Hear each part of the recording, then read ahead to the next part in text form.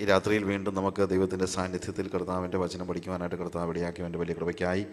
ഞാൻ കർത്താവിനെ സ്തോത്രം ചെയ്യുന്നു. നമ്മളറിയുന്നത് പോലെ നമ്മുടെ മൂന്ന് ദിവസം നീണ്ടു നിൽക്കുന്നതായ ബൈബിൾ ക്ലാസ്സിന്റെ ആദ്യത്തെ ദിവസമാണ്. എന്നാലും നമ്മളിത് മൂന്നാമത്തെ സെഷനാണ്. രാവിലത്തെ രണ്ട് സെഷൻസിലും നമ്മളോട് കർത്താവ് സംസാരിച്ചു എന്ന് ഞാൻ പൂർണമായിട്ട് വിശ്വസിക്കുന്നു. പ്രത്യേകിച്ച് നമ്മൾ പഠിച്ചുകൊണ്ടിരിക്കുന്ന വേദഭാഗത്തിന്റെ കുറിവാക്യമായി നമ്മൾ എടുത്തിരിക്കുന്നത് ഒൻപതാം അധ്യായത്തിന്റെ പതിനാറാം വാക്യമാണ്. അവിടെ നമ്മൾ വായിക്കുന്ന ഭാഗം ഞാൻ സുവിശേഷം അറിയിക്കുന്നുവെങ്കിൽ എനിക്ക് പ്രശംസിപ്പാൻ ഒന്നുമില്ല. നിർബന്ധം എന്റെ മേൽ കിടക്കുന്നു. ഞാൻ സുവിശേഷം അറിയിക്കുന്നില്ല എങ്കിൽ എനിക്ക് അയ്യോ കഷ്ടം. ആ അവസാനത്തെ ഭാഗമാണ് നമ്മളിവിടെ കൊടുത്തിരിക്കുന്നത്. ഞാൻ സുവിശേഷം അറിയിക്കുന്നില്ല എങ്കിൽ എനിക്ക് അയ്യോ കഷ്ടം. സി ഇവിടെ ഞാൻ നമ്മൾ രാവിലെ കണ്ട കാര്യങ്ങൾ ഞാൻ പറഞ്ഞ കാര്യങ്ങൾ നിങ്ങൾ ഓർക്കുമെന്ന് ഞാൻ ചിന്തിക്കുന്നു. ഒന്നാമത് സുവിശേഷീകരണത്തിന്റെ പ്രാധാന്യം കാലങ്ങളായിട്ട് നമ്മുടെ സഭകളിൽ നിന്ന് ചോർന്നു പോയിക്കൊണ്ടിരിക്കുന്ന ഒരു അവസ്ഥ നമ്മൾ കാണുന്നുണ്ട്. ഒരു പത്തോ നാൽപ്പതോ ഇരുപതോ വർഷങ്ങൾക്ക് മുമ്പ് സുവിശേഷീകരണത്തിനുണ്ടായിരുന്നത്ര തൃഷ്ണ ആ ഒരു തീഷ്ണത ഇന്ന് നമ്മുടെ സഭയിലില്ല എന്നുള്ളൊരു യാഥാർത്ഥ്യമാണ്. അതുകൊണ്ട് പരിശുദ്ധ ദൈവത്തിന്റെ പരിശുദ്ധാത്മാവ് നമ്മെ സുവിശേഷത്തിന്റെ സുവിശേഷീകരണത്തിന്റെ ആവശ്യകതയെക്കുറിച്ച് ഓർപ്പിക്കുവാൻ ഈ കാലയളവിൽ ആഗ്രഹിക്കുന്നെന്ന് ഞാൻ പൂർണമായിട്ട് വിശ്വസിക്കുന്നു. അതുകൊണ്ട് ആ ഒരു ദൈവാത്മാ പ്രേരണയിലാണ് ഈ ഒരു വിഷയം നമുക്ക് ഈ പ്രാവശ്യം ഇവിടെ തിരഞ്ഞെടുക്കുവാനായിട്ട് കർത്താവ് സഹായിച്ചത്. സുവിശേഷി സുവിശേഷീകരണം നമുക്ക് തീർച്ചയായിട്ടും സന്തോഷം ഉണ്ടാക്കുന്ന കാര്യമാണ്. പലപ്പോഴും നമ്മൾ സുവിശേഷം അറിയിക്കുമ്പോൾ നമുക്കൊരു സന്തോഷമുണ്ട്. അപ്പോൾ സുവിശേഷം അറിയിക്കുമ്പോൾ എന്ത് നമുക്ക് ഫീൽ ചെയ്യുന്നു എന്നുള്ളതല്ല ഇവിടെ പോൾ പറയുന്നത്. ഞാൻ സുവിശേഷം അറിയിക്കാതിരിക്കുമ്പോൾ എന്ത് ഫീൽ ചെയ്യുന്നു? സുവിശേഷം അറിയിക്കുമ്പോൾ നമുക്ക് തീർച്ചയായിട്ടും സന്തോഷമുണ്ട്. ഒരാളെങ്കിലും കർത്താവിനെ അറിയുന്നത് നമുക്ക് ഒത്തിരി സന്തോഷമാണ്. പക്ഷേ ഞാൻ സുവിശേഷം അറിയിക്കാതിരിക്കുമ്പോൾ എന്റെ മനസ്സിൽ എന്താണ് ഫീൽ ചെയ്യുന്നത്? അത് എനിക്ക് അയ്യോ കഷ്ടം എന്ന് പറയുന്ന ഒരു സ്റ്റേജിലേക്ക് വരുന്നുണ്ടോ? യശയാവിന്റെ പ്രവചനത്തിൽ യശയാ പ്രവാചകൻ എനിക്ക് അയ്യോ കഷ്ടം ഞാൻ നശിച്ചു എന്നാണ് പറയുന്നത്. അതായത് ആ വാക്കിന്റെ woe unto me I am undone എന്ന് പറയുമ്പോഴത്തേക്ക് അവിടുത്തെ അർത്ഥം പ്രവാചകൻ തന്റെ അസ്തിത്വം തന്നെ നഷ്ടപ്പെട്ടു പോയതായിട്ട് അദ്ദേഹത്തിന് തോന്നുന്നു എന്നുള്ളതാണ്. അതായത് ഞാൻ ഉണ്ടോ എന്നുള്ള ഒരു സംശയം. അതാണ് വാസ്തവത്തിൽ ഇവിടുത്തെ ഈ കരച്ചിലിന്റെ വോ ഓൺ ടു മീ എന്ന് പറയുന്ന ഈ വാക്കിന്റെ പ്രാധാന്യം.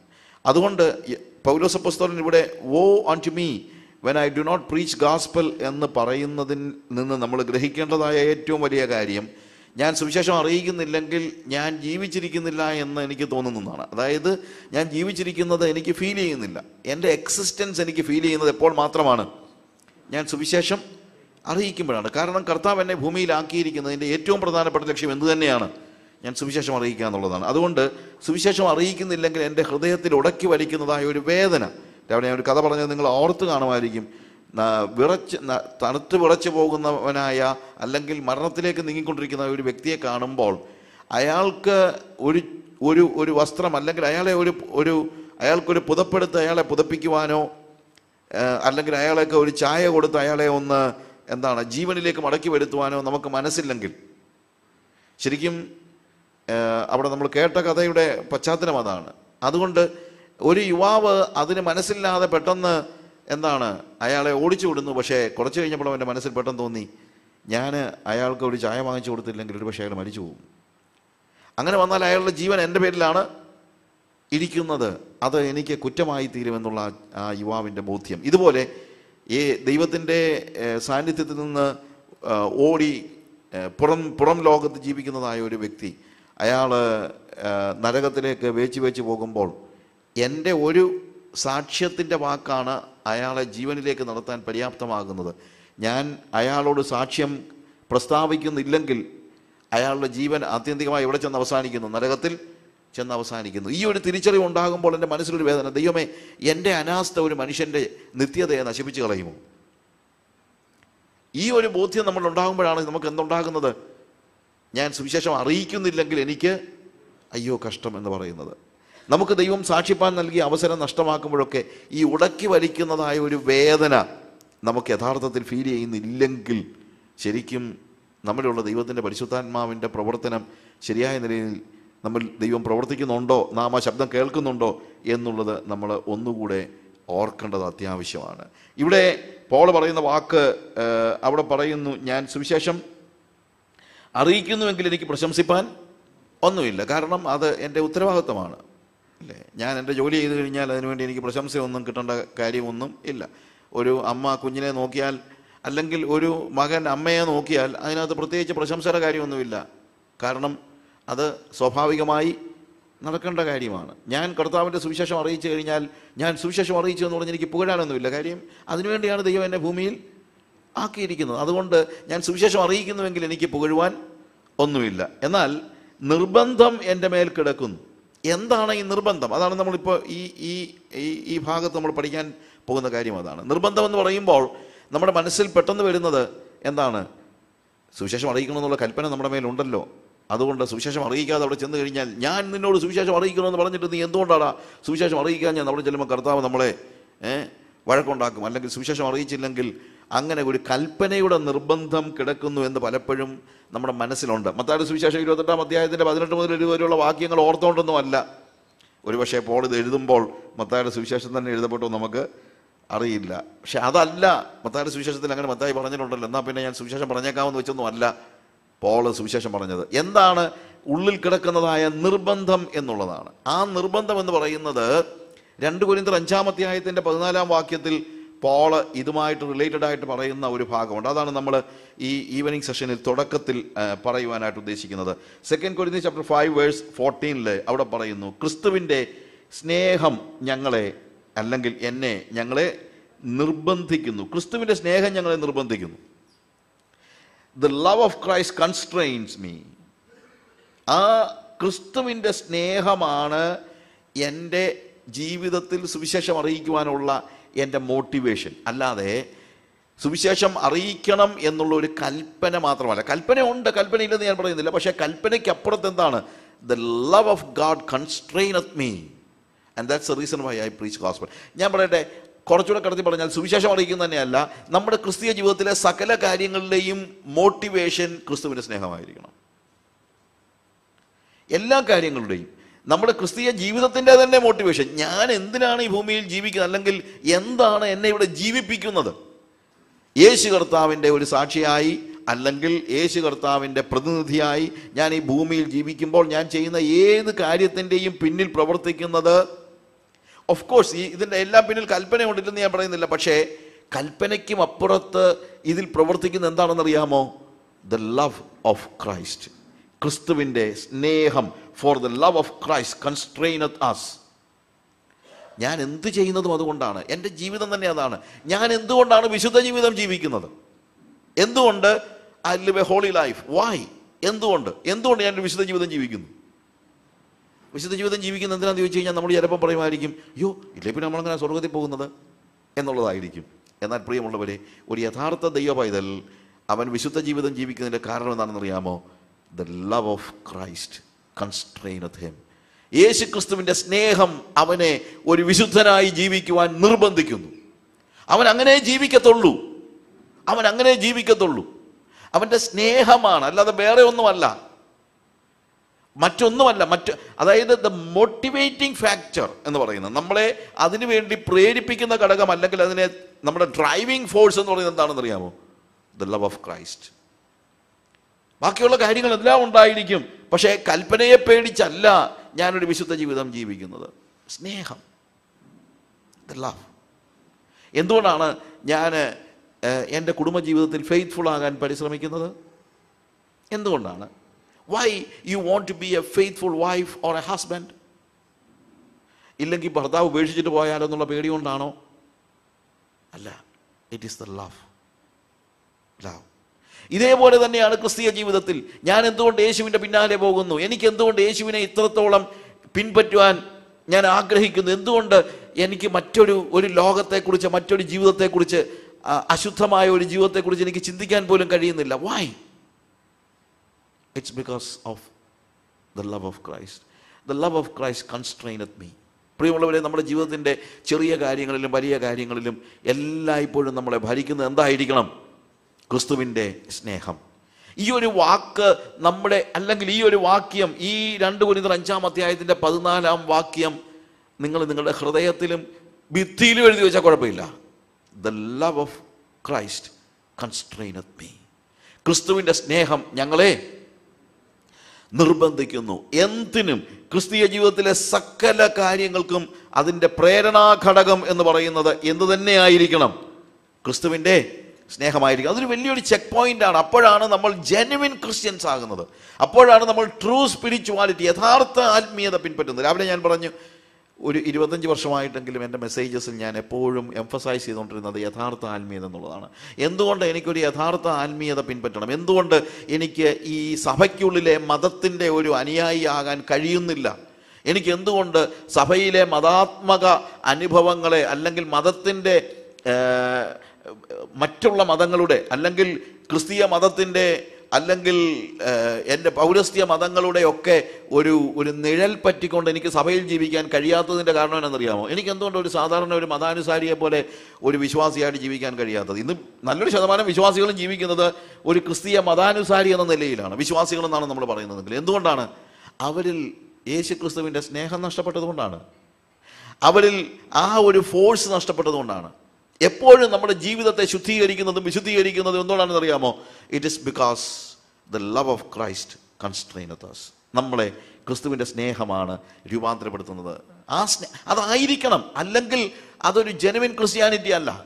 കാര്യം ഇതിന്റെ നമ്മെ നയിക്കുന്ന ഫോഴ്സ് അത് മാത്രമായിരിക്കണം. ഞാൻ ചോദിച്ചോട്ടെ ഞാൻ ആരാ ഞാൻ എന്തുകൊണ്ടാണ്? Why I worship Christ why why I worship God ഞാൻ എന്തുകൊണ്ടാണ് ദൈവത്തെ ആരാധിക്കുന്നത്? അപ്പോൾ നമ്മുടെയൊക്കെ പ്രശ്നം എന്താണെന്ന് ചോദിച്ചു കഴിഞ്ഞാൽ നമ്മൾ ആരാധിക്കുന്നത് പോലും സ്നേഹത്തിൽ നിന്നല്ല. See it's a very pathetic situation നമ്മുടെ ഒരു വലിയ ഒരു ഒരു ഒരു സങ്കടകരമായ കാര്യമാണ് നമ്മളുടെ ആരാധന പോലും ഇന്നിപ്പോൾ സ്നേഹത്തിൽ നിന്നല്ല പേടിയിൽ നിന്നാണ്. നമ്മുടെ ആരാധന പോലും ഇന്നിപ്പോൾ സ്നേഹത്തിൽ നിന്നല്ല പേടിയിൽ നിന്നാണ്. ഒരു പക്ഷേ ആളുകൾ വന്ന് പറയുമായിരിക്കും ഇല്ലെങ്കിൽ ദൈവം നമ്മളെ തല്ലിക്കൊല്ലും ആരാധിക്കടാ ഇല്ലെങ്കിൽ ദൈവം തല്ലിക്കൊല്ലും എന്നുള്ള നിലയിലാണ് ആളുകളുടെ സംസാരമൊക്കെ. ഏ? അതുകൊണ്ട് ആരാധിച്ച് ഒന്നുകിൽ ആരാ പേടിയുണ്ട് അല്ലെങ്കിൽ ആരാധിക്കുമ്പോൾ വിടുതലുണ്ടാകും ആരാധിക്കുമ്പോൾ നമുക്ക് എന്തെങ്കിലുമൊക്കെ കിട്ടും എന്നുള്ള കാര്യം കൊണ്ട്. ഇതിനകത്ത് എവിടെയാണ് സ്നേഹം? If I am looking for something in this world when I worship ആ വർഷിപ്പ് എന്തെന്ന് വർഷിപ്പാണ് അത് ആരാധനയാണോ? അവിടെയാണ് മതം ഉണ്ടാകുന്നത് കാര്യം മറ്റെല്ലാ മതങ്ങളിലും ആരാധിക്കുന്നതിന് വേണ്ടിയാണെന്നറിയാമോ? കാര്യങ്ങൾ കിട്ടാൻ വേണ്ടിയാണ്. അതുകൊണ്ടാണ് ഞാൻ പറഞ്ഞത് ഇന്ന് സഭയിലും മതമാണ് നടക്കുന്നത്. കാരണം പുറത്തുള്ള മത മതത്തിന്റെ ആളുകൾ ആരാധിക്കുന്ന എന്തിനു വേണ്ടിയാണ്? ഒന്നുകിൽ പേടിച്ചോ അല്ലെങ്കിൽ എന്തെങ്കിലും അവർക്ക് ആണ്. നമ്മളും സഭാ ഹാളിൽ വന്നിരുന്ന് ആരാധിക്കുന്നത് അതിനു വേണ്ടിയാണെങ്കിൽ അത് മതമല്ലാതെ എന്താണ് പ്രിയമുള്ളവരെ? പള്ളിയിൽ പോകുന്നതിന് പകരം ഒരു ഹോളിലേക്ക് വന്നാലോ അമ്പലത്തിൽ പോകുന്നതിന് പകരം ഒരു പള്ളിയിലോട്ട് വന്നാലോ ഒന്നും മാറുന്നതല്ല മതമെന്ന് പറയുന്നത്. നമ്മൾ ആ മതത്തെ കൊണ്ടാണ് ഇങ്ങോട്ട് വന്നിരിക്കുന്നത്. അതുകൊണ്ട് എന്താണ് ക്രിസ്തുവിന്റെ സ്നേഹം നമ്മുടെ ഡ്രൈവിംഗ് ഫോഴ്സ് ആകാത്തത് കൊണ്ട് നമുക്ക് യഥാർത്ഥത്തിൽ ദൈവത്തെ ആരാധിക്കാൻ ഇപ്പോഴും കഴിയുന്നില്ല. ഈ മതം വിട്ടുകളയാത്ത ഒരു വ്യക്തിക്കും ദൈവത്തെ ആരാധിക്കാൻ കഴിയില്ല. അതുകൊണ്ടാണ് the love of Christ constraineth me നമ്മുടെ വേർഷിപ്പിന്റെ പിന്നിൽ നമ്മുടെ വിശുദ്ധ ജീവിതത്തിന് പിന്നിൽ പറഞ്ഞു വന്നാൽ ഓരോരോ കാര്യങ്ങളുടെയും പിന്നിൽ നമ്മളെപ്പോഴും എന്താണ്? ക്രിസ്തുവിന്റെ സ്നേഹം. ഞാൻ എന്റെ റിസോഴ്സസ് മറ്റുള്ളവരുമായിട്ട് പങ്കുവയ്ക്കുന്നത് എന്തുകൊണ്ടായിരിക്കണം? ദ ലവ് ഓഫ് ക്രൈസ്റ്റ് സ്തോത്രകാഴ്ച ഇടുന്നത് എന്തുകൊണ്ടായിരിക്കണം? സ്തോത്രകാഴ്ച ഇടുന്നത് പറ്റുന്ന പ്രശ്നം റിലീജിയൻ വന്നപ്പോഴുണ്ടായ പ്രശ്നമുണ്ടല്ലോ. ഞാൻ പലപ്പോഴും പറഞ്ഞിട്ടുണ്ട്. ഒരാൾ വന്നിട്ട് പറയുകയാണ് നിങ്ങളുടെ കയ്യിലുള്ള ഏറ്റവും വലിയ നോട്ട് ഇതിനകത്തിട്ട് നിങ്ങൾക്ക് നൂറ് മടങ്ങ് പ്രതിഫലം കിട്ടുമെന്ന് പറഞ്ഞിട്ട് ഇതിനകത്ത് ഇട്ട് കഴിഞ്ഞാൽ അതിന്റെ പിന്നിലെ പ്രേരണാ ഘടകം എന്താണ്? It is not the love of Christ അത് ബിസിനസ്സാണ് അല്ലേ? ദറ്റ് ഈസ് ബിസിനസ് ഞാൻ കിട്ടാൻ വേണ്ടിയാണ് കൊടുക്കുന്നതെങ്കിൽ ദൈവത്തിന് കൊടുക്കുന്നതെങ്കിൽ നമ്മൾ പുറത്തെ മതത്തെ എന്ത് ചെയ്തിരിക്കുകയാണ്? ഇങ്ങോട്ട് കൊണ്ടുവന്നിരിക്കുകയാണ്. അല്ലാതെ വേറെ ഒന്നുമില്ല. അതുകൊണ്ടാണ് ഞാൻ പറഞ്ഞത് ഇന്ന് വിശ്വാസികളുടെയിലും കൺവെൻഷനുകളിലും ക്രൂസൈഡുകളിലും സഭായോഗങ്ങളിലും നമ്മൾ മതത്തെയും കൊണ്ട് വന്നിരിക്കുന്നത് കൊണ്ട് ക്രിസ്തുവിന്റെ സ്നേഹം എന്നാൽ എന്താണെന്ന് പോലും നമ്മൾ തിരിച്ചറിയുന്നില്ല. അത് നമുക്കൊരു ഒരു ഡ്രൈവിംഗ് ഫോഴ്സ് ആകുന്നില്ല. ക്രിസ്തുവിന്റെ സ്നേഹം നമുക്കൊരു ഡ്രൈവിംഗ് ഫോഴ്സ് ആകുമ്പോൾ അങ്ങനെ ആയിക്കഴിഞ്ഞാൽ ഇതെല്ലാം അങ്ങ് നന്നാകും. പിന്നെ ഇതിനകത്ത് റിലീജിയന്റെ പ്രശ്നമേ ഉണ്ടാകുന്നില്ല. എനിക്ക് പ്രതിഫലം നോക്കിയല്ല അത് മോഹിച്ചല്ല. Love of Christ constraineth me ഞാൻ കർത്താവിന്റെ വരവിനെ കാത്തിരിക്കുന്നത് എന്തുകൊണ്ടാണ് എന്തുകൊണ്ടാണ്? എങ്ങനെങ്കിലും ഇവിടെ നിന്ന് രക്ഷപ്പെടണം എന്നുള്ളത് ഈ ഞാൻ പറയുന്നത് ഞാൻ ചിലപ്പോൾ പറയാറുണ്ട് കർത്താവിനെ കാത്തിരിക്കുന്ന രണ്ട് രീതിയിലുണ്ട്. ഒന്ന് അക്ഷമയോടെ കർത്താവിനെ കാത്തിരിക്കുന്നവരുമുണ്ട് പ്രത്യാശയോടെ കർത്താവിനെ കാത്തിരിക്കുന്നവരുമുണ്ട്. അക്ഷമയോടെ കർത്താവിനെ കാത്തിരിക്കുന്ന പ്രത്യേകം എന്നറിയാമോ എന്റെ ദൈവമേ ഇവിടുന്ന് എങ്ങനെങ്കിലും ഈ ദുരിതം പിടിച്ച ലോകത്തിൽ നിന്ന് എങ്ങനെങ്കിലും അങ്ങ് പോയാൽ മതി. അവർക്ക് അവിടെ എന്തോ ഉണ്ടെന്നുള്ളതൊന്നും അല്ല പക്ഷേ ഇവിടുന്ന് അങ്ങ് രക്ഷപ്പെട്ടാൽ മതി എന്ന്. അക്ഷമയോടുകൂടെ കർത്താവിനെ കാത്തിരിക്കുന്ന ആളുകളുമുണ്ട്. പ്രത്യാശയോടെ കർത്താവിനെ കാത്തിരിക്കുന്ന ആളുകളുണ്ട്. എന്റെ നാഥനെ ഞാൻ എന്നാ കാണുന്നത്? എന്റെ കർത്താവിനെ എന്റെ ആത്മ മണവാളനുമായിട്ട് എനിക്ക് എന്നാണ് ഒരു സഹവാസം സാധ്യമാകുന്നത്? പ്രത്യാശയോടെയുള്ള കാത്തിരിപ്പ്. അക്ഷമയോടുള്ള കാത്തിരിപ്പ് അല്ല കർത്താവ് നമ്മൾ ഇന്ന് ആഗ്രഹിക്കുന്നത്. എന്താണ്? പ്രത്യാശയോടെയുള്ള കാത്തിരിപ്പ്. ആ പ്രത്യാശയോടുള്ള കാത്തിരിപ്പ് നമുക്ക് ഉണ്ടാകണമെങ്കിൽ നാം ദൈ കർത്താവിന്റെ ക്രിസ്തുവിന്റെ സ്നേഹത്താൽ നിർബന്ധിതരായിരിക്കണം. നമ്മെ നയിക്കുന്ന ആ ഒരു കൺസ്ട്രെയിനിങ് നമ്മളെ ആ ഫോഴ്സ് നമുക്ക് തിരിച്ചറിയാനായിട്ട് കഴിയണം. ഞാൻ കൽപ്പന അനുസരിക്കുന്നത്. എന്തുകൊണ്ടാണ് കൽപ്പന അനുസരിക്കുന്നത്? ഇല്ലെങ്കിൽ നരകത്തിൽ പോകുമെന്നോ എന്നുള്ള പേടിയിലോ see most of the people കൽപ്പന അനുസരിക്കുന്നത് ഇല്ലത് ഇല്ലെങ്കിൽ നരകത്തിൽ പോകുന്നുള്ള വാട്ട് ഹാപ്പൻസ് നമ്മൾ മതത്തെ കൊണ്ട് വന്നിരിക്കുകയാണ്. പക്ഷേ ഞാൻ കൽപ്പന അനുസരിക്കുന്നത് എനിക്ക് കൽപ്പന അനുസരിച്ചാൽ കിട്ടുന്ന വാട്ട് യു സേ പ്രതിഫലം പ്രതിഫലമല്ലല്ലോ ആ അനുഗ്രഹം അല്ലേ ചിലപ്പോൾ ആളുകളെല്ലാം പറയാറുണ്ട് ഈ ഇസ്രായേൽ മക്കൾക്ക് കർത്താവ് കർത്താവ് ഇസ്രായേൽ മക്കളോട് സംസാരിക്കുമ്പോൾ പറയുന്നുണ്ട് നീ എന്റെ കൽപ്പനകളെ അനുസരിച്ചാൽ ഞാൻ നിന്നെ അനുഗ്രഹിക്കും ഇല്ലെങ്കിൽ നിന്നെ ശവിക്കും എന്നൊക്കെ പറയുന്നുണ്ട്. അതുകൊണ്ട് കൽപ്പന അനുസരിച്ചാൽ കിട്ടുന്ന അനുഗ്രഹങ്ങളാണ് ഇന്നത്തെ പ്രസംഗങ്ങളുടെ എല്ലാം കാതൽ പൊതുവേ ഉള്ള കാതൽ എന്ന് പറയുന്നത്. പക്ഷേ ഒരു കാര്യം നമ്മൾ മനസ്സിലാക്കണം കർത്താവ് ആരോടാണ് അത് പറഞ്ഞതെന്നറിയാമോ? മത്സരികളായ ഇസ്രായേൽ മക്കളോടാണ്. കർത്താവ് കൽപ്പന കൊടുത്തപ്പോൾ കൽപ്പന അതായിട്ടും കൊടുക്കുകയായിരുന്നു. നിങ്ങൾ ശ്രദ്ധിച്ചിട്ടുണ്ടല്ലോ? അവൻ സീനായി മലയിൽ വെച്ച് കൽപ്പന കൊടുക്കുമ്പോൾ കൽപ്പന അനുസരിച്ചാൽ എന്തൊക്കെ കിട്ടുമെന്നല്ല പറയുന്നത്. കൽപ്പന എന്താണെന്നങ്ങ് പറയായിരുന്നു. He was just giving commandments എപ്പോഴാണെന്നറിയാമോ? കർത്താവ് ഇത് പറഞ്ഞത് നീ അനുസരിച്ചാൽ അനുഗ്രഹം കിട്ടും ഇല്ലെങ്കിൽ ശാപം കിട്ടും എന്ന് പറഞ്ഞത്. ഇവന്മാർ അനുസരിക്കാതിരുന്നപ്പോഴാണ്. മത്സരികളായ ഇസ്രായേൽ മക്കളെ അനുസരിക്കാനുള്ള അവർക്ക് നമ്മളാണെങ്കിലും അനുസരണമുള്ള പിള്ളേരുണ്ട് ഇല്ലാത്ത പിള്ളേരോട് പറയും മോനെ നീ അനുസരിച്ചാൽ നിനക്ക് മുട്ടായി തരാമെന്ന് പറയും ഇല്ലെങ്കിൽ ചിലപ്പോൾ പറയും ഇടാ ഇത് അനുസരിച്ചില്ലെങ്കിൽ നിന്നെ തല്ലി അടിച്ചു പൊട്ടിക്കുമെന്നും പറയും. അതൊക്കെ ആരോടാ പറയേണ്ടി വരുന്നത്? മത്സരികളായ പിള്ളേരോടാ പറയേണ്ട. അല്ലാതെ അനുസരിക്കുന്ന പിള്ളേരോട് അതൊന്നും പറയേണ്ട കാര്യമില്ല. അനുസരിക്കുന്ന പിള്ളേരോട് എന്ന് പറഞ്ഞാൽ മതി? കൽപ്പന മാത്രം അങ്ങ് പറഞ്ഞാൽ മതി. ശരിയല്ലേ? ഇതേപോലെ തന്നെ ഇസ്രായേൽ മക്കൾ മത്സരികളായി തീർന്നപ്പോൾ അവരോട് പറഞ്ഞ കാര്യങ്ങളാണ് നീ അനുസരിച്ചാൽ അനുഗ്രഹം അനുസരിച്ചില്ലെങ്കിൽ നിനക്ക് ശാപം എന്ന് പറയുന്നത്. അത് നമ്മളോടും പറയേണ്ട ഗതികേട് നമ്മൾ ഉണ്ടാക്കി കൊടുക്കണോ. നമ്മൾ തന്നെ ആലോചിച്ച് നോക്കണം. അപ്പോൾ നമ്മൾ എന്താ ചെയ്യുന്നത്? റിലീജിയൻ നമ്മുടെ സഭയിലേക്ക് കൊണ്ടുവരികയാണ്. അതുകൊണ്ട് ഇപ്പം നമ്മൾ മത്സ ഇതിപ്പോൾ നടക്കുന്ന എന്താണ്? ഇന്ന് നമ്മൾ മത്സരികളായ ഇസ്രായേൽ മക്കളാണെങ്കിൽ ഇത് പറയണം ഇത് പാടണം. എന്നാലേ പറ്റുള്ളൂ. ഏ? നിന്റെ തൊട്ടി അനുഗ്രഹിക്കപ്പെടും നിന്റെ പെട്ടി അനുഗ്രഹിക്കപ്പെടും നിന്റെ വീട് അനുഗ്രഹിക്കപ്പെടും. നിന്റെ അധ്വാന ഫലം നീ തന്നെ തിന്നും. ഏ പാടുമ്പോൾ പറ്റുന്ന ഒരു പ്രശ്നമാണ്. നീ തന്നെ തിന്നുവെന്ന് വേദോസം പഠിപ്പിച്ചത് ഇപ്പം വന്ന് വന്ന് ആളുകൾ പാടുന്നത് നിന്റെ അധ്വാന ഫലം നീ തന്നെ തിന്നുവെന്ന്. അതായത് വേറെ ഒറ്റ ഒരുത്തനും കൊടുക്കത്തില്ല. നീ തന്നെ തിന്നും നിന്റെ അനുഗ്രഹം. എന്തോ? നിന്റെ അധ്വാന ഫലം നീ തന്നെ തിന്നുവെന്ന്. അതൊന്നും അല്ല അതിന്റെ അർത്ഥം. അവിടെ പറയുന്നത് നിന്റെ അധ്വാന ഫലം നീ ഡോക്ടർക്കും വൈദ്യനും കൊണ്ട് കൊടുക്കേണ്ടി വരത്തില്ല. അല്ലെങ്കിൽ കള്ളന്മാർ കൊണ്ടുപോകത്തില്ലെന്നൊക്കെ ആയിരിക്കും അവിടെ പറയുന്നത്. അല്ലാതെ നിന്റെ അധ്വാന ഫലം നീ തന്നെ തിന്നുമെന്ന് ആരും പാടിയേക്കരുത്. പക്ഷേ പാടിയാലും പാടിയില്ലെങ്കിലും ഇന്ന് തിന്നുന്നത് തന്നെയാണ് ഇതിപ്പോൾ ആർക്കും ഷെയർ ചെയ്യാൻ ആർക്കും മനസ്സില്ല. എന്തുകൊണ്ട് മനസ്സില്ല? റിലീജിയൻ ഇങ്ങോട്ട് കൊണ്ടുവന്നതുകൊണ്ടാണ്. കാരണം ഒരു ഹീതൻ ഗാഡിനെ പോലെയാണ് നമ്മൾ എന്ത് കാണുന്നത്? നമ്മൾ കർത്താവിനെയും നമ്മൾ കാണുന്നത് പലപ്പോഴും ഹീതൻ ഗോഡിനെ പോലെയാണ്. അപ്പം ഇതൊക്കെ പറഞ്ഞാലേ നമ്മൾ അനുസരിക്കത്തുള്ളെങ്കിൽ ശരിക്കും നമ്മൾ യേശുക്രിസ്തുവിന്റെ സ്നേഹത്താൽ നിർബന്ധിക്കപ്പെടുന്നില്ല എന്നുള്ളതാണ് അതിന്റെ അർത്ഥം. അല്ലെങ്കിൽ ഇപ്പോഴും നമ്മൾ മത്സരികളായ ഇസ്രായേൽ മക്കളാണെന്ന് നമ്മൾ തന്നെ സമ്മതിക്കുകയാണ്. ഇതൊക്കെ നമുക്ക് വേണമെങ്കിൽ.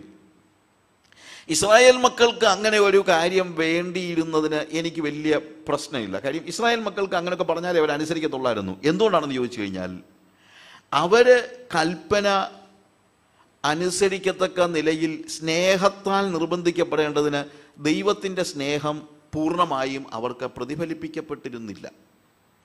അവരാരും കാൽവറി ക്രൂസിലെ യേശുവിന്റെ ദർശനം പ്രാപിച്ചവരായിരുന്നില്ലല്ലോ. ദൈവത്തിന്റെ സ്നേഹത്തെ ദൈവം പ്രദർശിപ്പിച്ചത് എവിടെയാണെന്ന് നമ്മൾ റോമാലേഖനത്തിൽ വായിക്കുന്നുണ്ട്. ക്രിസ്തുവോ നാം പാപികളായിരിക്കുമ്പോൾ തന്നെ നമുക്ക് വേണ്ടി മരിക്കയാൽ ദൈവത്തിന് നമ്മോടുള്ള സ്നേഹം പ്രദർശിപ്പിച്ചിരിക്കുന്നു. മാനിഫെസ്റ്റഡ് ഡെമോൺസ്ട്രേറ്റഡ് എന്ന് വെച്ചാൽ അന്നേരമാണ് ദൈവം ആദ്യമായിട്ട് നമ്മളെ സ്നേഹിച്ചെന്നല്ല അതിന്റെ അർത്ഥം. ദൈവം എന്നും നമ്മളെ സ്നേഹിച്ചിരുന്നു. കാര്യം ദൈവം സ്നേഹം തന്നെ ആകുന്നു. അവന് സ്നേഹിക്കാതിരിക്കാൻ കഴിയില്ല. അവന് സ്നേഹിക്കാനേ കഴിയുള്ളൂ. വേറെ ഒന്നും അവന് പറ്റത്തില്ല. ബിക്കോസ് ഈ ഈസ് ഗാഡ് അവൻ എന്നും സ്നേഹിച്ചിരുന്നു. പക്ഷേ ആ സ്നേഹം പ്രദർശിപ്പിക്കപ്പെട്ടത് നമുക്ക് ബോധ്യമാകുന്ന രീതിയിൽ പ്രക- പ്രകാശിപ്പിക്കപ്പെട്ടത് എവിടെയാണെന്നാണ് പറയുന്നത്? കാൽവറി ക്രൂശിൽ. കാൽവറി ക്രൂശ് കണ്ടിട്ടില്ലാത്തവന് ഒരു പക്ഷേ എന്തു വേണ്ടി വന്നേക്കും?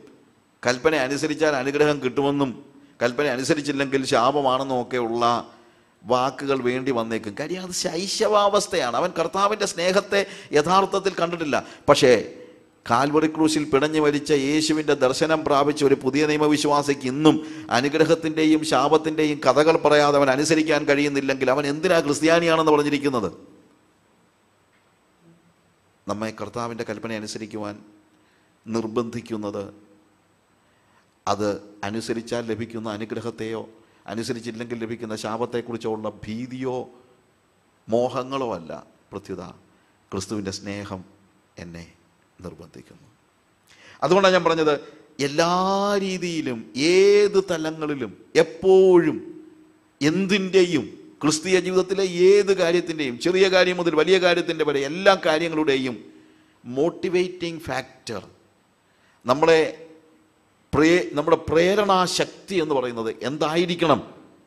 ദ ലവ് ഓഫ് ക്രൈസ്റ്റ് ക്രിസ്തുവിന്റെ സ്നേഹം. കൽപ്പന അനുസരിക്കുന്നത് യഹൂദന്മാർ കൽപ്പന അനുസരിക്കുന്ന ഒരു പക്ഷേ പേടിച്ചൊക്കെ ആയിരിക്കാം. ഇസ്രായേൽ മക്കൾ കൽപ്പന അനുസരിച്ച് അങ്ങനെ ആയിരിക്കാം.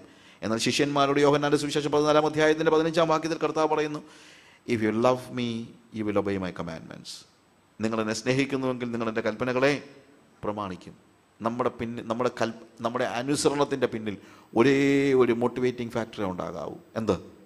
ദ ലവ് ഓഫ് ക്രൈസ്റ്റ് ക്രിസ്തുവിന്റെ സ്നേഹം ഞങ്ങളെ നിർബന്ധിക്കുന്നു.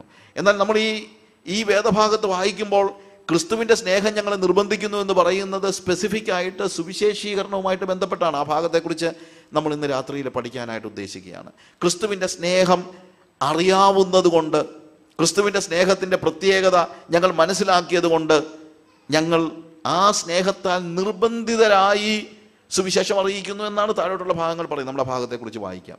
എന്താണ് ക്രിസ്തുവിന്റെ സ്നേഹം? ക്രിസ്തുവോ നാം പാവികളായിരിക്കുമ്പോൾ തന്നെ നമുക്ക് വേണ്ടി മരിക്കിയാൽ ദൈവത്തിന് നമ്മോടുള്ള സ്നേഹത്തെ പ്രദർശിപ്പിച്ചിരിക്കുന്നു.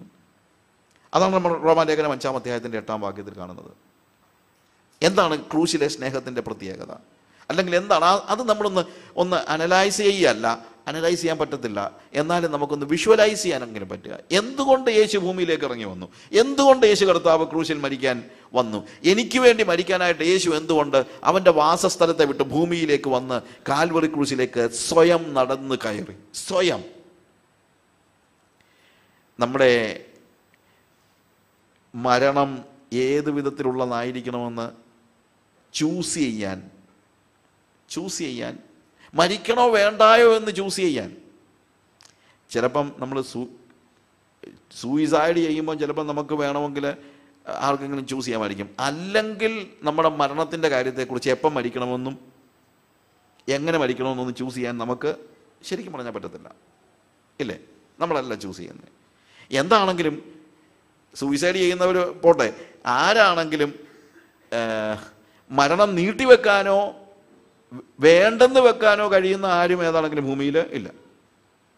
അങ്ങനെ ആരെങ്കിലും ഭൂമിയിൽ ഉണ്ടായിരുന്നെങ്കിൽ അത് യേശുവാണ്. ഞാൻ പറഞ്ഞ മനസ്സിലാക്കണം. ആരെങ്കിലും ഒരാൾ എനിക്ക് മരിക്കണ്ട എന്ന് തീരുമാനിച്ചായിരുന്നെങ്കിൽ ആ മരണം വേണ്ടെന്ന് വെക്കുവാൻ കഴിയുമായിരുന്ന ഏക വ്യക്തി ആരാണ്? യേശു കർത്താവാണ്. പക്ഷേ യേശു മരണം ചൂസ് ചെയ്യണം. അതുകൊണ്ടാണ് ഞാൻ പറഞ്ഞത് കാൽവറി ക്രൂസിലേക്ക് നയിക്കപ്പെട്ടവനല്ല യേശു കാൽവറി ക്രൂസിലേക്ക് നടന്നു കയറിയവനാണ് യേശു. അവന്റെ ചോയ്സ് ആയിരുന്നു. അവന്റെ ചോയ്സാ അവന്റെ കൂടെ ക്രൂശിച്ച രണ്ട് കള്ളന്മാർക്ക് അവസരം കൊടുത്തായിരുന്നെങ്കിൽ അവരെന്ത് ചെയ്തേനെ? അവരിൽ ആരെങ്കിലും കാൽവറി ക്രൂശിലേക്ക് നടന്ന് കാൽവറിയിലേക്ക് നടന്നു കയറുമായിരുന്നോ? അവസരം കിട്ടിയിരുന്നെങ്കിൽ അവന്റെ കൂടെ ക്രൂശിക്കപ്പെട്ട രണ്ട് കള്ളന്മാർ കാൽവടി ക്രൂശിലേക്ക് നടന്നു കയറുമായിരുന്നോ? ഇല്ല. അവർ ഇട്ടെറിഞ്ഞിട്ട് ഓടിപ്പോയേനേയും എന്നാൽ ഇട്ടെറിഞ്ഞിട്ട് ഓടിപ്പോകാൻ അവസരം കൊടുത്താലും യേശു എന്തു തന്നെ ചെയ്തേനേയും കാൽവറി ക്രൂശിലേക്ക് നടന്നു കയറിയനെയും കാരണം അവൻ മരണം ചൂസ് ചെയ്തതാണ്. ആർക്ക് വേണ്ടി? എനിക്ക് വേണ്ടി. എനിക്ക് വേണ്ടി എന്തിനാ അവൻ മരിച്ചത്? എന്തിനാ അവൻ ഭൂമിയിലേക്ക് ഇറങ്ങി വന്നത്? നമ്മൾ അദൃശ്യ ലോകത്തിലേക്ക് ഒന്ന് വിഷ്വലൈസ് ചെയ്യാനായിട്ട് പരിശ്രമിച്ചാൽ എന്ത് സംഭവിച്ചെന്ന് വിഷ്വലൈസ് ചെയ്യാൻ പരിശ്രമിച്ചാൽ ഞാൻ എന്റെ കാര്യം പറയുക.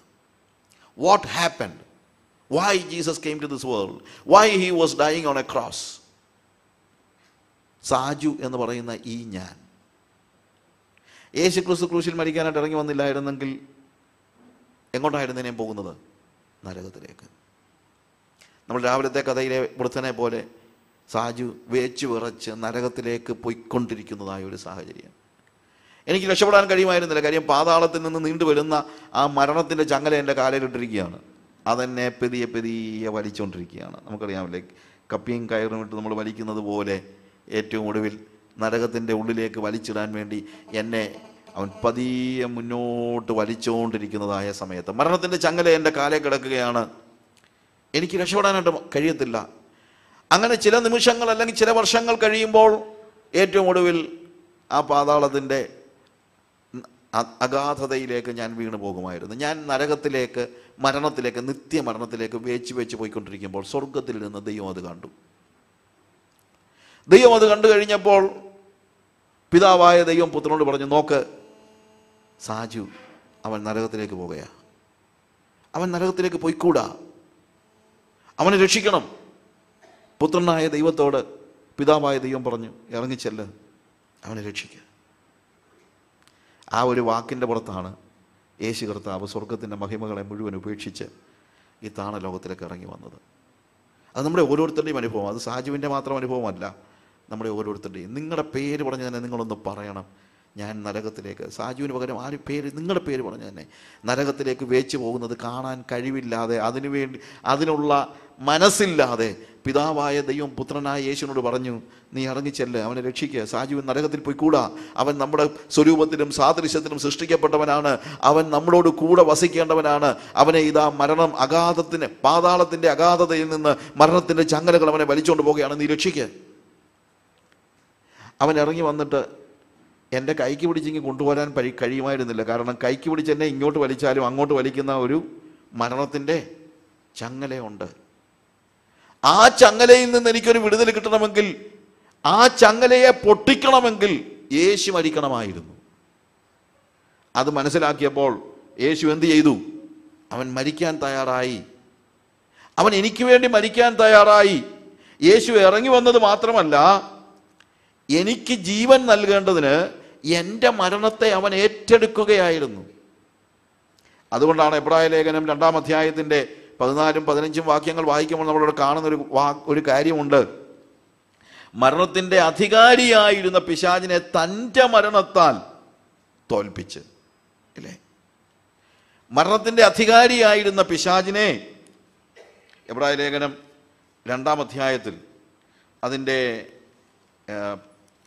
പതിനാലും പതിനഞ്ചും വാക്യങ്ങളിൽ അവനും അവരെ പോലെ ജലരക്തങ്ങൾ കൂടിയവനായി മരണത്തിന്റെ അധികാരിയായ പിശാചിനെ തന്റെ മരണത്താൽ നീക്കി ജീവപര്യന്ത മരണഭീതിയിൽ അടിമകളായിരുന്നവരെയൊക്കെയും വിടുവിച്ചു. ഞാൻ എന്റെ ജീവിതത്തിൽ സത്യം മനസ്സിലാക്കി കഴിയുമ്പോൾ എനിക്ക് മനസ്സിലാകുന്നൊരു കാര്യമുണ്ട്. ഞാൻ മരണത്തിലേക്ക് വലിച്ചിഴയ്ക്കപ്പെടുകയാണ് മരണത്തിലേക്ക് വലിച്ചിഴയ്ക്കപ്പെടുക എന്ന് പറയുമ്പോഴത്തേക്ക് എന്റെ സ്വാഭാവികമായ മാനുഷിക മരണം മാത്രമല്ല വിഷയം. എന്തുകൊണ്ടാണ് ഈ മരണത്തിന്റെ പ്രശ്നം എന്നാന്ന് ചോദിച്ചു കഴിഞ്ഞാൽ എന്റെ മരണമാണ് എനിക്ക് രക്ഷപ്പെടാനുള്ള അവസാനത്തെ നിമിഷമെന്ന് പറയുന്നത്. ഏത് മനുഷ്യനും നിത്യതയിലേക്ക് നിത്യ സന്തോഷത്തിലേക്ക് നിത്യ സൗഭാഗ്യത്തിലേക്ക് നിത്യ ദൈവ സഹവാസത്തിലേക്ക് പ്രവേശിക്കുവാൻ അവന് ലഭിക്കുന്ന അവസാനത്തെ അവസരം എപ്പോഴാണ്? The time of his death അതുകൊണ്ടാണ് മരണഭീതിക്ക് അടിമകളായിരുന്ന ആളുകൾ എന്ന് പറയുന്നത്.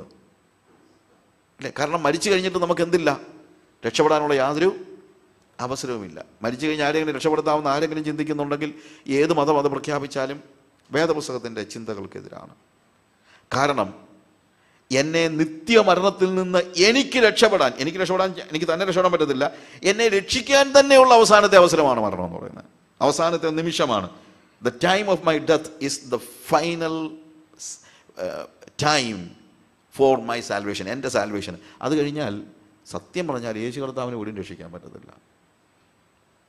അല്പം കടന്ന കൈയായിട്ടാണ് നമ്മൾ പറയുന്നതെങ്കിൽ അതൊരു ഫാക്റ്റാണ് അതൊരു ഫാക്റ്റാണ് സത്യം നമ്മൾ പറഞ്ഞാലേ പറ്റുള്ളൂ. എന്താണ്? മരണത്തിന് മുമ്പ് നമ്മളെ യേശു രക്ഷിക്കുന്നില്ലെങ്കിൽ മരണത്തിന് ശേഷം ആർക്കും പോലും രക്ഷിക്കാൻ പറ്റത്തില്ല. യേശുവിനെ പോലും നമ്മളെ രക്ഷിക്കാൻ പറ്റത്തില്ല. അതുകൊണ്ട് ഈ മരണത്തെ ഈ മരണത്തിന് ശേഷം എന്ത് സംഭവിക്കുന്നു എന്നുള്ളതിനെക്കുറിച്ച് ബോധ്യമുള്ള എല്ലാവരും എന്ത് ചെയ്തിരുന്നു? ഭയപ്പെട്ടിരുന്നു. ബോധ്യമില്ലാത്തവർക്ക് ഭയമൊന്നുമില്ല. അല്ലേ? ബോധ്യമില്ലാത്തവർക്ക് ഭയമൊന്നുമില്ല. അറിയുമ്പോഴാണല്ലോ നമുക്ക് ഭയം ഉണ്ടാകുന്നത് അറിവില്ലെങ്കിൽ ഭയമൊന്നുമില്ല. എന്റെ തലയുടെ കീഴെ ഒരു മൂർഖൻ പാമ്പ് ചുരുണ്ടിരിപ്പുണ്ടെന്ന് അറിഞ്ഞാലല്ല എനിക്ക് പേടിയുള്ളൂ. ഇല്ലെങ്കിൽ കയറി കിടക്കുന്നതിന് എനിക്ക് ബുദ്ധിമുട്ടൊന്നുമില്ലല്ലോ. ഉണ്ടോ? അറിഞ്ഞാലല്ല പേടിയുള്ളൂ. ഇല്ല. അതുകൊണ്ട് ഈ മരണത്തിന് ശേഷം എന്ത് സംഭവിക്കാൻ പോകുന്നു എന്നുള്ളതിനെക്കുറിച്ച് ഞാൻ അറിയുമ്പോൾ ആ നിമിഷം മുതൽ അയ്യോ എപ്പോഴാണ് എന്റെ മരണം സംഭവിക്കുന്നുള്ള ഭീതി എനിക്ക് ഉണ്ടാകും? എന്തുകൊണ്ട്? മരിച്ചു കഴിഞ്ഞ് പിന്നെ എനിക്ക് എന്റെ നിത്യതയിൽ ഇറ്റേണിറ്റി മൊത്തമായിട്ട് എങ്ങോട്ട് പോവുകയാണ് നരകത്തിലേക്ക് പോവുകയാണ് അവിടെ നിന്ന് എനിക്ക് രക്ഷപ്പെടാൻ കഴിയില്ല. അങ്ങനെ ജീവപര്യന്തം മരണഭീതിക്ക് അടിമകൾ അടിമയായിരുന്ന ഈ സാജുവിനെ യേശു ഇറങ്ങി വന്ന് അവന്റെ മരണത്താൽ കാരണം എനിക്ക് പകരം അവൻ മരിച്ചുകൊണ്ട് അവൻ എന്ത് ചെയ്തു? എന്നെ ഈ എന്റെ എന്നെ പാതാളത്തോട് ബന്ധിച്ചിരുന്നതായ ഈ ചങ്ങല പൊട്ടിച്ചു കളഞ്ഞു. ഇനിയിപ്പോൾ യേശുവിന് എന്റെ കൈ പിടിച്ചുകൊണ്ടെങ്കിൽ പോരാ. ഈ ചങ്ങല എന്റെ കാലേ കിടക്കുന്നിടത്തോളം കാലം യേശുവിന് എന്റെ കൈ പിടിച്ചുകൊണ്ട് പോലും പോരാൻ പറ്റത്തില്ല. അതുകൊണ്ടാണ് എന്നെ രക്ഷിക്കാൻ യേശുവിന്റെ മരണം അനിവാര്യമായിരുന്നത്. പിതാവായ ദൈവം പുത്രനെ ഭൂമിയിലേക്ക് അയച്ചപ്പോൾ പിതാവിന് അറിയാമായിരുന്നു തന്റെ പുത്രന്റെ മരണത്തിലൂടെ മാത്രമേ എന്ത് ചെയ്യാൻ പറ്റുകയുള്ളൂ. സാജുവിനെ രക്ഷിക്കാൻ പറ്റത്തുള്ളൂ. സാജുവിനെ പോലെ ആരെയും രക്ഷിക്കാൻ പറ്റുള്ളൂ എന്നാലത് പിതാവ് തയ്യാറായി. അതാണ് സ്നേഹം. അതായത് മരണം മുന്നിൽ കണ്ടുകൊണ്ട് യേശുവിനെ പിതാവ് ഭൂമിയിലേക്ക് പറഞ്ഞു വിട്ടതാണ് ദൈവത്തിന്റെ സ്നേഹത്തിന്റെ ഏറ്റവും വലിയ പ്രദർശനം എന്ന് പറയുന്നത്. ആ സ്നേഹം നമ്മൾ തിരിച്ചറിയുമ്പോൾ നരകത്തിലേക്ക് വിറച്ചു പോയപ്പോൾ എന്നെ രക്ഷിക്കാനായിട്ട് ആരിറങ്ങി വന്നു? യേശു ഇറങ്ങി വന്നു. അതാണ് യേശുവിന്റെ സ്നേഹം. ആ സ്നേഹം ഞാൻ മനസ്സിലാക്കുമ്പോൾ ആ സ്നേഹം എന്നിൽ കടക്കുമ്പോൾ. വാസ്തവത്തിൽ എന്താ സംഭവിക്കുന്നത്? When you become a child of God ഈ സ്നേഹം എന്നിലേക്ക് പ്രവേശിക്കുകയാണ്. പിന്നെ ഞാൻ ഇതേപോലെയാണ് ഇത് സ്നേഹിക്കുന്നത്. ക്രിസ്തുവിന്റെ സ്നേഹം എന്നെ നിർബന്ധിക്കുന്നു എന്ന് പറയുമ്പോൾ ക്രിസ്തുവിന്റെ സ്നേഹം ഇപ്പോഴിരിക്കുന്നത് ആരിലാണെന്നാണ് അപ്പോൾ പറയുന്നത്? എന്നിലുണ്ട്. അതായത് when I am becoming a child of God ഞാൻ കർത്താവിന്റെ പുത്രനായി തീരുമ്പോൾ ക്രിസ്തുവിന്റെ സ്നേഹം എന്നിലേക്ക് പകരപ്പെട്ടിരിക്കുന്നത് കൊണ്ട് ഇപ്പോൾ എന്നിലെ സ്നേഹം മാനുഷിക സ്നേഹമല്ല. പ്രത്യുത ആരുടെ സ്നേഹമാണ്? ക്രിസ്തുവിന്റെ സ്നേഹം. പ്രിയമുള്ളവരെ ഇതൊരു വലിയ ആത്മയാഥാർത്ഥ്യമാണ്. ഈ ഈ യാഥാർത്ഥ്യം നമ്മൾ തിരിച്ചറിയണം. കാര്യം പലപ്പോഴും നമുക്കുള്ളൊരു വലിയ പ്രശ്നം നമ്മളിപ്പോഴും ഉള്ളത് മാനുഷിക സ്നേഹമാണ്. അത് ചിലപ്പം ചില ആളുകളിൽ കുറച്ച് നല്ല സ്നേഹമൊക്കെയാണ് നല്ല സ്നേഹം എന്ന് ഉദ്ദേശിക്കുന്നത് കൂട്ടുകാരോടൊക്കെ ഒത്തിരി ഇഷ്ടമുള്ള ആളുകളുണ്ട്. വല്ലവർക്കൊക്കെ എല്ലാം കൊടുക്കാനൊക്കെ മനസ്സുള്ളവരുണ്ട്. നല്ല സ്നേഹമുള്ള എത്രയോ പേരുണ്ട്. എല്ലാവരും ക്രിസ്ത്യാനികളായിരിക്കണം നിർബന്ധമൊന്നുമില്ല. ഉണ്ടോ? എത്രയോ ക്രിസ്ത്യാനികളെക്കാൾ മെച്ചപ്പെട്ട എത്രയോ മറ്റ് മതസ്ഥരായ ആളുകളുണ്ട്. അവരിലൊക്കെ ഈ സ്നേഹമുണ്ട്. അതൊന്നും നമ്മൾ ഒരിക്കലും എന്താ വെറുതെ അങ്ങ് തള്ളിക്കളയാനൊന്നും പറ്റത്തില്ല. പക്ഷെ ക്രിസ്തുവിന്റെ സ്നേഹം എന്ന് പറയുന്നത് ഒരു ദൈവവൈതലിൽ മാത്രമുള്ള കാര്യമാണ്. ഞാൻ പറഞ്ഞ മനസ്സിലാക്കണം. മാനുഷിക സ്നേഹം കാര്യം ദൈവമാണല്ലോ മനുഷ്യനെ സൃഷ്ടിച്ചത്. ഏത് മനുഷ്യനെയും ദൈവം സൃഷ്ടിച്ചത് അവന്റെ സ്വരൂപത്തിലും സാദൃശ്യത്തിലുമാണ്. അതുകൊണ്ട് ഒരു പരിധി വരെയൊക്കെ ദൈവത്തിന്റെ ഗുണങ്ങൾ ഈ മനുഷ്യനിൽ അവിടെ ഇവിടെയൊക്കെ കിടപ്പുണ്ട്. അത് എല്ലാ മതത്തിലുമുള്ള ആളുകളിൽ ഈ ദൈവത്തിന്റെ സൃഷ്ടി എന്ന നിലയിലുള്ള ചില നല്ല ഗുണങ്ങൾ ദൈവത്തിന്റെ സൃഷ്ടികളായ എല്ലാ മതത്തിനുമുള്ള ആളുകളുടെ ഉള്ളിൽ കിടപ്പുണ്ട്. ചിലപ്പോൾ ആളുകൾ പറയാറുണ്ടല്ലോ ആ നമ്മൾ ക്രിസ്ത്യാനികളെക്കാളും എത്രയോ നല്ല ഹിന്ദുക്കളും മുസ്ലിങ്ങളും ഒക്കെ ഉണ്ട്. അവരൊക്കെ സ്വർഗത്തിൽ പോകുന്നില്ലയോ പ്രിയമുള്ളവരെ എല്ലാവരെയും സൃഷ്ടിച്ചത് ആരാണ്? ഈ ദൈവമാണ്. അതുകൊണ്ട് ആ ദൈവത്തിന്റെ സ്വഭാവ വിശേഷങ്ങളുടെ ചെറിയ അംശം അവിടെയും ഇവിടെയും ഒക്കെ കിടപ്പുണ്ട്. ആ സ്നേഹത്തെയാണ് മാനുഷിക സ്നേഹം എന്ന് പറയുന്നത്. അത് കുഴപ്പമുള്ളൊന്നുമല്ല പക്ഷേ ആ സ്നേഹം പോരാ നമുക്ക് ഒരാളെ ജീവൻ കൊടുത്ത് രക്ഷിക്കാൻ. ക്രിസ്തുവിന്റെ സ്നേഹത്തിന്റെ പ്രത്യേകത ക്രിസ്തുവോ നാം പാപികളായിരിക്കുമ്പോൾ തന്നെ നമുക്ക് വേണ്ടി മരിക്കയാൽ ദൈവത്തിന് നമ്മോടുള്ള സ്നേഹം പ്രദർശിപ്പിച്ചിരിക്കുന്നു. ആ സ്നേഹത്തിന്റെ പ്രത്യേകത അത് സ്നേഹിതർക്ക് വേണ്ടി ജീവനെ കൊടുക്കുന്ന സ്നേഹമല്ല പാവികൾക്ക് വേണ്ടി ജീവനെ കൊടുക്കുന്ന സ്നേഹമാണ്. അതാണ് ക്രിസ്തുവിന്റെ സ്നേഹത്തിന്റെ പ്രത്യേകത. അതായത് നമ്മൾ ഇഷ്ടപ്പെടുന്ന ആളുകൾക്ക് വേണ്ടി നമ്മൾ ചെയ്യുന്ന ചില്ലറ കാര്യങ്ങളല്ല ഈ സ്നേഹത്തിൽ കാണുന്നത്. പ്രത്യേകത എന്താണ്? നമ്മൾ വെറുക്കുന്നവരായ നമ്മളെ വെറുക്കുന്നവരായ നമ്മളെ ഉപേക്ഷിച്ചവരായ ആളുകളെ കുറിച്ച് പോലും ഹൃദയത്തിന്റെ ഉള്ളിലുണ്ടാകുന്ന വേദനയോടെ അവർക്ക് വേണ്ടി എന്റെ സ്വന്തം ജീവനെ പോലും കൊടുത്തവരെ നേടുവാനുള്ള മോഹമാണ് ക്രിസ്തുവിന്റെ സ്നേഹം എന്ന് പറയുന്നത്. ക്രിസ്തുവിന്റെ സ്നേഹം ഞാൻ ക്രൂശിൽ കണ്ടു. ഇപ്പോൾ ക്രിസ്തുവിന്റെ സ്നേഹം ഞാൻ ക്രൂശിൽ കാണുക മാത്രമല്ല ഞാൻ ക്രിസ്തുവിന്റെ സ്നേഹം എന്ത് ചെയ്യുകയാണ് അതെന്റെ അനുഭവമാണ്. അതെന്റെ എന്റെ അനുഭവമാണ്. അതിപ്പോൾ എന്റെ ഉള്ളിലുണ്ട്. ഞാൻ നരകത്തിലേക്ക് പോയപ്പോൾ യേശു എനിക്ക് വേണ്ടി മരിക്കാനായിട്ട് ഇറങ്ങി വന്നു. ഇപ്പോഴത്തെ സീൻ എന്താണെന്ന് ചോദിച്ചു കഴിഞ്ഞാൽ അനേകർ നരകത്തിലേക്ക് പോകുന്നത് ഞാൻ കാണുകയാണ്. ഞാൻ പറഞ്ഞ വ്യത്യാസം മനസ്സിലാക്കണം. ഒരു ദിവസം ഞാൻ നരകത്തിലേക്ക് പോകുന്നത് കണ്ടു. ആര് കണ്ടു? യേശു കണ്ടു. ദൈവം കണ്ടു. ദൈവം എന്ത് ചെയ്തു? സ്വന്തം പുത്രനെ മരിക്കാനായിട്ട് ഇറക്കി കൊടുത്തു ഏൽപ്പിച്ചു കൊടുത്തു. ഓക്കെ? ഇപ്പോഴത്തെ സംഭവം എന്താണെന്നറിയാമോ? ഇപ്പൊ ഞാൻ നോക്കുമ്പോൾ ഞാനിപ്പോ നരകത്തിലേക്ക് പോവുകയല്ല. അവൻ എന്ത് ചെയ്തു? എന്നെ രക്ഷിച്ച് അവന്റെ രക്ഷയുടെ ആ ഒരു പേടകത്തിനുള്ളിലേക്ക് അവൻ കയറ്റിയിരിക്കുകയാണ്. സഭയുടെ ഉള്ളിലേക്ക് അവൻ കയറ്റിയിരിക്കുകയാണ്. അവന്റെ പേടകമാണ് സഭ. സംഘടനകളല്ല. അവന്റെ രക്ഷയുടെ പേടകമാണ് വാസം പറഞ്ഞാൽ എന്ത്? സഭ. പക്ഷേ ഇതിന് പുറത്ത് ഇപ്പോൾ എന്താണ്? ആളുകൾ ഒന്നും രണ്ടും പേരുമല്ല എന്റെ സുഹൃത്തുക്കൾ എന്റെ വീട്ടുകാർ എന്റെ നാട്ടുകാർ എന്റെ അയൽക്കാർ എന്റെ പട്ടണക്കാർ ഇവരൊക്കെയും നിത്യനാശത്തിലേക്ക് വേച്ച് വേച്ച് ഇറങ്ങിപ്പോകുന്ന കാഴ്ച ഈ രക്ഷയുടെ പേടകത്തിനകത്തിരുന്ന് ഞാൻ കാണുകയാണ്. അപ്പോൾ എന്ത് സംഭവിക്കുന്നു? പോൾ പറയാണ് ഞാൻ നരകത്തിലേക്ക് പോയപ്പോൾ ഏത് സ്നേഹം എന്നെ തേടി ഇറങ്ങി വന്നുവോ? അതേ സ്നേഹം എന്നെ നിർബന്ധിക്കുന്നു. ഇനിയിപ്പോൾ എനിക്ക് ഇവിടെ ഇരിക്കാൻ പറ്റത്തില്ല. ക്രിസ്തുവിന്റെ സ്നേഹം എന്നെ നിർബന്ധിക്കുന്നു. എനിക്ക് ഇവിടെ ഇരിക്കാനായിട്ട് എനിക്ക് കഴിയത്തില്ല. എനിക്ക് വെറുതെ ഇരുന്നുകൂടാ. ഇവർ നരകത്തിലേക്ക് പോകുന്നത് കണ്ടുകൊണ്ട് എനിക്ക് വെറുതെ ഇരിക്കാൻ കഴിയത്തില്ല. കാരണം അയാളുടെ ഭാവി എന്റെ കയ്യിലാണ്. ഞാൻ ഇറങ്ങി ചെന്നില്ലെങ്കിൽ അയാൾ എങ്ങോട്ട് പോകും? നരകത്തിലേക്ക് പോകും. അതുകൊണ്ട് അയാൾ നരകത്തിൽ പോയിക്കൂടാ. ഞാൻ നരകത്തിലേക്ക് പോകുന്നത് കണ്ടപ്പോൾ പിതാവായ ദൈവം പറഞ്ഞു ഇതാ സാജു നരകത്തിലേക്ക് പോകുന്നു. അവൻ നരകത്തിൽ പോയിക്കൂടാ. അവനെ വിടുവിക്കണം. ഇറങ്ങി ചെല്ല് യേശുവിനോട് പറഞ്ഞു. ഇന്ന് ആളുകൾ നരകത്തിലേക്ക് പോകുമ്പോൾ ഞാൻ മനസ്സിലാക്കുന്നു അവൻ നരകത്തിലേക്ക് പോയിക്കൂടാ. അവന്റെ ഭാവി എന്റെ ഒരു സാക്ഷിയിൻ വാക്കിലാണ്. അവന്റെ ഭാവി ഞാൻ അവനെ യേശുവിന് പരിചയപ്പെടുത്തി കൊടുക്കുന്ന ഒരു സാക്ഷിയിൻ വാക്കിലാണ്. അവൻ നഷ്ടപ്പെട്ടുകൂടാ അവൻ നരകത്തിലേക്ക് പോയിക്കൂടാ. അവിടെയാണ് ക്രിസ്തുവിന്റെ സ്നേഹം എന്നെ നിർബന്ധിക്കുന്നു എന്ന് പറയുന്നത്. അത് കൽപ്പനയാണോ എന്നൊന്നും ഞാൻ ആലോചിക്കുന്നില്ല. മത്താട് സുവിശേഷം ഇരുപത്തെട്ടാം അധ്യായം വായിക്കുമ്പോൾ മാത്രമൊന്നും അല്ല എനിക്ക് ആത്മഭാരം വരുന്നത്. ചർച്ച് ഗ്രോത്ത് സെമിനാറിൽ പങ്കെടുക്കുമ്പോഴൊന്നുമല്ല എനിക്ക് ആത്മഭാരം വരുന്നത്. കാര്യം എന്റെ ഹൃദയത്തിൽ ഞാൻ നരകത്തിലേക്ക് പോയപ്പോൾ ഇറങ്ങി വന്ന യേശുവിന്റെ സ്നേഹത്തിന്റെ കാഴ്ച കാൽവറി ക്രൂസിൽ എനിക്ക് വേണ്ടി പിടഞ്ഞു മരിക്കുന്ന യേശുവിന്റെ കാഴ്ച. ആ കാഴ്ച എന്ത് ചെയ്യുന്നു? എന്നെ നിർബന്ധിക്കുന്നു. നിത്യനാശത്തിലേക്ക് പോകുന്ന മനുഷ്യൻ എനിക്കൊരു വേദനയാണ്. അതാണ് ഞാൻ രാവിലെ പറഞ്ഞത്. ഉടക്കി വലിക്കുന്ന ഒരു വേദന. അവൻ നരകത്തിലേക്ക് പോകുന്നത് കാണുമ്പോൾ എന്റെ ദൈവമേ ഞാൻ ഒരു നിമിഷം വൈകിപ്പോയാൽ അവന്റെ നിത്യതയാണ് നഷ്ടപ്പെടുന്നത്.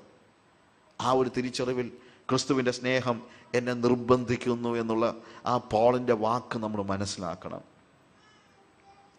ഇല്ലെങ്കിൽ എന്ത് സംഭവിക്കും? അതാണ് പ്രശ്നം. സപ്പോസ് ഞാൻ സുവിശേഷം അറിയിക്കുന്നില്ല എങ്കിൽ എനിക്ക് അയ്യോ കഷ്ടം. കാര്യം ഞാൻ സുവിശേഷം അറിയിച്ചില്ലെങ്കിൽ അത് എനിക്കും കഷ്ടമാണ്. ഞാൻ സുവിശേഷം അറിയിക്കുന്നില്ലെങ്കിൽ എന്റെ എക്സിസ്റ്റൻസ് തന്നെ ചോദ്യം ചെയ്യപ്പെടുകയാണ്. നീ എന്തിനാ പിന്നെ ഭൂമി ജീവിക്കുന്നത്? നമ്മൾ ചോദിക്കുമല്ലോ. എന്തിനാടാ ഇങ്ങനെ ജീവിക്കുന്നത് ചോദിക്കില്ല. എന്ന് വെച്ച് കഴിഞ്ഞാൽ ജീവിതത്തിന് അർത്ഥമില്ലെന്നാണ്. നിന്റെ ജീവിതം കൊണ്ട് യാതൊരു അർത്ഥമില്ല. ഒരു പാഴ് ജീവിതം കാണുമ്പോഴാണ് നമ്മൾ ചോദിക്കുന്നത്. എന്തിനാ ഇവനൊക്കെ ജീവിക്കുന്നത്? നമ്മൾ ചോദിക്കുമല്ലോ. കാരണം ഇവൻ ജീവിച്ചതുകൊണ്ട് അവനും ഗുണമില്ല നാട്ടുകാർക്കും ഗുണമില്ല വീട്ടുകാർക്കും ഗുണമില്ല ലോകത്തിനും ഗുണമില്ല ദൈവത്തിനും ഗുണമില്ല. ആർക്കും ഗുണമില്ലാത്ത ഒരു ജീവിതം പ്രയോജനമില്ലാത്ത ഒരു ജീവിതമാണ് നമ്മൾ പറയുന്നത്. നമ്മുടെ അവന്റെ എക്സിസ്റ്റൻസ് കൊണ്ട് നമുക്ക് ഒരു പ്രയോജനം ഇടുന്നുള്ളത് ചിലപ്പോൾ ആളുകൾ ഞാൻ എന്തിനാ ജീവിക്കുന്ന ആളുകൾ ചോദിക്കുമല്ലോ ചിലപ്പോൾ അല്ലേ ഇതേ ചോദ്യമാണ് പോൾ ചോദിക്കുന്നത്. ഞാൻ സുവിശേഷം അറിയിക്കുന്നില്ല പിന്നെ ഞാൻ എന്തിനാ ജീവിക്കുന്നതെന്ന്? Woe unto me if I do not preach gospel കാരണം എന്റെ എക്സിസ്റ്റൻസ് തന്നെ എന്തിനകത്താണ് ഇരിക്കുന്നത്?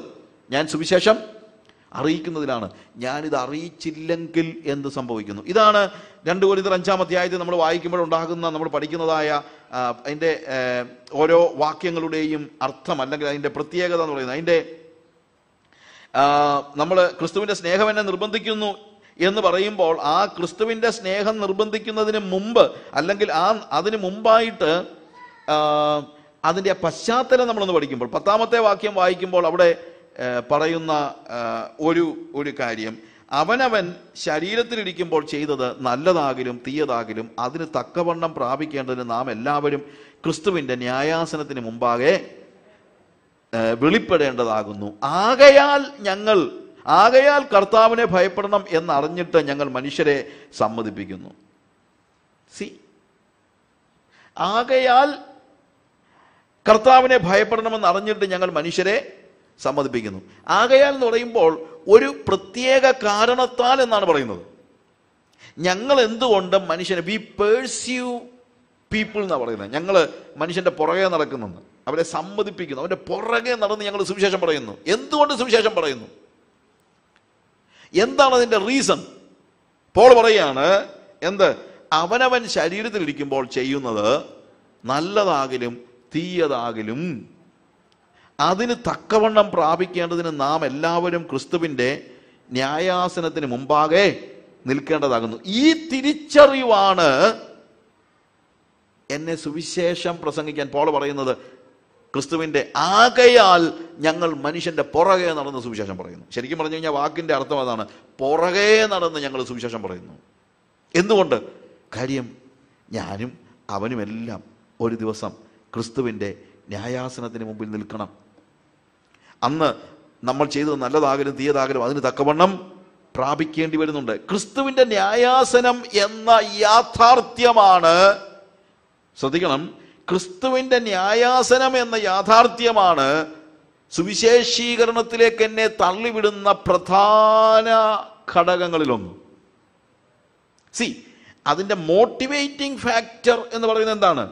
ക്രിസ്തുവിന്റെ സ്നേഹമാണ്. പക്ഷേ ചില യാഥാർത്ഥ്യങ്ങളുണ്ട്. കാരണം ഞാനിത് പറഞ്ഞില്ലെങ്കിൽ ഈ സ്നേഹത്താൽ നിർബന്ധിതനായി നരകത്തിലേക്ക് പോകുന്ന ഈ വ്യക്തിയെ ഞാൻ വീണ്ടെടുക്കേണ്ടതിന് എന്റെ എഫേർട്ട് മുഴുവൻ ഇടുന്നില്ലെങ്കിൽ അവൻ എന്ത് സംഭവിക്കാൻ പോകുന്നു?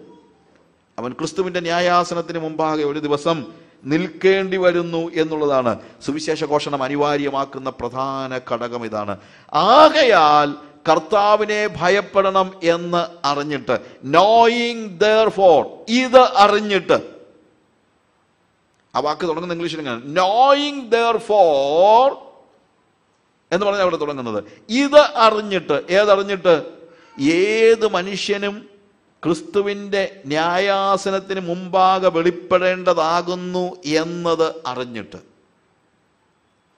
പ്രിയമുള്ളവരെ നമ്മൾ കാണുന്ന ഓരോ വ്യക്തികളും ഒരു ദിവസം ക്രിസ്തുവിന്റെ ന്യായാസനത്തിന് മുമ്പാകെ നിൽക്കേണ്ടവരാണെന്നും ക്രിസ്തുവിനോടുള്ള ബന്ധത്തിൽ അവർ എന്ത് തീരുമാനമെടുത്തു എന്നതും അവരുടെ ജീവിതത്തെ എങ്ങനെ രൂപാന്തരപ്പെടുത്തി എന്നതിന്റെയും അടിസ്ഥാനത്തിലാണ് അവന്റെ നിത്യത തീരുമാനിക്കപ്പെടുന്നതെന്നും നമ്മൾ ഓരോ വ്യക്തിയെ കാണുമ്പോഴും ഓർക്കുന്നുണ്ടോ? നമ്മളുടെ സ്വന്തം വീട്ടുകാരുടെ കാര്യത്തിൽ നമുക്ക് ഓർമ്മയുണ്ടോ? എന്റെ ദൈവമേ ഒരു ദിവസം ഇവർ ക്രിസ്തുവിന്റെ ന്യായാസനത്തിന് മുമ്പാകെ നിൽക്കേണ്ടതാണ്. ഞാൻ പറയട്ടെ പ്രിയമുള്ളവരെ ഈ വെളിപ്പാട് ഇതാണ് ഏറ്റവും നമ്മുടെ ജീവിതത്തിൽ ഇന്ന് ഇന്ന് നഷ്ടമായ വെളിപ്പാടും ഏറ്റവും അത്യന്താപേക്ഷിതമായ വെളിപ്പാടുമാണ്.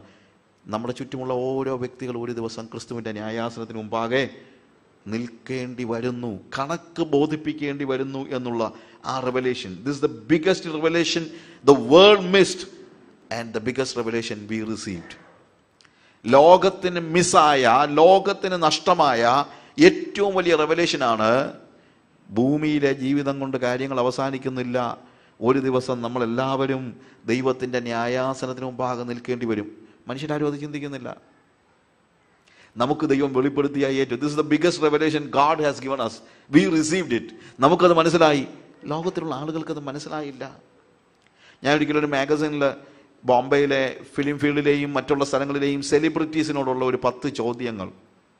അതിനെക്കുറിച്ച് നയന്റി ഫോറിലാണ് അന്നത്തെ ആളുകൾ ആരൊക്കെയാണെന്ന് എനിക്ക് പേരൊന്നും ഓർമ്മയില്ല. ഒത്തിരി സെലിബ്രിറ്റീസ് ഇൻക്ലൂഡിങ് ഫിലിം ഫീൽഡിലെ ആളുകൾ ഉൾപ്പെടെയുള്ള അവരോടുള്ള പത്ത് ചോദ്യങ്ങൾ. ശരിക്കും നിത്യതയെക്കുറിച്ചുള്ള ചോദ്യങ്ങളാണ്. ബോംബെയിലെ ഒരു ഞാനൊരു ട്രെയിനിൽ ട്രെയിനിൽ കിടന്ന ഒരു ഞാനിവിടെ ട്രാവൽ ചെയ്തപ്പോഴത്തേക്ക് ട്രെയിനിൽ എന്റെ അടുത്തിരുന്ന ആളുടെ കയ്യിൽ നിന്ന് ഒരു മാസിക വായിച്ച് വായിച്ചതാണ്. അതെനിക്ക് അതിന്റെ കോപ്പിയും പിന്നെ കിട്ടിയില്ല. പക്ഷേ ആ പത്ത് പേരെ പത്ത് സെലിബ്രിറ്റീസിനെയാണ് എടുത്തിരിക്കുന്നത്. അവരോട് പത്ത് ചോദ്യങ്ങളാണ്. ഈ പത്ത് ചോദ്യങ്ങൾക്ക് ഓരോരുത്തരും പ്രധാനപ്പെട്ട ചോദ്യം നമ്മൾ ഈ ചെയ്യുന്ന നിങ്ങൾ ഈ ഭൂമിയിൽ ചെയ്യുന്ന കാര്യങ്ങൾക്ക് കാര്യങ്ങളൊക്കെ ദൈവം കാണുന്നുണ്ടെന്നും ദൈവം കുറിച്ചു വെക്കുന്നുണ്ടെന്നും നിങ്ങൾ ചിന്തിക്കുന്നുണ്ടോ? മരണശേഷം നിങ്ങൾ ഈ ദൈവത്തിന്റെ മുമ്പിൽ നിൽക്കേണ്ടി വരുമെന്ന് നിങ്ങൾക്ക് ചിന്തയുണ്ടോ? ഇങ്ങനെയുള്ള ചോദ്യങ്ങളാണ്. ജനറൽ ക്വസ്റ്റ്യൻസും ഉണ്ട്. ഇതിനകത്ത് മിക്ക ഒൻപത് പേരും പറഞ്ഞത് I don't think God is keeping all the account that happens in this world അങ്ങനെയൊന്നും ദൈവം എല്ലാത്തിന്റെയും അക്കൗണ്ട് സൂക്ഷിച്ചുകൊണ്ടിരിക്കുകയാണെന്നൊന്നും ഞാൻ ചിന്തിക്കുന്നില്ല. നമ്മൾ ഈ ഭൂമിയിൽ ചെയ്യുന്ന കാര്യങ്ങൾക്കെല്ലാം നമുക്ക് ഈ ഭൂമിയിൽ തന്നെ മറുപടി ഉണ്ട്. നല്ല കാര്യങ്ങൾ ചെയ്താൽ നമുക്ക് നന്മയൊക്കെ കിട്ടും. ഇതാണ് ഒൻപത് സെലിബ്രിറ്റീസും പറഞ്ഞത്. ഒരു പെൺകുട്ടി ഞാൻ അവളുടെ പേര് ഓർക്കുന്നില്ല. ഫിലിം ഫീൽഡിലെ ഒരു പെൺകുട്ടിയാണ്. എനിക്ക് അത്ര പരിചയമുള്ള പേരല്ല. പക്ഷേ ഞാൻ പിന്നീട് ആരോ ചോദിച്ചപ്പോൾ ആ കാലയളവിലെ ഒരു എന്താ ഒരു ഒരു മെഗാ സ്റ്റാർ ആണെന്ന് ഞാൻ പിന്നീട് എനിക്ക് മനസ്സിലായി. ഈ ഹിന്ദി ഫിലിമിലെയാണ് പക്ഷെ അവൾ മാത്രം പറഞ്ഞൊരു കാര്യമുണ്ട്. I truly believe that there is a God and he is keeping account and I need to stand before him and answer all my deeds I do in this world ഒറ്റ ഒരു പെൺകുട്ടി. ഒൻപത് സെലിബ്രിറ്റീസും പറഞ്ഞു എന്ത്? ഏയ് God is not concern about these kind of things he has big big അവർ പറഞ്ഞതാണ് ദൈവത്തിന് ഒത്തിരി വലിയ വലിയ കാര്യങ്ങളൊക്കെ ചിന്തിക്കണം. അതിനിടയ്ക്ക് നമ്മളെ പോലുള്ള ആളുകളൊക്കെ എന്തെങ്കിലും ചെയ്യുന്നൊന്നും അവൻ തിരക്കുന്നൊന്നുമില്ല ദൈവത്തിന് ഈ ഭൂമിയെ ഉരുട്ടിക്കൊണ്ട് പോകണം എന്തുവാ നക്ഷത്രങ്ങളെയെല്ലാം. അതാത് സ്ഥാനത്തൊക്കെ നിർത്തണം. അതൊക്കെ ദൈവം ചെയ്തോളും. നമ്മുടെ കാര്യത്തിലൊന്നും ദൈവം ശ്രദ്ധിക്കുന്നില്ല. I am not joking this is what I was reading in that pass that book പക്ഷെ ഒരു പെൺകുട്ടി അവൾ ഒരു മൂന്ന് പേജിൽ അവളുടെ ടെസ്റ്റ് മണി എല്ലാം എഴുതിയിട്ടുണ്ട്. എന്താണ് അവളുടെ ജീവിതത്തിലുണ്ടായ വ്യത്യാസം? അവളുടെ ഒരു ടെസ്റ്റ് മണി എ- എങ്ങനെയാണ് ദൈവവുമായിട്ടൊരു എൻകൗണ്ടർ ഉണ്ടായത്? And I came to know that you know maybe maybe എന്നല്ല അവളുടെ വാക്കുകളെല്ലാം പറയുന്നത് she's a believer she's a believer എന്നാൽ ഈ സെലിബ്രിറ്റീസ് മാത്രമല്ല നല്ലൊരു ശതമാനം ആളുകൾക്കും എന്ത് കിട്ടിയിട്ടില്ല. ഈ വെളിപ്പാട് കിട്ടിയിട്ടില്ല. നല്ലൊരു ശതമാനം ആളുകളും ചിലപ്പോൾ ആളുകൾ ചോദിക്കുന്നത് ആ നരകത്തിലും ആരെങ്കിലും വേണ്ടേ? നരകത്തിൽ ആരും വേണമെന്ന് ദൈവത്തിന് നിർബന്ധമില്ല. അത് നിങ്ങൾക്കറിയാമോ? നമ്മുടെയൊക്കെ ചിന്ത നരകത്തിലും ആരെങ്കിലും വേണമെന്ന്. നരകത്തിൽ ആരും വേണമെന്ന് ദൈവത്തിന് നിർബന്ധമില്ല പ്രിയമുള്ളവരെ. വളരെ തെറ്റിദ്ധാരണാജനകമായ ഒരു കാര്യമാണ്. പലപ്പോഴും ആളുകൾ പറയും ദൈവം മനുഷ്യന് വേണ്ടി രണ്ട് സ്ഥലം ഒരുക്കിയിട്ടുണ്ട്. ഒന്ന് സ്വർഗം ഒന്ന് നരകം ദൈവം മനുഷ്യന് വേണ്ടി രണ്ട് സ്ഥലം ഒരുക്കിയിട്ടില്ല. ഒരുക്കിയിട്ടില്ല എന്ന് പറഞ്ഞു കഴിഞ്ഞാൽ ദൈവം നരകമുണ്ടാക്കിയത് ആർക്ക് വേണ്ടിയാണെന്ന് ചോദിച്ചു കഴിഞ്ഞാൽ മനുഷ്യന് വേണ്ടിയല്ല. അവിടെ എഴുതിയിരിക്കുന്നത് ശപിക്കപ്പെട്ടവരെ പിശാചിനും അവന്റെ ദൂതന്മാർക്ക് വേണ്ടി ഒരുക്കിയിരിക്കുന്ന നിത്യ നരകത്തിലേക്ക് പോയിക്കൊള്ളുമെന്നാണ്. പിശാചിനും അവന്റെ ദൂതന്മാർക്കും. നോക്കുക. ആർക്ക് വേണ്ടിയാണ് ഉണ്ടാക്കിയത്? പിശാചിനും അവന്റെ ദൂതന്മാർക്കും. നമുക്ക് വേണ്ടി ഉണ്ടാക്കിയതല്ല. പക്ഷെ നമ്മളവിടെ പോകുന്നുണ്ട്. നമുക്ക് വേണ്ടി ഉണ്ടാക്കിയതല്ല പക്ഷേ നമ്മളവിടെ പോകുന്നുണ്ട്. എന്തുകൊണ്ട്? എന്തുകൊണ്ടാണെന്ന് ചോദിച്ചു കഴിഞ്ഞാൽ നമ്മളൊക്കെ താമസിക്കുന്നത് നമ്മുടെ പിതാവിന്റെ ഭവനത്തിലാണല്ലോ അപ്പം ഞാൻ താമസിക്കുന്നത് എന്റെ എന്റെ ഗ്രാൻഡ് ഫാദറിന്റെ ഗ്രാൻഡ് ഫാദർ പണിയിച്ച വീട്ടിലാണ് ഞാൻ താമസിക്കുന്നത്. അല്ലെങ്കിൽ അത് എന്റെ ഗ്രാൻഡ് ഫാദറിന്റെ ഫാദറിന് കിട്ടി എന്റെ ഗ്രാൻഡ് ഫാദറിന് കിട്ടി എന്റെ ഫാദറിന് കിട്ടി ഇപ്പം ഞാൻ അവിടെ താമസിക്കുന്നുണ്ട്. കാര്യം അതെന്റെ പിതാവിന്റെ ഭവനമാണ്. ഇറ്റ്സ് മൈ ഫാദേഴ്സ് ഹൗസ് അവിടെ അവർക്ക് എല്ലാവർക്കും വന്ന് താമസിക്കാനൊന്നും പറ്റില്ല എല്ലാവർക്കും വന്ന് കയറി ഇറങ്ങാം പക്ഷേ അവിടെ താമസിക്കണമെങ്കിൽ മാത്യു എന്ന് പറയുന്ന ഫാമിലി നെയിം ഉള്ള ഒരാൾക്ക് അതിനകത്ത് എന്ത് ചെയ്യാൻ പറ്റുള്ളൂ? അധികാരത്തോടെ വന്ന് താമസിക്കാൻ പറ്റുള്ളൂ. I am Saju John Mathew. Mathew ഫാമിലിയാണ്. അതുകൊണ്ട് നമ്മുടെ പിതാവിന്റെ ഭവനത്തിലാണ് നമ്മൾ ചെല്ലുന്നത്. നമ്മൾ എന്തുകൊണ്ടാണ് സ്വർഗത്തിൽ പോകുന്നതെന്ന് ചോദിച്ചു കഴിഞ്ഞാൽ സ്വർഗത്തിൽ നമുക്ക് പ്രത്യേകിച്ച് എന്തെങ്കിലും ഉണ്ടായിട്ടോ മറ്റുള്ള കാര്യങ്ങളൊന്നുമല്ല. നമ്മൾ യേശു കർത്താവിനെ സ്വീകരിക്കുമ്പോൾ ദൈവ മക്കളായി തീരുകയാണ് അങ്ങനെ ദൈവത്തിന്റെ മക്കളായതുകൊണ്ട് ദൈവത്തിന്റെ വാസസ്ഥലത്ത് നമുക്ക് ഫ്രീ ആയിട്ട് കയറി ചെല്ലാം. അങ്ങനെ നമ്മൾ സ്വർഗത്തിൽ പോകുന്നത്. അല്ലാതെ നമ്മൾ സ്വർഗം ഉണ്ടാക്കിയിട്ടൊന്നുമല്ല. എന്താ? ദൈവ മക്കൾക്ക് ദൈവത്തിന്റെ വാസസ്ഥലമായ സ്വർഗത്തിലേക്ക് കയറി ചെല്ലാം. കാര്യം അത് നമ്മുടെ അവകാശമാണ്. മക്കളെങ്കിലോ അവകാശികളുമാകുന്നു. സ്വർഗം നമ്മുടെ അവകാശമാണ്. അല്ലെങ്കിൽ നമ്മുടെ ഇൻഹെറിറ്റൻസ് ആണ്. അവകാശം എന്നുള്ള വാക്ക് മലയാളത്തിൽ വേറൊരു അർത്ഥമാണ് ഇൻഹെറിറ്റൻസ് ആണ്. നമ്മുടെ ഇൻഹെറിറ്റൻസ് ആണ് സ്വർഗം പിന്നെ ആളുകൾ നരകത്തിൽ പോകുന്നതോ? നരകത്തിൽ പോകുന്നത് പിശാചിന് വേണ്ടി ഒരുക്കിയതിന്റെ സ്ഥലത്ത് ആളുകൾ പോകണമെങ്കിൽ പിശാചിന്റെ മക്കൾ പിന്നെ എങ്ങോട്ടേ പോകത്തുള്ളൂ? അവിടെ അല്ല പോകത്തുള്ളൂ. വേറെ എവിടെ പോകാനാണ്?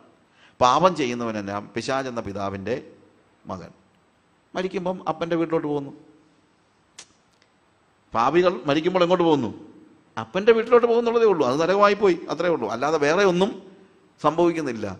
അതുകൊണ്ട് ആരും പറയരുത്. എന്ത്? ആ നരകത്തിലും ആൾ വേണമല്ലോ എന്ന് പറയരുത്. ദൈവത്തിന് നരകത്തിൽ ആൾ വേണമെന്ന് യാതൊരു നിർബന്ധവും ഇല്ല. അതിനുവേണ്ടി ആരും അങ്ങോട്ട് പോകണ്ട. ഇപ്പോൾ എല്ലായിടത്തും എല്ലാവരും മാനസാന്തരപ്പെടണമെന്ന് ദൈവം കൽപ്പിച്ചിരിക്കുന്നു. എല്ലായിടത്തും എല്ലാവരും. ദൈവം ആഗ്രഹിക്കുന്നതാണ് നമ്മൾ എല്ലായിടത്തും എല്ലാവരും. എല്ലാവരും സ്വർഗത്തിൽ ചെല്ലണമെന്നാണ് എല്ലാവരും കൂടെ സ്വർഗത്തിൽ ചെന്ന് കഴിഞ്ഞാൽ അവിടെ ഇടിയൊന്നും ഉണ്ടാകത്തൊന്നുമില്ല. അവിടെ ആളുകൾ കൂടുതലായി പോകത്തൊന്നുമില്ല. അതിനെക്കുറിച്ചൊന്നും നിങ്ങൾ പറയേണ്ട പക്ഷേ ഒരു കാര്യം നിങ്ങൾ അറിയണം. സ്വർഗത്തിലും നരകത്തിലും ആയിട്ട് രണ്ട് നിത്യതയിലേക്ക് ജനങ്ങൾ പോകുന്നതെല്ലാം എന്ത് എന്തിന്റെ അടിസ്ഥാനത്തിലാണെന്നറിയാമോ? അവനവൻ ശരീരത്തിലിരിക്കുമ്പോൾ ചെയ്തത് നല്ലതാകിലും തീയതാകിലും അതിന് തക്കവണ്ണം പ്രാപിക്കേണ്ടതിന് എല്ലാവരും ദൈവത്തിന്റെ ന്യായാസനത്തിന് മുമ്പാകെ നിൽക്കേണ്ടതാകുന്നു. പ്രിയമുള്ളവരെ ഒരു ദൈവം കണക്കെഴുതി സൂക്ഷിക്കുന്ന ഒരു ദൈവം ഉണ്ട് എന്നുള്ളത് നിങ്ങൾ മനസ്സിലാക്കണം. നമ്മുടെ ജീവിതത്തിന്റെ ഓരോ നിമിഷങ്ങളെയും കണക്കെഴുതി സൂക്ഷിക്കുന്ന ഒരു ദൈവമുണ്ട്. അത് സെലിബ്രിറ്റീസിന് മനസ്സിലായി കാണത്തില്ല. അല്ലെങ്കിൽ മനസ്സിലായിട്ട് അവരതിനെ കണക്കാക്കുന്നില്ലായിരിക്കാം. പക്ഷേ ഈ വെളിപ്പാട് ഒരു അത്യന്താപേക്ഷിതമായ വെളിപ്പാണ്. This is what the world missed and this is the biggest revelation we received ഒരു ന്യായവിധിയുണ്ട്. അത് നമ്മൾ മറന്നു പോകരുത്. നമുക്ക് പലപ്പോഴും പറ്റുന്ന ഒരു വലിയ പ്രോബ്ലം എന്ന് ചോദിച്ചു കഴിഞ്ഞാൽ നമ്മൾ തെറ്റ് ചെയ്തപ്പോഴൊക്കെ ദൈവം അന്നേരം അന്നേരം തല്ല് തരാഞ്ഞതാ. അതാ പലപ്പോഴും ഉണ്ടാകുന്ന ഒരു വലിയ പ്രശ്നമായിട്ട് അല്ലേ ഓരോ പാപം ചെയ്യുമ്പോഴും അന്നേരം അന്നേരം തല്ല് കിട്ടുകയായിരുന്നെങ്കിൽ നമ്മൾ പെട്ടെന്ന് കുറച്ചും കൂടെ അലേർട്ടായിരുന്നേനെയും പക്ഷേ ദൈവത്തിന്റെ സിസ്റ്റം ഡിഫറന്റ് ആയിപ്പോയി. നമ്മൾ എന്ത് ചെയ്യാൻ പറ്റും? ദൈവത്തിന്റെ സിസ്റ്റം എന്ന് പറയുന്നത് നമ്മളിവിടെ ട്രാഫിക് റൂൾ തെറ്റിച്ച് കഴിഞ്ഞാൽ പോലീസുകാരൻ കണ്ട അന്നേരമേ പിടിച്ച് അഞ്ഞൂറ് രൂപ വാങ്ങിക്കും. പക്ഷേ പുറം രാജ്യങ്ങളിലൊക്കെ നിങ്ങൾക്ക് അറിയാമല്ലോ. വെസ്റ്റേൺ കൺട്രീസിനും ഗൾഫ് കൺട്രീസിനും ഒക്കെ പോലീസ് പോലും അവിടെ നിന്ന് നിൽപ്പില്ല പക്ഷേ എല്ലായിടത്തും എന്തോ ഉണ്ട്? ക്യാമറ ഉണ്ട്. നിങ്ങൾ ലൈൻ തെറ്റിച്ചെന്ന് പറഞ്ഞാലോ അതല്ലെങ്കിൽ ഹൈ ഹയർ സ്പീഡിൽ പോയെന്ന് പറഞ്ഞാലോ അപ്പുറത്ത് പോലീസുകാരൻ വന്ന് നിങ്ങളെ കൈ കാണിച്ച് അന്നേരം കാശൊന്നും വാങ്ങിക്കത്തില്ല. പക്ഷേ എല്ലാം സെൻട്രലൈസ്ഡ് കമ്പ്യൂട്ടറിലേക്ക് ഫീഡ് ചെയ്തുകൊണ്ടിരിക്കുകയാണ്. ലൈസൻസ് പുതുക്കാൻ ചെല്ലുമ്പോഴും വണ്ടിയുടെ ഇൻഷുറൻസ് അടയ്ക്കാൻ ചെല്ലുമ്പോഴുമാണ് നമ്മൾ പ്രതീക്ഷിക്കാത്ത ഇരുട്ടടി. കാര്യം ഇതെല്ലാം കൂടെ ചരതിച്ചു വെക്കുകയാണ്. ചരതിച്ചു വെക്കുകയാണ്. എനിക്ക് സമയമില്ലാത്തതുകൊണ്ടാണ്. അല്ലെങ്കിൽ റോമാലേഖനത്തിൽ പോൾ പറയുന്ന ഒരു പ്രധാനപ്പെട്ട വാക്യമുണ്ട്. ദൈവത്തിന്റെ ക്ഷമ അവന്റെ ദയ നിങ്ങൾ എന്താണ് മാനസാന്തരത്തിനുള്ള അവസരമെന്ന് മനസ്സിലാക്കാതെ നിങ്ങൾ കോപം ചരതിച്ചു വെക്കുന്നുവെന്ന്. എന്നുവെച്ചാൽ കൂട്ടിക്കൂട്ടി വെക്കുകയാണ്. നമ്മൾ വണ്ടി ഓടിക്കുമ്പോൾ ക്യാമറ ഫ്ലാഷ് ചെയ്തു പക്ഷേ ഉടനെ തന്നെ പോലീസുകാരൻ പൈസ വാങ്ങിക്കാതെ വെച്ചതുകൊണ്ട് ഓ ഇവിടെങ്ങും പോലീസുകാരില്ല എന്നാൽ പിന്നെ പൊക്കോളാമെന്ന് പറഞ്ഞു കഴിഞ്ഞാൽ എന്ത് ചെയ്യുകയാണ് നിങ്ങൾ നിങ്ങളുടെ ശിക്ഷ എന്ത് ചെയ്തുകൊണ്ടിരിക്കുകയാണ്? കൂട്ടിക്കൂട്ടി വെക്കുകയാണ് ചരതിച്ച് വെക്കൊണ്ടിരി വെക്കുകയാണ് ചരതിച്ച് വെക്കുകയാണ്. ചരതിച്ച് വെക്കുക എന്നുള്ള വാക്കാണ് ഉപയോഗിച്ചിരിക്കുന്നത്. എന്ന് വെച്ച് കഴിഞ്ഞാൽ എന്താണ്? കൂട്ടി കൂട്ടി കൂട്ടി വെക്കുകയാണ്. ഒടുവിൽ ഇരുട്ടടി പോലെ ഒരു ദിവസം ക്രിസ്തുവിന്റെ ന്യായാസനത്തിന് മുമ്പാകെ നമ്മൾ നിൽക്കേണ്ടി വരുമ്പോൾ നമ്മുടെ ജീവിതത്തിലെ ഓരോ നിമിഷങ്ങളിലും നമ്മൾ ചെയ്ത ഓരോ പ്രവൃത്തികളും വെളിപ്പെട്ട് വരുമ്പോൾ അതിനെല്ലാം ഒരുമിച്ച് അവനവൻ ശരീരത്തിലിരിക്കുമ്പോൾ ചെയ്യുന്നത് നല്ലതാകിലും തീയതാകിലും അതിന് തക്കവണ്ണം പ്രാപിക്കേണ്ടതിന് നാം ഓരോരുത്തരും ക്രിസ്തുവിന്റെ ന്യായാസനത്തിന് മുമ്പാകെ വെളിപ്പെടേണ്ടതാകുന്നു. ഇവിടെ നമ്മൾ ഏത് കൺട്രിയിലും ക്യാമറ എവിടെ ഇരിക്കുന്നതെന്ന് പറഞ്ഞാൽ അതനുസരിച്ച് ചിലപ്പോൾ നമ്മൾ അഡ്ജസ്റ്റ് ചെയ്തൊക്കെ പോകും. ഇടയ്ക്ക് പോകുന്ന പോക്കിനോട് ചവിട്ടി ചവിട്ടിയും മാറിയും പിടിച്ചും ഒക്കെ നമ്മൾ പോകും. പക്ഷേ കർത്താവിന്റെ ക്യാമറയുടെ പ്രത്യേകത അത് ട്വന്റി ഫോർ സെവൻ. നിങ്ങൾ പോകുന്നിടത്തെല്ലാം നിങ്ങളെ പിന്തുടരുന്നതായ ഒരു ക്യാമറയാണ്. ഇറ്റ് ഈസ് എവ്രിവെയർ ആർക്കും കണ്ണു വെട്ടിക്കാൻ കഴിയത്തില്ല. അത് വിശ്വാസിക്കും അവിശ്വാസിക്കും കണ്ണു വെട്ടിക്കാൻ കഴിയത്തില്ല. കാര്യം നാം ഓരോരുത്തരും അല്ലേ എല്ലാവരും. അതുകൊണ്ട് അപ്പോൾ പറയുന്നത് അവനവൻ ശരീരത്തിരിക്കുമ്പോൾ ചെയ്യുന്നത് നല്ലതാകിലും തീയതാകിലും ഏത് വ്യക്തിയും എല്ലാവരും അവന്റെ ന്യായാസനത്തിന് മുമ്പാകെ നിൽക്കേണ്ടതായിട്ട് വരുന്നു അല്ലെങ്കിൽ വെളിപ്പെടേണ്ടതായിട്ട് വരുന്നു. അവന്റെ കണ്ണ് വെട്ടിക്കാൻ നമുക്ക് കഴിയത്തില്ല. അവന്റെ ക്യാമറ കണ്ണുകളെ നമുക്ക് ഇവിടുത്തെ ക്യാമറ കണ്ണുകളെ ഒക്കെ നമുക്ക് വെട്ടിക്കാനായിട്ട് പറ്റിയേക്കും. പക്ഷേ അവിടുത്തെ ക്യാമറ കണ്ണുകളെ നമുക്ക് വെട്ടിക്കാൻ കഴിയില്ല.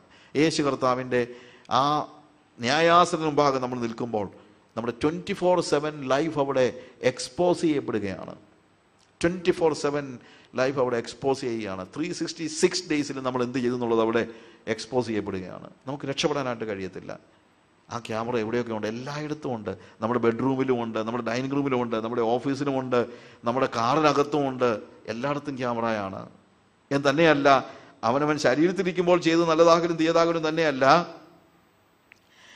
അത് നമ്മുടെ ഹൃദയത്തിന്റെ ഉള്ളിലെ രഹസ്യങ്ങളിലേക്ക് പോലും ഈ ക്യാമറ എന്നാണ് വെളിച്ചം വീശുകയാണ്. എന്റെ എന്റെ എന്റെ ഹൃദയത്തിന്റെ ഉള്ളിലെ ചിന്തകൾ പോലും അന്ന് അവിടെ എന്ത് ചെയ്യുകയാണ്? വെളിപ്പെടുകയാണ്. അതുകൊണ്ട് എനിക്ക് ചെയ്യുന്നത് നല്ലതാകിലും തീയതാകിലും എന്നുള്ള വാക്ക് മാത്രം പോരാ. എന്റെ ഹൃദയത്തിലെ ചിന്തകൾ പോലും അവിടെ ശ്രദ്ധിക്കപ്പെടുകയാണ്. അത് ആർക്കൊക്കെയാണ്? ഇന്ന് പ്രസംഗിക്കുന്ന എനിക്കും കേൾക്കുന്ന നിങ്ങൾക്കും നിങ്ങളുടെ ഹൃദയ രഹസ്യങ്ങൾ ഉൾപ്പെടെ എല്ലാം വെളിപ്പെടുന്ന ക്രിസ്തുവിന്റെ ന്യായാസനം. നമുക്ക് ബോധ്യമുണ്ടോ ഈ കാര്യത്തെപ്പറ്റി? ബോധ്യമുണ്ടെങ്കിൽ നമ്മുടെ ലൈഫ് നമ്മൾ സൂക്ഷിക്കും. തീർച്ചയായിട്ടും. എന്നാൽ പോൾ ഇവിടെ നമ്മൾ ലൈഫ് സൂക്ഷിക്കുന്നതോടൊപ്പം തന്നെ മറ്റൊരു കാര്യം കൂടെ പറയുന്നുണ്ട്. ഈ ഒരു യാഥാർത്ഥ്യമാണ്. എല്ലാവരും ക്രിസ്തുവിന്റെ ന്യായാസനത്തിന് മുമ്പാകെ നിൽക്കേണ്ടി വരുന്നു എന്നുള്ള യാഥാർത്ഥ്യമാണ് ഞങ്ങളെ മനുഷ്യനെ പേഴ്സ്യൂ ചെയ്യാനായിട്ട് പ്രേരിപ്പിക്കുന്നത്. അതാണ് ഞങ്ങളെ സുവിശേഷത്തിന്റെ ഘോഷണത്തിന് വേണ്ടി തള്ളിവിടുന്നതായ പ്രധാന ഘടകം. എബ്രാഹിം ലേഖനം ഒൻപതാം അധ്യായത്തിന്റെ ഇരുപത്തി ഏഴാം വാക്യത്തിൽ ഒരിക്കൽ മരിക്കുകയും പിന്നെ ന്യായവിധിയും ദൈവം മനുഷ്യർക്ക് നിയമിച്ചിരിക്കുന്നു. ഒരിക്കൽ മരിക്കുകയും പിന്നെ ന്യായവിധിയും ദൈവം മനുഷ്യർക്ക് നിയമിച്ചിരിക്കുന്നു. ഈ ന്യായവിധിയുടെ യാഥാർത്ഥ്യം ഇതറിഞ്ഞിട്ട് ആ ന്യായവിധി ഞാൻ പറഞ്ഞല്ലോ ഈ ന്യായവിധിയുടെ യാഥാർത്ഥ്യം. പത്താം വാക്യമാണ് നമ്മൾ വായിച്ചത്. ഒരുവൻ അവൻ അവനവൻ ശരീരത്തിലിരിക്കുമ്പോൾ ചെയ്തത് നല്ലതാകലും തീയതാകലും അതിന് തക്കവണ്ണം പ്രാപിക്കണം നാം എല്ലാവരും ക്രിസ്തുവിന്റെ ന്യായാസനത്തിന് മുമ്പാകെ വെളിപ്പെടേണ്ടതാകുന്നു. ആകയാൽ കർത്താവിനെ ഭയപ്പെടണമെന്ന് അറിഞ്ഞിട്ട് ഞങ്ങൾ മനുഷ്യരെ സമ്മതിപ്പിക്കുന്നു. കർത്താവിനെ ഭയപ്പെടണം എന്നറിഞ്ഞിട്ട്. എന്താണ് കർത്താവിനെ ഭയപ്പെടണം എന്ന് പറയാൻ കാര്യം? കാര്യം നമ്മുടെ ലൈഫാണ് നമ്മുടെ ജീവിതമാണ് ഈ ന്യായാസനത്തിൽ വിധിക്കപ്പെടുന്നത് എന്നുള്ളതാണ് ഒരു പ്രധാനപ്പെട്ട പ്രശ്നം. നമ്മൾ നരകത്തിലേക്ക് പോയിക്കൊണ്ട് ഈ ഈ ഈ നരക ഞാൻ നരകത്തിലേക്ക് പോയിക്കൊണ്ടിരിക്കുമ്പോൾ അതായത് യേശു കർത്താവിനെ നമ്മൾ മനസ്സിലാക്കുമ്പോഴത്തേക്ക് ഈ പലപ്പോഴും ഉണ്ടാകുന്ന ഒരു പാർഷ്യൽ അണ്ടർസ്റ്റാൻഡിങ് യേശുവിനെ കുറിച്ച് ഉണ്ടാകുന്ന ആളുകളുണ്ട് പ്രശ്നങ്ങളുണ്ട്. പാർഷ്യൽ പ്രീച്ചിങ് ഉണ്ടാക്കുന്ന പ്രശ്നങ്ങളുണ്ട്. പാർഷ്യൽ പ്രീച്ചിങ് എന്ന് പറയുമ്പോഴത്തേക്ക് ഭാഗികമായി മാത്രം യേശുവിനെ ഒരാൾ പരിചയപ്പെടുത്തുകയാണെന്ന് വെക്കുക. ഭാഗികമായി മാത്രം യേശുവിനെ ഒരാൾ മനസ്സിലാക്കുന്നു വെക്കുക. അതൊക്കെ അപകടകരമാണ്. ഭാഗികമായി. ഇപ്പോൾ പലപ്പോഴും ഉണ്ടാകുന്ന ഒരു വലിയ പ്രശ്നമാണ്. കർത്താവ് എം ഹൗസിലേക്ക് പോയ ശിഷ്യന്മാരോട് പറഞ്ഞൊരു വാക്കുണ്ട്. അല്ലയോ ബുദ്ധിഹീനരെ പ്രവാചകന്മാർ പറഞ്ഞിരിക്കുന്നത് എന്താ? എല്ലാം വിശ്വസിക്കാത്ത മന്ദബുദ്ധികൾ എന്ന് വെച്ചാൽ എന്താണ്? അവർ തീരെ വിശ്വസിക്കാത്തവരല്ല. പ്രവാചകന്മാർ പറഞ്ഞിരിക്കുന്നത് എല്ലാം വിശ്വസിക്കാത്ത മന്ദബുദ്ധികളെ പ്രിയമുള്ളവരെ യേശു ക്രിസ്തുവിന്റെ ആ മുഖം എന്താണെന്നുള്ളത് എല്ലാം മനസ്സിലാക്കുക എന്ന് പറയുന്ന ഒരു വലിയൊരു പ്രാധാന്യം അർഹിക്കുന്നതായ കാര്യമാണ്. ദൈവത്തെക്കുറിച്ചുള്ള ആ എല്ലാ ഫേസസും ഓൾ ഫേസസ് നമ്മൾ മനസ്സിലാക്കണം. നരകത്തിലേക്ക് ഞാൻ പോയിക്കൊണ്ടിരുന്നപ്പോൾ എന്നെ കണ്ട് സ്വർഗത്തിൽ നിന്ന് ഇറങ്ങി കാൽവറി ക്രൂശിൽ മരിച്ച യേശു ക്രിസ്തുവിന്റെ സ്നേഹം ഞാൻ കാണണം. അതാണ് ഞാൻ നമ്മളിപ്പോൾ പറഞ്ഞ കാര്യം. When I was dying when I was heading towards hell God was sending his son Jesus to this world to die for me that's a love of Jesus അത് യേശുവിന്റെ സ്നേഹത്തിന്റെ പ്രദർശനമാണ്. But that is only one face of God അത് ദൈവത്തിന്റെ ഒരു മുഖമാണ്. ദൈവത്തിന്റെ കാണാനിരിക്കുന്ന ഒരു മുഖമുണ്ട്. എന്താണെന്നറിയാമോ? വരാൻ പോകുന്ന ന്യായവതിയിൽ തീഷ്ണവാനായ ദൈവം മനുഷ്യനെ അവന്റെ പ്രവൃത്തിക്കനുസരിച്ച് വിധിക്കുന്ന ദൈവത്തിന്റെ ന്യായം മറുവശത്ത്. ദൈവത്തിന്റെ സ്നേഹത്തിന്റെ മുഖം നമ്മൾ കണ്ടു. പക്ഷേ ദൈവത്തിന്റെ ന്യായം വെളിപ്പെടാനിരിക്കുകയാണ്.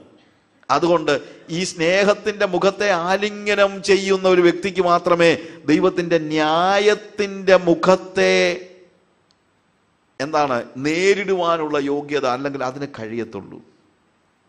അതുകൊണ്ട് ഞാൻ പറഞ്ഞത് പോൾ പറയുന്നു yes God has come down Kristu റോമാലേഖനത്തിൽ കർത്താവ് പോൾ പറയുന്നു യെസ് അവൻ എന്ത് ചെയ്തു?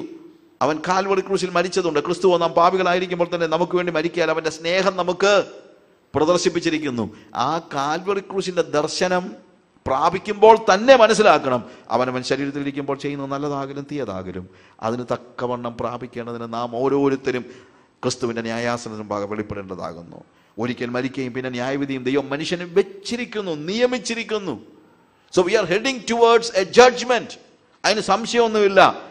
ഇതറിഞ്ഞിട്ട് ആ വിശ്വ ആ വ്യത്യസ്തത മനസ്സിലാക്കിയിട്ട് സ്നേഹത്തിന്റെ ആശ്വാസമാണ് ഇപ്പോൾ നമ്മൾ കാണുന്നത്. പക്ഷേ ന്യായവിധി ഭയപ്പെടേണ്ടതാണ്. അതുകൊണ്ട് കർത്ത ആകയാൽ കർത്താവിനെ ഭയപ്പെടണം എന്നറിഞ്ഞിട്ട് ഞങ്ങൾ മനുഷ്യരെ പേഴ്സ്യൂ ചെയ്യുന്നു. അതായത് കർത്താവിന്റെ സ്നേഹത്തെക്കുറിച്ചുള്ള നല്ല പ്രകാശനങ്ങളും പ്രദർശനങ്ങളും പ്രയാ പ്രസംഗങ്ങളും എല്ലാം ഉണ്ട്. പക്ഷെ അതിന്റെ മറ്റേ മുഖത്തെക്കുറിച്ച് നമ്മൾ മറന്നു പോകരുത്. രണ്ടായിരം വർഷം മുമ്പ് കർത്താവ് ഈ ഭൂമിയിൽ വന്നപ്പോൾ കർത്താവ് പറഞ്ഞു ഞാൻ നീതിമാന്മാരെ അല്ല പാപികളെ അത്രേ തേടി വന്നത്. നമ്മുടെ ചിന്ത എന്നും അവൻ വരുന്നത് പാപികളെ തേടി തന്നെ ആയിരിക്കുമെന്ന്. അതുകൊണ്ട് കുഴപ്പമില്ല. ഇനി അവൻ രണ്ടാമത് വരുന്നതും അവൻ പാപികളെ തേടി ആയിരിക്കുമെന്ന് നമ്മുടെ ചിന്ത. പ്രിയമുള്ളവരെ ഇനിയത്തെ അവന്റെ വരവ് അവൻ പാപികളെ തേടിയല്ല. പ്രത്യുത അവന് വേണ്ടി നോക്കി കാത്തിരിക്കുന്ന ശുദ്ധയും നിഷ്കളങ്കയുമായ അവന്റെ മണവാട്ടിയെ തിരക്കിയാണ് അവൻ വരുന്നത്. ഇനി അവൻ വരുന്നത് പാപികളെ തേടിയല്ല. അവൻ പാപികളെ തേടി രണ്ടായിരം വർഷങ്ങൾക്ക് മുമ്പ് വന്നു. അതാണ് അവന്റെ സ്നേഹത്തിന്റെ മുഖം. എന്നാൽ ഇനി അവൻ വരുന്നത് എന്താണ്? അവന്റെ മണവാട്ടിയെ അവനോടുകൂടെ ചേർക്കുന്നതിനും അതിനുശേഷം എന്താണ്? അവനെ തിരസ്കരിച്ചവരെ ന്യായം വിധിക്കുന്നതിനുമാണ്. ഞാൻ രാജാവാകുന്നത് ഇഷ്ടമില്ലാത്ത ആളുകളെ ഇവിടെ കൊണ്ടുവരിക എന്ന് പറഞ്ഞ ആ രാജത്വം പ്രാപിച്ചു വന്ന വ്യക്തിയുടെ ഉപമ നിങ്ങൾ മറന്നു പോകരുത്. അതുകൊണ്ട് കർത്താവിനെ ഭയപ്പെടണം.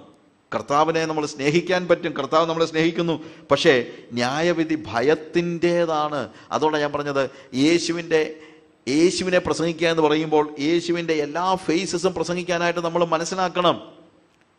വളരെ ഈസിയാണ് പ്രസംഗിക്കാൻ. പ്രിയമുള്ളവരെ ഇന്ന് രാത്രിയിൽ കർത്താവ് രോഗികളെ സൗഖ്യമാക്കുന്നു. അവനിതാ നിങ്ങളുടെ കടം മാറ്റുന്നതൊക്കെ പ്രസംഗിക്കാൻ ഈസിയാണ് നമ്മൾ ഒരു ഫേസാണ് പറയുന്നത്. ഇതാരും ചെയ്യത്തില്ല. കർത്താവ് ചെയ്യത്തില്ലെന്ന് പറയുന്നില്ല. പ്രത്യുത എന്നാൽ നമ്മൾ മനസ്സിലാക്കണം. കർത്താവ് നമ്മളുടെ രോഗം മാറ്റാനും കടം വീട്ടാനും വീട് നൽകാനും മാത്രമായി വരുന്ന ഒരു യേശുവല്ല. പ്രത്യുത നമ്മെ ന്യായം വിധിക്കുവാനായി ഇറങ്ങി വരുന്ന യേശുവാണ്. അവൻ കർത്താവാണ്. അവൻ കർത്താവാണ് എന്ന് പറയുമ്പോൾ വിധി കർത്താവാണ് എന്ന് ഓർക്കണം. കർത്താവ് എന്ന് പറയുമ്പോൾ പല അർത്ഥത്തിലാണ് അവിടെ ഉപയോഗിക്കുന്നത്. അപ്പോസ്റ്റൽ പ്രവൃത്തി രണ്ടാം അധ്യായത്തിൽ പത്രോസ് ഓടിക്കൂടിയ യഹൂദന്മാരായ വ്യക്തികളോട് സുവിശേഷം അറിയിക്കുമ്പോൾ പറയുന്നൊരു കാര്യമുണ്ട്. ആകയാൽ നിങ്ങൾ ക്രൂശിച്ച ഈ യേശുവിനെ തന്നെ ദൈവം കർത്താവും ക്രിസ്തുവുമാക്കി വെച്ചിരിക്കുന്നുവെന്ന് ഇസ്രായേൽ ഗ്രഹമൊക്കെയും അറിയട്ടെ. അവിടെ കർത്താവ് എന്ന് പറയുന്നത് നിങ്ങളുടെ വിധി കർത്താവാണെന്നാണ് അതായത് അൻപത് ദിവസം മുമ്പ് നിങ്ങൾ യേശുവിന്റെ വിധി അവിടെ നിന്നുകൊണ്ട് പറഞ്ഞു അവനെ ക്രൂശിക്കുക അവനെ ക്രൂശിക്കുക അവരാ വിധി പറഞ്ഞത്. നിങ്ങൾ ആരെ വിധിച്ചോ ആ യേശുവിനെ ദൈവം നിങ്ങളുടെ വിധികർത്താവാക്കിയിരിക്കുന്നു എന്നതാണ് സുവിശേഷം. ഇതിനെ മറന്നു പോകരുത് അതുകൊണ്ട് കർത്താവിനെ ഭയപ്പെടണം എന്ന് അറിഞ്ഞിട്ട്. അതായത് കർത്താവിന്റെ സ്നേഹത്തിന്റെ മുഖത്തോടൊപ്പം നമ്മൾ മനസ്സിലാക്കേണ്ട ഒരു കാര്യമുണ്ട്. ഈ സ്നേഹത്തിന്റെ മുഖത്തെ സ്വീകരിക്കാത്തവർക്ക് വരാൻ പോകുന്ന വലിയ ഒരു ന്യായവിധി ഉണ്ട് എന്നുള്ളതായ തിരിച്ചറിവുണ്ടാകുമ്പോൾ ഞങ്ങൾ എന്ത് ചെയ്യുന്നു? ഞങ്ങൾ അവരെ പേഴ്സി ഞങ്ങൾ മനുഷ്യരെ എന്ത് ചെയ്യുന്നു? സമ്മതിപ്പിക്കുന്നു. പേഴ്സ് പേഴ്സ്യൂ ചെയ്യാണ്. ഞങ്ങൾ അവരുടെ പുറകെ പോകുകയാണ് ഒരുപക്ഷെ അവരുടെ ജീവിതത്തിലെ സ്വകാര്യതകളെ പോലും ഞാൻ പറഞ്ഞത് ചിലപ്പോൾ മാന്യത തന്നെ വിട്ടുപോകേണ്ടി വരും. പലപ്പോഴും അവരുടെ സ്വകാര്യതകളിലേക്ക് കടന്ന് അവരോട് നമ്മൾ പ്ലീഡ് ചെയ്യേണ്ടി വരും. ആരുടെയും സുവിശേഷം ആരുടെയും കഴുത്തിനകത്തോട് തള്ളിക്കയറ്റിയൊന്നും കൊടുക്കാൻ പറ്റത്തില്ല. ബട്ട് സ്റ്റിൽ അവർക്ക് ഇഷ്ടമില്ലാത്ത ഇഷ്ടമുള്ളവരോട് മാത്രം സുവിശേഷം പറയാൻ പലപ്പോഴും നമുക്ക് പറ്റത്തില്ല. അത് നിങ്ങൾ മനസ്സിലാക്കണം. ചിലപ്പം ഇഷ്ടമില്ലാത്തവരോട് നമ്മൾ എന്ത് ചെയ്യേണ്ടി വരും? സുവിശേഷം പറയേണ്ടി വരും. പേഴ്സ്യൂ ചെയ്യുക എന്ന് പറയുമ്പോൾ അതാണ്. പുറകെ നടന്ന് പറയുകയാണ്. പലപ്പോഴും നമ്മളൊരു ശല്യമാണ് മറ്റുള്ളവർക്ക് അല്ലേ? സുവിശേഷം അറിയിക്കുന്ന ആളുകൾ മറ്റുള്ളവർക്ക് ഒരു ശല്യമാണ് അല്ലേ? ഞാനൊരു വ്യക്തിയോട് പറഞ്ഞപ്പോഴത്തേക്ക് സംസാരിച്ചപ്പോഴത്തേക്ക് അവർ പറഞ്ഞ ഒരു ഒരു പ്രധാനപ്പെട്ട കാര്യം ഇതാണ്. ഭർത്താവ് വിശ്വാസിയാണ് ഭാര്യ വിശ്വാസിയല്ല. ഭാര്യ പറയുന്നത് ഞാനങ്ങ് മടുത്തു ഈ മനുഷ്യനെ കൊണ്ട്. എപ്പോഴും എന്ത് ചെയ്യാണ്? സുവിശേഷം പറയാണ് എന്റെ കസിൻസിനെ കണ്ടാലും സഹോദരന്മാരെ കണ്ടാലും എല്ലാം അവരിപ്പോൾ ഇങ്ങനെ കാണുമ്പോഴേ ഓടും. കാര്യം എന്താണ്? അവർക്ക് ഇൻട്രസ്റ്റ് ഉള്ള കാര്യങ്ങളല്ല ഇങ്ങേര് സംസാരിക്കുന്നത്. അവർക്ക് ഇൻട്രസ്റ്റ് ഉള്ള കാര്യം സംസാരിക്കാനല്ല ദൈവം നമ്മളെ പറഞ്ഞു വിട്ടിരിക്കുന്നത്. പിന്നെ ഇത് ആർക്ക് വേണ്ടിയാ? നമുക്ക് വേണ്ടിയാണോ? അത് നിങ്ങൾ ആലോചിക്കണം. ഈ സ്വകാര്യതകളിലേക്ക് ചിലപ്പോഴെങ്കിലും കടന്നു കയറ്റം നടത്തുന്നതിന്റെ കാരണം എന്താണ്? ബിക്കോസ് നമുക്ക് ആ ഒരു യാഥാർത്ഥ്യം വെളിപ്പെട്ട് കിട്ടിയത് കൊണ്ടാണ്. ആ വെളിപ്പാടാണ് സുവിശേഷം അറിയിക്കാൻ നമ്മളെ പ്രേരിപ്പിക്കുന്നത്. എന്ത്? ഈ പറയുന്ന ഈ വ്യക്തിയും ഞാൻ കാണുന്ന ഈ വ്യക്തിയും എന്റെ സഹോദരനും എന്റെ സഹോദരിയും എന്റെ മാതാവും എന്റെ പിതാവും എന്റെ എന്റെ എന്റെ കസിൻസും എന്റെ അയൽവക്കക്കാരനും ഒക്കെ ഒരു ദിവസം എവിടെ നിൽക്കേണ്ടി വരും? ക്രിസ്തുവിന്റെ ന്യായാസനത്തിന്റെ മുമ്പാകെ നിൽക്കേണ്ടി വരും. അതിനുവേണ്ടി അവനെ ഒരുക്കാനാണ് ഞാൻ ഈ പെടാപ്പാടെല്ലാം പാടുന്നത്. ഞാൻ കൈരളി പീപ്പിളിൽ ടെലിവിഷനിൽ ഒരു പ്രാവശ്യം അവർക്ക് ഒരു ക്വസ്റ്റ്യൻ ആൻസർ പോലെയുള്ള ഒരു സെഷൻ ഉണ്ടായിരുന്നു അവർ കുറച്ച് വർഷങ്ങൾക്ക് മുമ്പാണ്. അപ്പോൾ ഈ ആളുകൾ ഈ ക്വസ്റ്റ്യൻസ് ചോദിക്കുന്ന ആ ക്വസ്റ്റ്യൻസിനുള്ള ആൻസറാണ് അപ്പം ഒരാൾ ചോദിച്ച ഒരു ചോദ്യം അത് അത് വളരെ രസകരമായിട്ടാണ് ചോദിച്ച ദേഷ്യത്തോടെ ചോദിച്ചൊരു ചോദ്യമാണ്. ഈ ഡയറക്ട് സെയിൽസുകാരെ കൊണ്ടും സുവിശേഷ വേലക്കാരെ കൊണ്ടും തോറ്റു. ഈ ഡയറക്ട് സെയിൽസുകാർക്ക് ഒരു പ്രത്യേകത ഉണ്ടല്ലോ. ക്ലിങ് ഡിങ് എന്ന് പറഞ്ഞ് ബെല്ലടിച്ചിട്ട് സർ ഇന്ന് പറഞ്ഞുകൊണ്ട് ഈ പ്രോഡക്റ്റ് വിൽക്കാനായിട്ട് വരുന്ന ആൾക്കാരുണ്ടല്ലോ.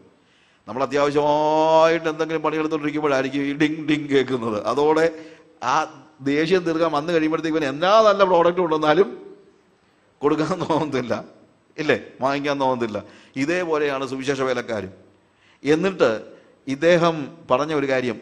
എന്റെ സ്വകാ ഞങ്ങളുടെ സ്വകാര്യതകളിലേക്ക് കടന്നു കയറ്റാൻ നടത്താൻ ആരാണപ്പാ ഇവർക്കൊക്കെ അനുവാദം കൊടുത്തതെന്ന്? അവരുടെ സ്വകാര്യതകളിലേക്ക്. ശരിയല്ലേ?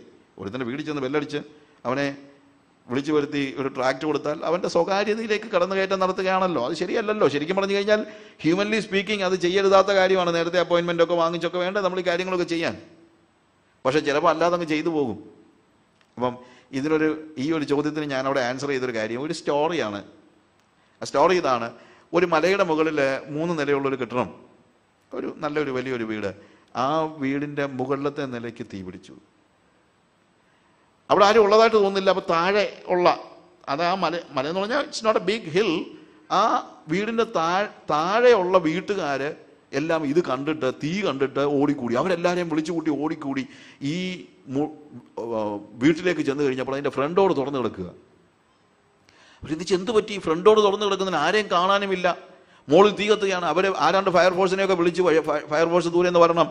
അപ്പോഴത്തേക്ക് അവർ എന്ത് ചെയ്തെന്നറിയാമോ അകത്തിരുന്ന ഫ്രിഡ്ജും വാഷിംഗ് മെഷീനും അതുപോലെ ഓൾമോസ്റ്റ് റെസ്ക്യൂ ചെയ്യാവുന്ന സേഫും എല്ലാ കാര്യങ്ങളും അലമാരിയും എല്ലാ സാധനങ്ങളും എടുക്കാവുന്ന സകല സാധനങ്ങളും ഇവരെല്ലാവരും പുറത്ത് എടുത്ത് മാറ്റി. ഈ തീ കത്തുന്നതിന് മുമ്പായിട്ട് എല്ലാം പുറത്തെടുത്ത് മാറ്റി. എല്ലാം തുറന്നിട്ടിരിക്കുക എന്നിട്ട് അവർ ഓരോ മുറിയിലെ സാധനം പെറുക്കിക്കൊണ്ടിരുന്ന കൂട്ടത്തിൽ ഒരു മുറി തുറക്കാൻ നോക്കിയപ്പോഴത്തേക്ക് അത് അകത്തുനിന്ന് കൂട്ടിയിരിക്കുക അകത്തുനിന്ന് കുറ്റിയിട്ടിരിക്കുക എന്താ ചിന്തിച്ചടാ ആരും അറിഞ്ഞില്ലല്ലോ. ഇവിടെ ആളുണ്ടെന്നുള്ളത്. ഇത് അകത്ത് നിന്ന് കുറ്റിയിട്ടിരിക്കാൻ അവർ പെട്ടെന്ന് കഥകിൽ മുട്ടി. കഥകിൽ മുട്ടിക്കഴിഞ്ഞപ്പോൾ ഒരുത്തൻ ചാടി ഇറങ്ങി വന്നു. അയാൾ വീട്ടുകാരനാ. അയാൾ അയാളും അയാളുടെ കുടുംബാംഗങ്ങളും എല്ലാം കൂടെ ഈ മുറിക്കകത്ത് ഒരു എയർ കണ്ടീഷൻ റൂമാണ് അതിനകത്തിരുന്ന് അവർക്കുള്ള ഒരു ഫേവററ്റ് വീഡിയോ ഷോ കണ്ടുകൊണ്ടിരിക്കുക ഒരു ടി വി ഷോ കണ്ടുകൊണ്ടിരിക്കുകയാണ് ഇതിന്റെ രസത്തിൽ ഈ വീടിന്റെ മുകളിൽ തീ കത്തിയത് ഇവർ അറിഞ്ഞില്ല. നാട്ടുകാർ കണ്ടു പക്ഷെ ഇവർ അറിഞ്ഞില്ല. നാച്ചുറൽ മൂന്ന് നിലയുള്ള വീടായതുകൊണ്ട് മുകളിലത്തെ നിലയിൽ ഇവർ അറിഞ്ഞേ ഇല്ല. ഇയാൾ നോക്കിയപ്പോഴത്തേക്ക് വീട്ടിലെ സേഫും ഫ്രിഡ്ജും എല്ലാം മുറ്റത്ത്. ചാടി ഇറങ്ങി വന്ന് ആരടാ എന്റെ വീട്ടിൽ കയറി എന്റെ സാധനങ്ങളെല്ലാം എടുത്ത് പുറത്തിടാൻ? ആരടാ എനിക്ക് അനുവാദം നിനക്ക് അനുവാദം തന്നെന്ന് ചോദിച്ചു കഴിഞ്ഞപ്പോഴത്തേക്ക് ഇവർ പറഞ്ഞു സാറേ ആഗ്രഹം ഉണ്ടായിട്ടൊന്നും അല്ല. പക്ഷേ മുകളിലോട്ട് നോക്കിയാൽ your house is on fire വീട് കത്തുക. അതുകൊണ്ട് ഞങ്ങൾ ചെയ്തു പോയതാ. അല്ലാതെ നിങ്ങളെ ഉപദ്രവിക്കണമെന്നോ നിങ്ങളുടെ സ്വകാര്യതയിലേക്ക് കടന്നുകയറ്റം നടത്തണമെന്നൊന്നും ആഗ്രഹം ഉണ്ടായിട്ടല്ല. ഇത് തന്നെയാ നമ്മുടെ ഈ സുവിശേഷ പ്രവർത്തനത്തിന്റെ പിന്നിലെ പ്രേരണാ ഘടകം. We know something that they do not know അവർക്കറിയാൻ വയ്യാത്ത ഒരു കാര്യം നമുക്കറിയാം. എന്ത്? ദേ ആർ ഓൺ ഫയർ അവരുടെ മേൽ തീ കത്തിക്കൊണ്ടിരിക്കുകയാണെന്നും അവർ അഗ്നി നരകത്തിലേക്ക് യാത്രയാവുകയാണെന്നുള്ളതും അവർക്കറിയത്തില്ല. അവരറിയുന്നില്ല. കാര്യം അവരതറിയാത്ത നിലയിൽ മറ്റ് കാര്യങ്ങളിൽ ആണ് അവരതറിയാത്ത നിലയിൽ ലോകത്തിന്റെ സുഖങ്ങളിലും ഭോഗങ്ങളിലും ലോകത്തിന്റെ സൗഖ്യങ്ങളിലും പണത്തിലും പദവികളിലും മദ്യത്തിലും ഒക്കെ അവർ മുഴുകിക്കിടക്കുകയാണ്. They do not know that they are on fire their house is on fire അവരുടെ വീട് തീ കത്തുകയാണെന്നുള്ളത് തിരിച്ചറി അറിയാത്തതായ ഒരു ഗ്രൂപ്പ് ഒരു ഒരു ഒരു ഒരു കൂട്ടം ജനങ്ങൾ. പ്രിയമുള്ളവരെ ഇത് തന്നെയല്ലേ യഥാർത്ഥത്തിൽ സംഭവിക്കുന്നത്? ഇതാണ് ഞാൻ പറഞ്ഞത്. ലോകത്തിന് മിസ് ചെയ്ത വെളിപ്പാട് നമുക്ക് വെളിപ്പെടുത്തിയ ദൈവത്തിന്റെ വെളിപ്പാട്. എന്താണ് ലോകത്തിന് മിസ് ചെയ്ത വെളിപ്പാട്? They do not know that they are on fire they do not know that one day they need to stand before the judgement seat of Christ ക്രിസ്തുവിന്റെ ന്യായാസനത്തിന് മുമ്പാകെ ഒരു ദിവസം നിൽക്കേണ്ടി വരുമെന്നും കണക്ക് ചോദിക്കുന്ന ഒരു ദൈവം സ്വർഗത്തിൽ ഇരിപ്പുണ്ടെന്നും അവനെല്ലാം കരുതി എല്ലാം കണക്കുകളെല്ലാം എവറി അക്കൗണ്ട് എല്ലാം അക്കൗണ്ട് ചെയ്യുന്നുണ്ടെന്നും അവന്റെ ക്യാമറയിൽ എല്ലാം പതിഞ്ഞിട്ടുണ്ടെന്നും തിരിച്ചറിയാത്തവരായ ഈ സെലിബ്രിറ്റീസിനെ പോലെ ലോകത്തിന്റെ മോഹങ്ങളിൽ കിടക്കുന്ന ആളുകളെ കാണുമ്പോൾ സുവിശേഷം പറയാതിരിക്കാൻ നമുക്ക് കഴിയാതെ വരുന്നു. നമുക്കതറിയാമെങ്കിൽ നമുക്കവരോട് സ്നേഹമുണ്ടെങ്കിൽ ഒരുപക്ഷെ അവർ ചൂടായാലും ഒരുപക്ഷെ അവർ നമ്മളോട് എതിർത്ത് പറഞ്ഞാലും ഒരുപക്ഷെ അവർ നമ്മളെ ഹെറസ് ചെയ്താലും ഒരു ഒരുപക്ഷെ അവരൊന്ന് തല്ലിയാലും. നമ്മൾ എന്ത് ചെയ്യും പിന്നെയും അത് തന്നെ പറഞ്ഞുകൊണ്ടിരിക്കും കാര്യം ക്രിസ്തുവിന്റെ സ്നേഹം നമ്മെ നിർബന്ധിക്കുന്നു. The love of Christ constraineth me ഇന്ന് the story of David Wilkerson ഇത് പറയുമ്പോഴെല്ലാം സുവിശേഷം പറയുമ്പോഴത്തേക്ക് എന്ത് പ്രതികരണം ഉണ്ടായാലും അതൊന്നും നമ്മളെ മാറ്റി നിർത്തുന്നില്ല. ഡേവിഡ് വിൽക്കേഴ്സൺ നിക്കി ക്രൂസിനെ ഞാൻ ചില സ്ഥലങ്ങളിൽ അതിനെക്കുറിച്ച് പറഞ്ഞിട്ടുണ്ട്. സ്നേഹത്തെക്കുറിച്ച് പറയുമ്പോഴൊക്കെ ഞാൻ പറയാനുള്ള കാര്യമാണ്. ഡേവിഡ് വിൽക്കേഴ്സൺ എന്ന് പറയുന്ന വ്യക്തി നിക്കി ക്രൂസിനെ സുവിശേഷം നിക്കി ക്രൂസിനോട് സുവിശേഷം പറയുന്ന അല്ലെങ്കിൽ നിക്കി ക്രൂസിനെ ഇദ്ദേഹം കാണുന്നതായ മൂന്ന് സന്ദർഭങ്ങൾ. ക്രോസ് ആൻഡ് സ്വിച്ച് ബ്ലേഡിലുണ്ട്. റൺ ബേബി റൺ എന്ന് പറയുന്ന നിക്കി ക്രൂസിന്റെ ബുക്കിനകത്തുണ്ട്. Cross and switch blade David വിൽക്കേഴ്സിന്റെ ബുക്കാണ്. Is no more David Wilkerson വളരെ കംഫർട്ടബിൾ ആയിട്ട് ഒരു ചെറിയ സഭയുടെ പാസ്റ്ററായിട്ട് സുഖമായിട്ട് ജീവിച്ചുകൊണ്ടിരിക്കുമ്പോൾ ദൈവത്തിന്റെ ആത്മാവ് അദ്ദേഹത്തിന് കൊടുത്ത ഒരു പ്രത്യേക ദർശനത്തിന്റെ അടിസ്ഥാനത്തിൽ. ശരിക്കും പറഞ്ഞു കഴിഞ്ഞാൽ നിങ്ങളിത് പുസ്തകം വായിക്കണം പ്രിയമുള്ളവരെ. Read the book cross and switch blade even it is available in Malayalam right ഇവിടെ ഉണ്ട് അല്ലേ? നമുക്ക് അവൈലബിളാ സാങ്ച്വറിൽ അവൈലബിൾ ആണ്. ഓക്കെ വെരി ഗുഡ് മലയാളത്തിൽ അത് നമുക്ക് പെട്ടെന്ന് അത് വായിച്ച് മനസ്സിലാക്കാൻ അനുഗ്രഹിക്കാനായിട്ട് പറ്റും. കുരിശും കടാരയും എന്ന പേരിൽ ആ ബുക്ക് ഇവിടെ അവൈലബിൾ ആണ്. നിങ്ങൾ ആ പുസ്തകം ഒന്ന് വായിക്കുക ആ പുസ്തകം നിങ്ങൾക്ക് തീർച്ചയായിട്ടും I assure you that you are you are going to be different if you read that book നിങ്ങൾ പുസ്തകം വായിച്ചാൽ നിങ്ങൾ ഡിഫറെന്റ് ആയിരിക്കും. ഞാൻ നയന്റീൻ എയ്റ്റീസിൽ വായിച്ച പുസ്തകമാണത്. എയ്റ്റീസിൽ ഡേവിഡ് വിൽക്കേഴ്സൺ ഒരു ചെറിയ സഭയുടെ പാസ്റ്ററായിട്ട് വളരെ വളരെ എന്താണ് ഞാൻ ആ ഭാഗം വായിക്കുമ്പോഴേക്കും എനിക്കിപ്പോഴും ആലോചിക്കും.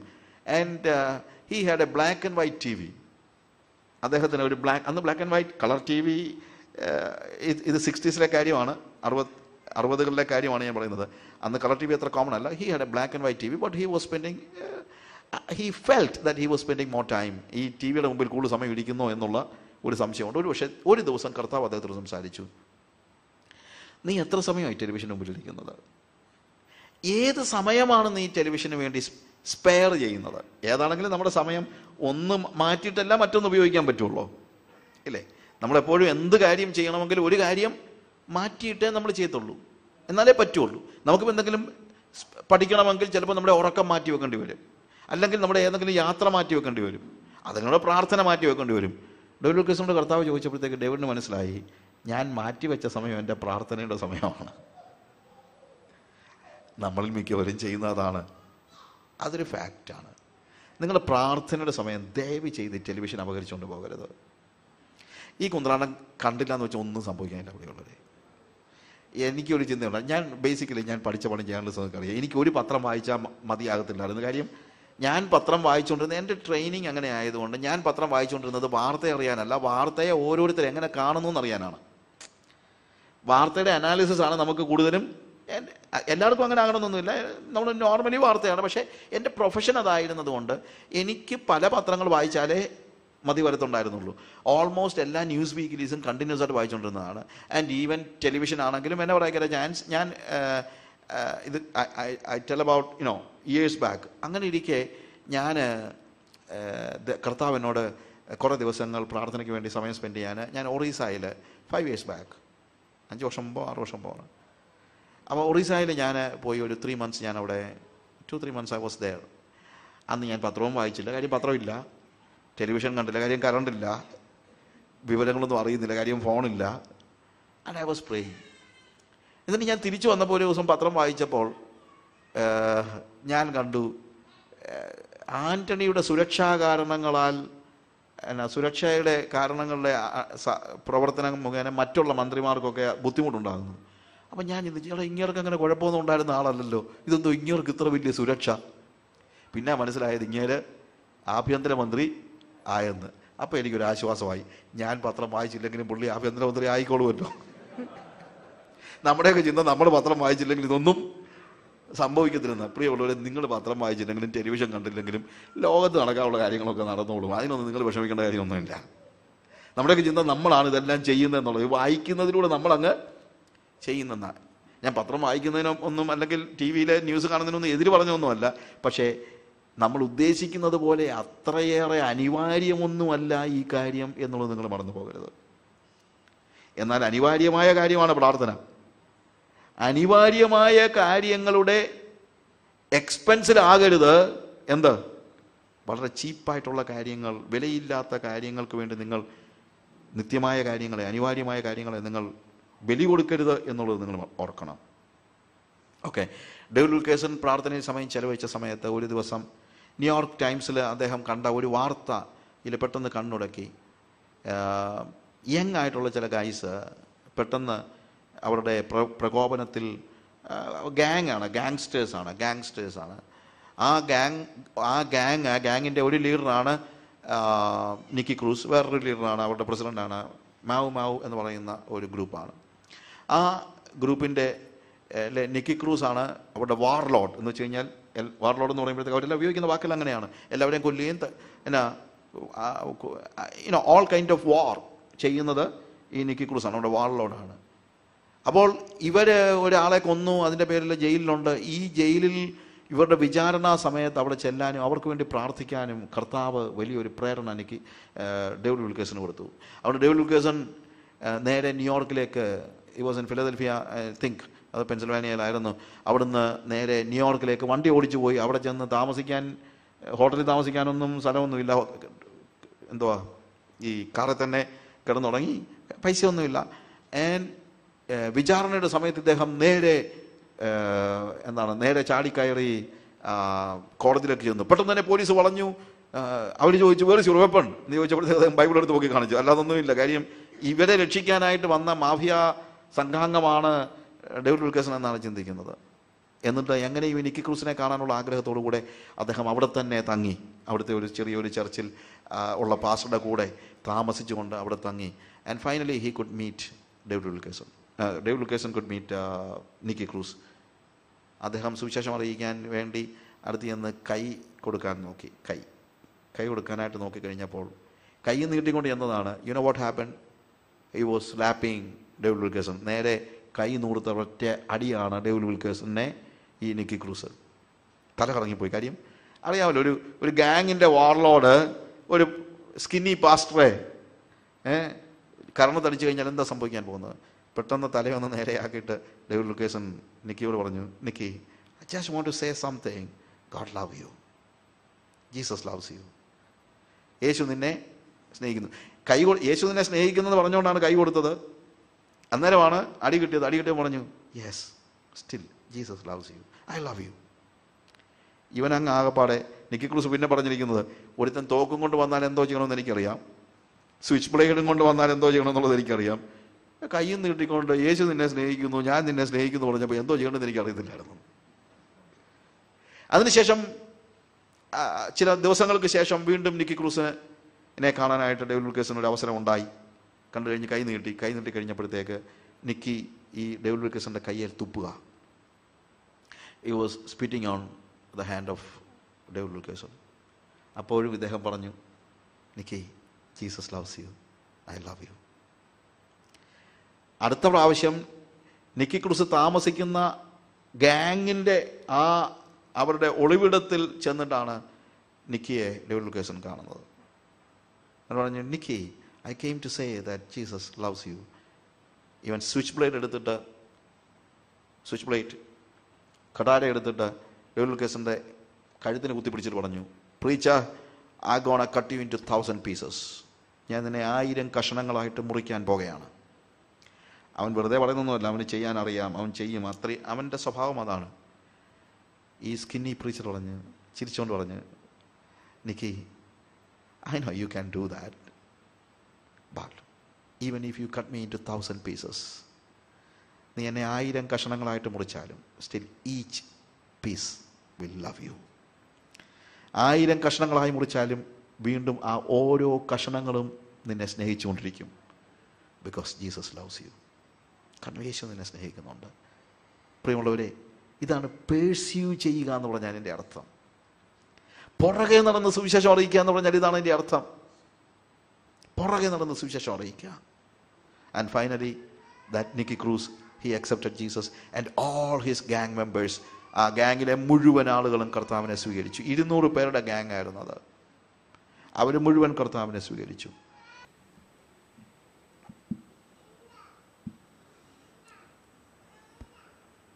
ലെറ്റ്സ് കം ബാക്ക് ആ ഡേവിഡ് വിൽക്കേഴ്സന്റെ ആ സ്റ്റോറി നിങ്ങൾ if possible you just read that ആ ബുക്ക് നിങ്ങൾ വായിക്കുക. അതിനകത്ത് കൃത്യമായിട്ട് ആ കാര്യത്തെക്കുറിച്ച് നമുക്ക് മനസ്സിലാക്കാനായിട്ട് പറ്റും. പേഴ്സ്യൂ ചെയ്യുക എന്ന് പറയുമ്പോഴത്തേക്ക് അതിനകത്തെ അർത്ഥം അതാണ്. നമ്മൾ എന്ത് ചെയ്യേണ്ടി വരുന്നു? പലപ്പോഴും ഞാൻ ഈ പറഞ്ഞത് ആരെയും ബുദ്ധിമുട്ടി ഒരിക്കലും നമുക്ക് ഒരാൾക്കൊരു ശല്യമാകാൻ പാടില്ല. അതൊക്കെ ശരിയാണ്. നമ്മൾ ആർക്കും ഒരു ശല്യമാകാൻ പാടില്ല. നമ്മൾ വളരെ ബുദ്ധി എന്താണ് മാന്യമായിട്ട് വേണം ആളുകളോട് സുവിശേഷം പറയാൻ. അതിനൊന്നും ഞാൻ എന്താണ് ഒരിക്കലും അതിന് എന്തോ ആരെയും എവിടെയും ആരെയും ഉപദ്രവിച്ചല്ലല്ലോ സുവിശേഷം പറയേണ്ടത്. അങ്ങനെ പറഞ്ഞാൽ ആരും അത് അക്സെപ്റ്റ് ചെയ്യത്തുമില്ല. ആത്യന്തികമായി നമ്മളുടെ ലക്ഷ്യം എന്താണ്? നമ്മൾ പറയുക എന്നുള്ളത് മാത്രമല്ല നമ്മുടെ ലക്ഷ്യം. എന്താണ്? അവരത് സ്വീകരിക്കുക എന്നുള്ളതാണ്. അതുകൊണ്ട് തീർച്ചയായും അവർ സ്വീകരിക്കുവാനുള്ള നിലയിൽ വേണം നമ്മൾ പറയാനായിട്ട്. പക്ഷേ അവർ സ്വീകരിക്കണമെങ്കിൽ അതിന്റെ പിന്നിലെ നമ്മുടെ പ്രേരണാശക്തി പ്രേരക ഘടകം എന്തായിരിക്കണം? ക്രിസ്തുവിന്റെ സ്നേഹം. ശരിക്കും ക്രിസ്തുവിന്റെ സ്നേഹമാണ് നമ്മളെ നയിക്കുന്നതെങ്കിൽ അതാണ് നമ്മുടെ പ്രേരണാ ഘടകമെങ്കിൽ എന്റെ ചിന്ത അത് അക്സെപ്റ്റ് ചെയ്യാനായിട്ട് തീർച്ചയായും ദൈവത്തിന്റെ പരിശുദ്ധാത്മാവ് അവരെ പ്രേരിപ്പിക്കും. ഇല്ലേ? നമുക്ക് വേറെ എന്തെങ്കിലും ലക്ഷ്യമുണ്ടെങ്കിൽ പലപ്പോഴും നടക്കത്തില്ല. ക്രിസ്തുവിന്റെ സ്നേഹം ഒഴികെ വേറെ എന്തെങ്കിലും കാര്യമുണ്ടെങ്കിൽ പലപ്പോഴും ദൈവത്തിന്റെ പരിശുദ്ധാത്മാവ് അതിനോട് കൂട്ടു നിൽക്കത്തില്ല. ഇവിടെ രണ്ട് അഞ്ചാം അധ്യായത്തിന്റെ പതിനൊന്നാം വാക്യം നമ്മളിവിടെ വായിക്കുമ്പോൾ അവിടെ കാണുന്ന ഒരു പ്രധാനപ്പെട്ട കാര്യം അതാണ്. ആകയാൽ കർത്താവിനെ ഭയപ്പെടണമെന്ന് അറിഞ്ഞിട്ട് ഞങ്ങൾ മനുഷ്യരെ സമ്മതിപ്പിക്കുന്നു. എന്നാൽ ദൈവത്തിന് ഞങ്ങൾ വെളിപ്പെട്ടിരിക്കുന്നു. നിങ്ങളുടെ മനസാക്ഷികളിലും വെളിപ്പെട്ടിരിക്കുന്നു എന്ന് ഞാൻ ആശിക്കുന്നു. എന്നാൽ ദൈവത്തിന് ഞങ്ങൾ വെളിപ്പെട്ടിരിക്കുന്നു. We are made manifest unto God Paul പറയാണ് ക്രിസ്തുവിന്റെ സ്നേഹമാണ് ഞങ്ങൾ എന്തുകൊണ്ടാണ്? We know we we have a revelation എന്താണ് റെവലേഷൻ എല്ലാ മനുഷ്യരും ദൈവത്തിന്റെ ക്രിസ്തുവിന്റെ ന്യായാസനത്തിന് മുമ്പാകെ നിൽക്കേണ്ടി വരുന്നു എന്നുള്ള വരും? അവനവൻ ചെയ്യുന്നത് അവൻ അവനവൻ ശരീരത്തിലിരിക്കുമ്പോൾ ചെയ്യുന്ന നല്ലതാകലും തീയതാകലും അതിന് തക്കവണ്ണം പ്രാപിക്കണമെന്ന് എല്ലാവരും ദൈവത്തിന്റെ ന്യായാസന മുമ്പാകെ നിൽക്കേണ്ടി വരും എന്നുള്ള യാഥാർത്ഥ്യം ഞങ്ങൾക്ക് വെളിപ്പെട്ടിരിക്കുന്നു. അത് ഭീതിതമായ ഒരു കാര്യമാണ്. ആശ്വാസത്തിന്റെ വചനമാണ് ക്രിസ്തു വെച്ച് ഭാവികളെ രക്ഷിപ്പാൻ ലോകത്തിലേക്ക് വന്നു എന്നുള്ളത്. എന്നാൽ വരാൻ പോകുന്ന ന്യായവിധിയുടെ അല്ലെങ്കിൽ ഒരിക്കൽ മരിക്കുകയും പിന്നെ ന്യായവിധിയും ദൈവം മനുഷ്യർക്ക് നിയമിച്ചിരിക്കുന്നു എന്നുള്ളത് ആശ്വാസത്തിന്റെ മാത്രം വചനമൊന്നുമല്ല. അതിനകത്ത് എന്തുണ്ട്? കർത്താവിനെ നമ്മൾ ഭയപ്പെടണം. ഈ തിരിച്ചറിവിൽ ഞങ്ങൾ ഓരോരുത്തരോടും അവരുടെ പുറകെ നടന്ന് ക്രിസ്തുവിന്റെ സുവിശേഷം ഞങ്ങൾ എന്ത് ചെയ്യുന്നു? പറഞ്ഞു കൊടുക്കുന്നു. എന്നാൽ അത് പറഞ്ഞു കൊടുക്കുമ്പോൾ ഞങ്ങളുടെ ഹൃദയത്തിൽ വേറെ ഒന്നുമില്ല എന്നുള്ളത് ദൈവത്തിന് വെളിപ്പെട്ടിരിക്കുന്നു. We are made manifest to God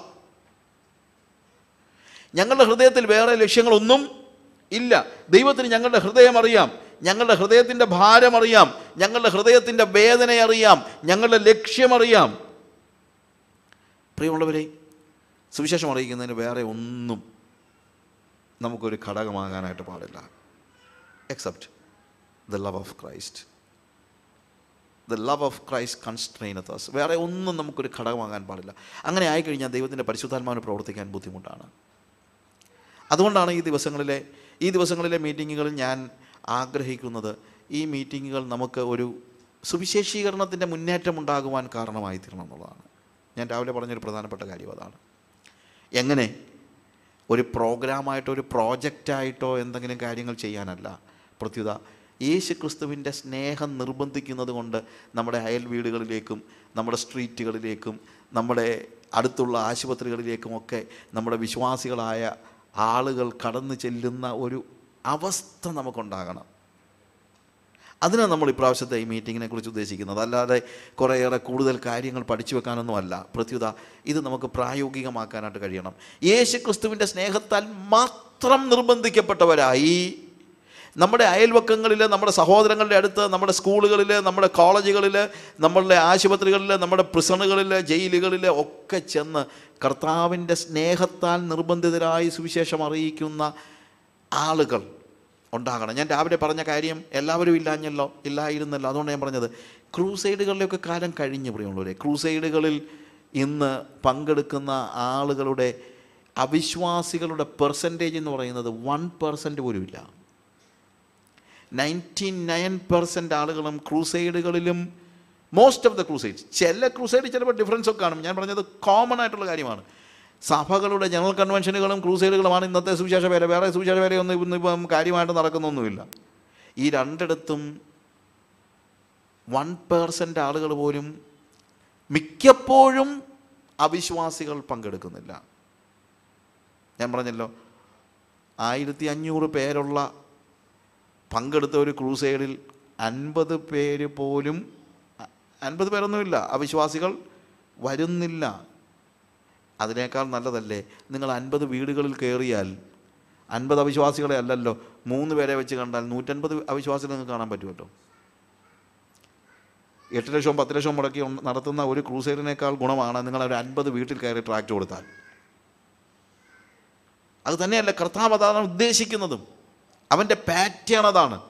അവന്റെ പാറ്റേൺ ഇതുപോലെയുള്ള വലിയ ടെക്നോളജി ഒന്ന് ഉപയോഗിച്ച് എന്തെങ്കിലും കാര്യങ്ങൾ ചെയ്യുന്നതല്ല അവന്റെ പാറ്റേൺ എന്ത്?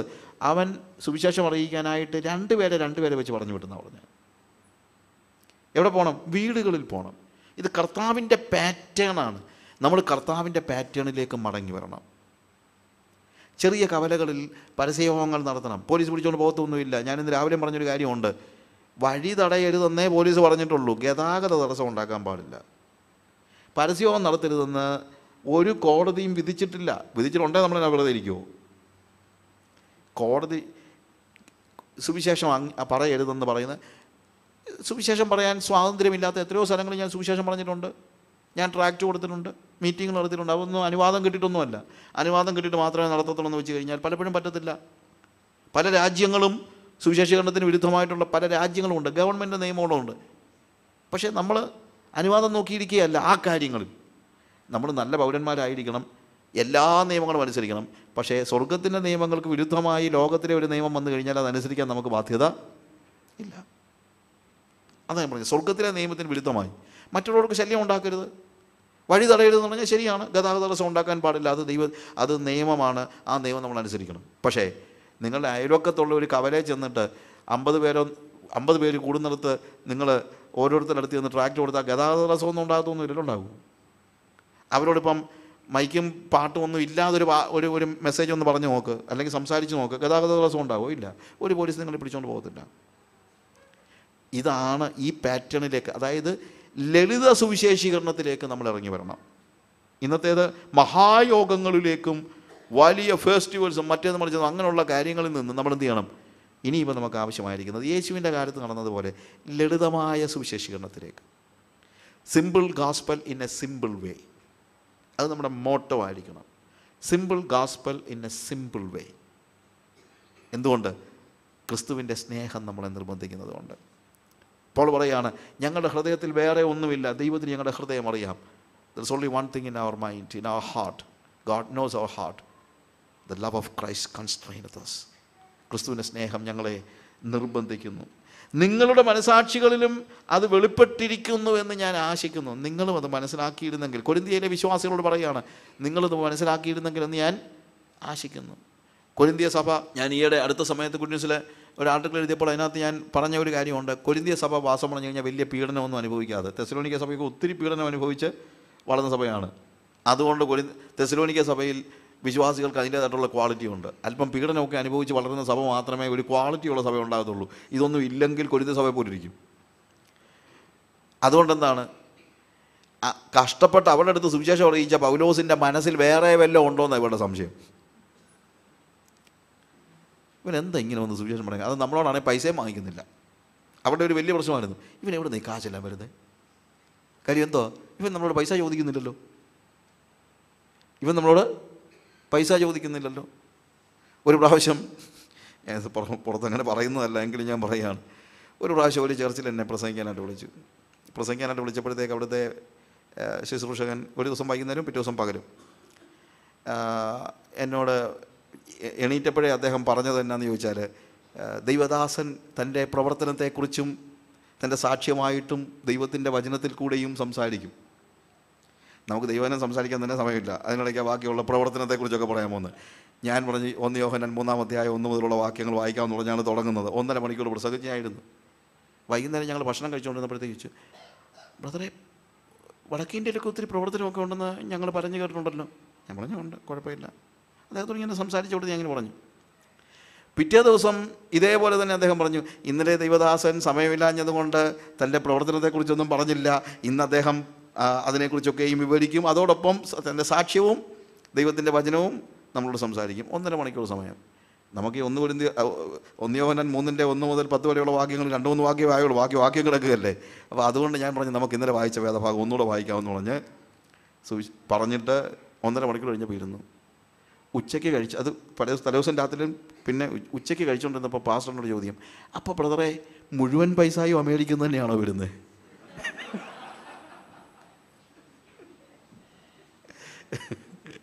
അതായത് ഞങ്ങളുടെ ഒന്നും പൈസ? ആ. ഇതാരുടെയും കുറ്റമല്ല. ഇത് പോളന് പറ്റിയ ഒരു വലിയൊരു അപകടമാണ് കൊരിന്ത്യ സഭയിൽ. കാര്യം കൊരിന്ത്യ സഭയിൽ പോൾ എന്ത് ചെയ്തില്ല? പണം ചോദിച്ചില്ല. അതുകൊണ്ട് ഇവന് എവിടുന്ന് ഈ വരവ്. ഇല്ലേ? അതുകൊണ്ട് പോൾ പറയുകയാണ് ദൈവത്തിന് ഞങ്ങളുടെ ഹൃദയം അറിയാം. അത് നിങ്ങളുടെ മനസാക്ഷിയിലും വെളിപ്പെട്ടിരിക്കും എന്ന് ഞങ്ങൾ ആശിക്കുന്നു. കാരണം പോൾ പറയാണ് there is nothing else in our heart we have no hidden agenda ഞങ്ങൾക്ക് ദ്രവ്യാഗ്രഹത്തിന്റെ ഉപായമില്ല. We have nothing else in our mind ഞങ്ങളുടെ മനസ്സിൽ മറ്റൊന്നുമില്ല. God knows our heart the love of Christ constraineth us. ഞങ്ങൾ എന്തുകൊണ്ട് ഞങ്ങളുടെ നാട് വിട്ട് വീട് വിട്ട് നിങ്ങളുടെ അടുക്കൽ വന്ന് സുവിശേഷം അറിയിക്കുന്നു? എന്തുകൊണ്ട് നിങ്ങളുടെ ഇടയിൽ ഒന്നര വർഷം പോൾ അവിടെ താമസിച്ച് സുവിശേഷം അറിയിച്ചതാണ്? കുരുന്തൽ ഒന്നര വർഷം. എന്തുകൊണ്ട് ഞാനിവിടെ താമസിച്ച് സുവിശേഷം അറിയിച്ചു? The love of Christ constraineth അത്താസ് അതുകൊണ്ട് ആരെയും കാണുന്ന ആരെയും എന്താണ് യേശുവിന് വേണ്ടി നേടുവാനായിട്ട് അവനെ പേഴ്സ്യൂ ചെയ്യാനായിട്ടുള്ള ഒരു പരിശ്രമം. ഞങ്ങൾ ദൈവത്തിന് വെളിപ്പെട്ടിരിക്കുന്നു. നിങ്ങളുടെ ഹൃദയത്തിൽ നിങ്ങളുടെ മനസാക്ഷികളിലും വെളിപ്പെട്ടിരിക്കുന്നു എന്ന് ആശിക്കുന്നു. ഞങ്ങളുടെ സുവിശേഷിക സുവിശേഷീകരണത്തിൽ ഞങ്ങളുടെ സുവിശേഷ കോഷണത്തിൽ വേറെ ലക്ഷ്യമൊന്നുമില്ല. ക്രിസ്തുവിന്റെ സ്നേഹം മാത്രമേ ഉള്ളൂ എന്ന് പോൾ ഓർപ്പിക്കുകയാണ്. രണ്ട് രണ്ട് കൊരിന്ത്യൻ അഞ്ചാം അധ്യായത്തിന്റെ പതിനാലാം വാക്യം വായിക്കുമ്പോൾ കുറേ കൂടെ രസകരമായിട്ട് അതിനകത്തുണ്ട്. ക്രിസ്തുവിന്റെ സ്നേ അഞ്ചിന്റെ പതിമൂ പതിമൂന്നാമത്തെ വാക്യത്തിൽ ഞങ്ങൾ വിവശന്മാർ എന്ന് വരികിൽ ദൈവത്തിന് എന്ന് വരികിൽ ദൈവത്തിനും സുബോധമുള്ളവർ എന്ന് വരികിൽ നിങ്ങൾക്കും ആകുന്നു. ഇപ്പോൾ പറയാണ് ഞങ്ങൾ വിവശന്മാർ എന്ന് വരികിൽ വിവശന്മാർ എന്ന് പറഞ്ഞു കഴിഞ്ഞാൽ ഭ്രാന്തന്മാർ എന്ന അർത്ഥത്തിലാണ് അവിടെ ഉപയോഗിച്ചിരിക്കുന്നത്. ഈ we are beside ourselves അതിന്റെ കാര്യം എന്നറിയാമോ പോളിനെക്കുറിച്ചും മറ്റുള്ള ആളുകളെക്കുറിച്ചും അവർ പറഞ്ഞത് ഭ്രാന്താണെന്നേ. ഞങ്ങൾ വിവശന്മാരാണെന്നല്ല പറയുന്നത് ഞങ്ങൾ വിവശന്മാർ എന്ന് വരികൾ. എന്താണ്? ഞങ്ങൾ ദൈവത്തിനാണ് വിവശന്മാർ. When we are with God we are mad കർത്താവിന്റെ കൂടെ ആയിരിക്കുമ്പോൾ ഞങ്ങൾ ഞങ്ങളുടെ ബോധമൊക്കെ അങ്ങ് മാറ്റി വെക്കുകയാണ്. പക്ഷേ നിങ്ങളുടെ അടുത്ത് വരുമ്പോൾ ഞങ്ങൾക്ക് ഭ്രാന്തൊന്നുമില്ല. നിങ്ങളുടെ അടുത്ത് വരുമ്പോൾ ഞങ്ങൾ എങ്ങനെയുള്ളവരാണ്? സുബോധത്തോടു കൂടെയും. പ്രിയമുള്ളവരെ ഇത് ഭയങ്കര അത്യാവശ്യമുള്ള കാര്യമാണ്. നമുക്ക് പലപ്പോഴും നേരെ തിരിച്ചാണ്. ദൈവത്തിന്റെ അടുത്ത് ചെല്ലുമ്പോൾ ഭയങ്കര ബുദ്ധിയും ബോധവും ഒക്കെയാണ്. മനുഷ്യന്റെ അടുത്ത് ചെല്ലുമ്പോൾ ഒരു ബോധവും ഇല്ല. എന്നാൽ പോൾ പറയുന്നു if we were beside ourselves ഞങ്ങൾ അവരോട് ഞങ്ങൾ ഞങ്ങൾ ഞങ്ങൾക്ക് ഭ്രാന്താണെങ്കിൽ അല്ലെങ്കിൽ ഞങ്ങളുടെ മനോനില തെറ്റിയവരാണെങ്കിൽ അതാണ് അവിടെ ഉപയോഗിക്കുന്ന വാക്കിന്റെ അർത്ഥം. ഞങ്ങൾ മനോനില തെറ്റിയവരാണെന്ന് നിങ്ങൾ പറയുന്നല്ലോ യെസ് ഞങ്ങളുടെ മനോനില തെറ്റിയിട്ടുണ്ട്. കാര്യം ദൈവത്തിന്റെ സന്നിധി ചെല്ലുമ്പോൾ ലോകത്തിന്റെ ബുദ്ധിയൊന്നും ഞങ്ങളുടേത് വർക്ക് ചെയ്യുന്നില്ല. ലോ ദൈവത്തിന്റെ മുമ്പിൽ ചെല്ലുമ്പോൾ എന്തില്ല? ലോകത്തിന്റെ ബുദ്ധിയൊന്നും വർക്ക് ചെയ്യുന്നില്ല. ക്രിസ്തുവിന്റെ സ്നേഹം ഞങ്ങളെ അങ്ങ് ഭ്രാന്ത് പിടിപ്പിച്ചിരിക്കുകയാണ്. അതൊരു ഒരു ഒരു മോശമായ കാര്യമല്ല. ക്രിസ്തുവിന്റെ സ്നേഹത്തിന്റെ നിർബന്ധത്താൽ ഞങ്ങൾ പല സമയത്തും ഒരു സാധാരണക്കാരൻ ചെയ്യാത്തതെല്ലാം ചെയ്തു പോകുന്നു. കാര്യം ദൈവത്തിന്റെ സന്നിധി ചെല്ലുമ്പോഴത്തേക്ക് അവന്റെ സ്നേഹത്തിൽ അങ്ങ് നിറഞ്ഞു കഴിയുമ്പോഴത്തേക്ക് ഞങ്ങൾ ഇറങ്ങി വരുമ്പോൾ നിങ്ങൾക്കിത് തോന്നുന്നതിനകത്ത് അത്ഭുതമൊന്നുമില്ല. കാര്യം ബുദ്ധിയും ബോധവും ഉള്ളവൻ ചെയ്യുന്ന കാര്യം അവനെല്ലാം ലിമിറ്റ് ചെയ്യും. ബോധമുള്ളവൻ പല കാര്യങ്ങളും ലിമിറ്റ് ചെയ്യും. എന്നാൽ സുബോധം നഷ്ടപ്പെട്ടവൻ അങ്ങനല്ല. അവന് അവൻ ലിമിറ്റൊന്നുമില്ല. അവൻ അതിന്റെ കോൺസിക്വൻസ് ഒന്നും ആലോചിക്കാതെ അല്ലേ? ഭ്രാന്തുള്ള ആളുകൾ എന്ത് ചെയ്യുന്നില്ല. കോൺസിക്വൻസ് ഒന്നും ആലോചിക്കുന്നില്ല. അപ്പോൾ ഒരു സാധാരണക്കാരൻ ചെയ്യാത്തതൊക്കെ ഞങ്ങൾ ചെയ്തു പോകുന്നു. എന്തുകൊണ്ട്? ക്രിസ്തുവിന്റെ സ്നേഹം ഞങ്ങളെ നിർബന്ധിക്കുന്നു. യേശു ക്രിസ്തുവിന്റെ സ്നേഹം ഞങ്ങളെ നിർബന്ധിക്കുന്നു. അതുകൊണ്ട് സ്വാഭാവികമായി ഒരു വ്യക്തി ചെയ്യാൻ മടിക്കുന്ന കാര്യങ്ങൾ പോലും ഞങ്ങൾ ചെയ്തു പോകുന്നു. ഇറ്റ്സ് എ ഫാക്റ്റ് പൗലോസിന്റെ യൂറോപ്യൻ യാത്രയിലാണല്ലോ ശരിക്കും പറഞ്ഞു കഴിഞ്ഞാൽ യൂറോപ്പിലെ സഭയാണ് ശരിക്കും കൊരിന്തിയ സഭ എന്ന് പറയുന്നത്. പൗലോസിന്റെ യൂറോപ്യൻ യാത്രയിലെ ഓരോ ചരിത്രവും നമ്മൾ വായിച്ചു പോകും. അപ്പസോല പ്രവൃത്തി പതിനാറാം അധ്യായത്തിൽ നമ്മൾ വായിക്കുകയല്ല. പക്ഷേ നിങ്ങൾ അതിനെക്കുറിച്ച് ഒരു നല്ല ബോധ്യം ഉണ്ടായിരിക്കണം. പൗലോസിന്റെ സുവിശേഷ യാത്രയിൽ ആദ്യം ഏഷ്യ മൈനറിലാണ് പൗലോസ് ഫസ്റ്റ് ടൈം ബർണവാസിനോട് കൂടെ സുവിശേഷ പ്രവർത്തനം നടത്തുന്നത്. അതിനുശേഷം അന്ത്യോക്കയിൽ തിരിച്ചു വന്നു. And also they had some problem from the Jerusalem church ജെറുസലേമിലെ സഭയിലെ പല ആളുകളും ഈ കാര്യത്തെ അക്സെപ്റ്റ് ചെയ്തില്ല. അക്സെപ്റ്റ് ചെയ്തവരുണ്ട്. അതിനുശേഷം അവർ വീണ്ടും എങ്ങോട്ട് പോകുന്നു? യൂറോപ്പിലേക്ക് പോകാനായിട്ട്. അതായത് ആസിയയിൽ വചനം പ്രസംഗിക്കരുതെന്ന് പരിശുദ്ധാത്മാവ് വിലക്കുകയാൽ മാസിഡോണിയൻ ദർശനം ലഭിച്ചതുകൊണ്ട് മാസിഡോണിയ എന്ന് പറയുമ്പോഴത്തേക്ക് ഇറ്റ് ഈസ് യൂറോപ്പ് മാസിഡോണിയൻ ദർശനം കിട്ടിയത് കൊണ്ടാണ് അവരെന്ത് ചെയ്യുന്നത്? അവരുടെ അല്ലെങ്കിൽ അവർക്ക് നേരെ എവിടെ പോകാനായിരുന്നു ആഗ്രഹം? ഈവൻ ഭരണവാസിനോട് സംസാരിക്കുമ്പോൾ പറയുന്നത് നമ്മൾ സഹോദരന്മാരെ ഒക്കെ ചെന്ന് നമ്മൾ മുഖേന കർത്താവിനെ അംഗീകരിച്ച ആളുകളെയൊക്കെ ഉണ്ടല്ലോ അവരെ ഒന്നുകൂടെ കണ്ടൊന്ന് ഉറപ്പിച്ചേച്ച് വരാമെന്നൊക്കെ പറഞ്ഞുകൊണ്ടിരുന്നതാണ്. പക്ഷേ ദൈവത്തിന്റെ പരിശുദ്ധാത്മാവ് അവരെ വിലക്കി അവർ പറഞ്ഞു അവിടെയല്ല ഇനിയിപ്പോൾ നിങ്ങൾ പോകേണ്ടത്. എവിടെയാണ് പോകേണ്ടത്? ഏഷ്യയിലല്ല ഇനിയിപ്പോൾ നിങ്ങളുടെ സുവിശേഷ പ്രവർത്തനം ആഗ്ര ആവശ്യമായിരിക്കുന്നത് മാസിലോണിയിലാണ്. ഞങ്ങളെ കടന്നു വന്ന് സഹായിക്കുക എന്നുള്ള ഒരു മാസിലോണിയൻ കാൾ മക്കതോന്യക്കാരനായ ഒരു വ്യക്തി അവരുടെ മുമ്പിൽ വന്ന് നിൽക്കുന്ന ദർശനം അവർക്ക് ലഭിച്ചതുകൊണ്ട് അവർ മാസലോണിയയിലേക്ക് പോവുകയാണ്. മാസലോണിയൻ അല്ലെങ്കിൽ യൂറോപ്പിലേക്ക് പ്രവേശിക്കുമ്പോൾ ആദ്യം അവർ ചെന്നു ചേരുന്ന സ്ഥലം എന്ന് പറയുന്നത് ഫിലിപ്പിയ ഫിലിപ്പിയാണ് ഫിലിപ്പി. അപ്പോൾ സർവ പതിനാറാം അധ്യായത്തിന്റെ ആറാം വാക്യത്തിലാണ് ആശയ ആശയ ദൈവജനം പ്രസംഗിക്കരുതെന്ന് വിലക്കുണ്ടാകുന്നത്. അതിനുശേഷം മക്കതോന്യക്കാരനായ ഒൻപതാം വാക്യത്തിൽ അവിടെ ദർശനമുണ്ടാകുന്നു. പതിനൊന്നാം വാക്യത്തിൽ നേരെ ത്രോവാസിൽ നിന്ന് അവർ കപ്പൽ നീക്കി ഒടുവിൽ അവർ ഫിലിപ്പിയിൽ ചെന്നു. ഫിലിപ്പിയിൽ വെച്ചാണ് ആര് രക്ഷിക്കപ്പെടുന്നത്? ഫിലിപ്പിയിലെ ആദ്യത്തെ യൂറോപ്പിലെ ആദ്യത്തെ മിഷനറി യൂറോപ്പിലെ ആദ്യത്തെ കൺവേർട്ട് എന്ന് പറയുന്ന ആദ്യത്തെ ക്രിസ്ത്യാനി എന്ന് പറയുന്ന ആരാണെന്ന് അറിയാമോ? ലുദിയ. ലുദിയ എന്ന രക്താംബരം വിൽക്കുന്നവളായ സ്ത്രീ. പക്ഷേ അതത്ര ഈസി ആയിട്ടുള്ള കാര്യമായിരുന്നില്ല. അതിനുശേഷം നമ്മൾ കാണുന്നത് ഫിലിപ്പിയിൽ വെച്ച് വെളിച്ചപ്പാടത്തിക്കാരി സ്ത്രീ അവളുടെ ഭൂതം വിട്ടുപോയപ്പോഴത്തേക്ക് അത് അവരുടെ എന്താണ് അവരുടെ അവരുടെ നോർമൽ വരുമാനത്തിന് നഷ്ടമുണ്ടായി എന്ന് കണ്ടപ്പോൾ യേശു പ്രവർത്തിക്കാൻ തുടങ്ങിയാൽ വരുമാനം കൂടിയൊന്നുമല്ല. വരുമാനത്തിന് നഷ്ടം ഉണ്ടാകുന്നത് കേട്ടോ. വരുമാനത്തിന് നഷ്ടം ഉണ്ടായി കഴിഞ്ഞപ്പോഴത്തേക്ക് അവരെന്ത് ചെയ്തു?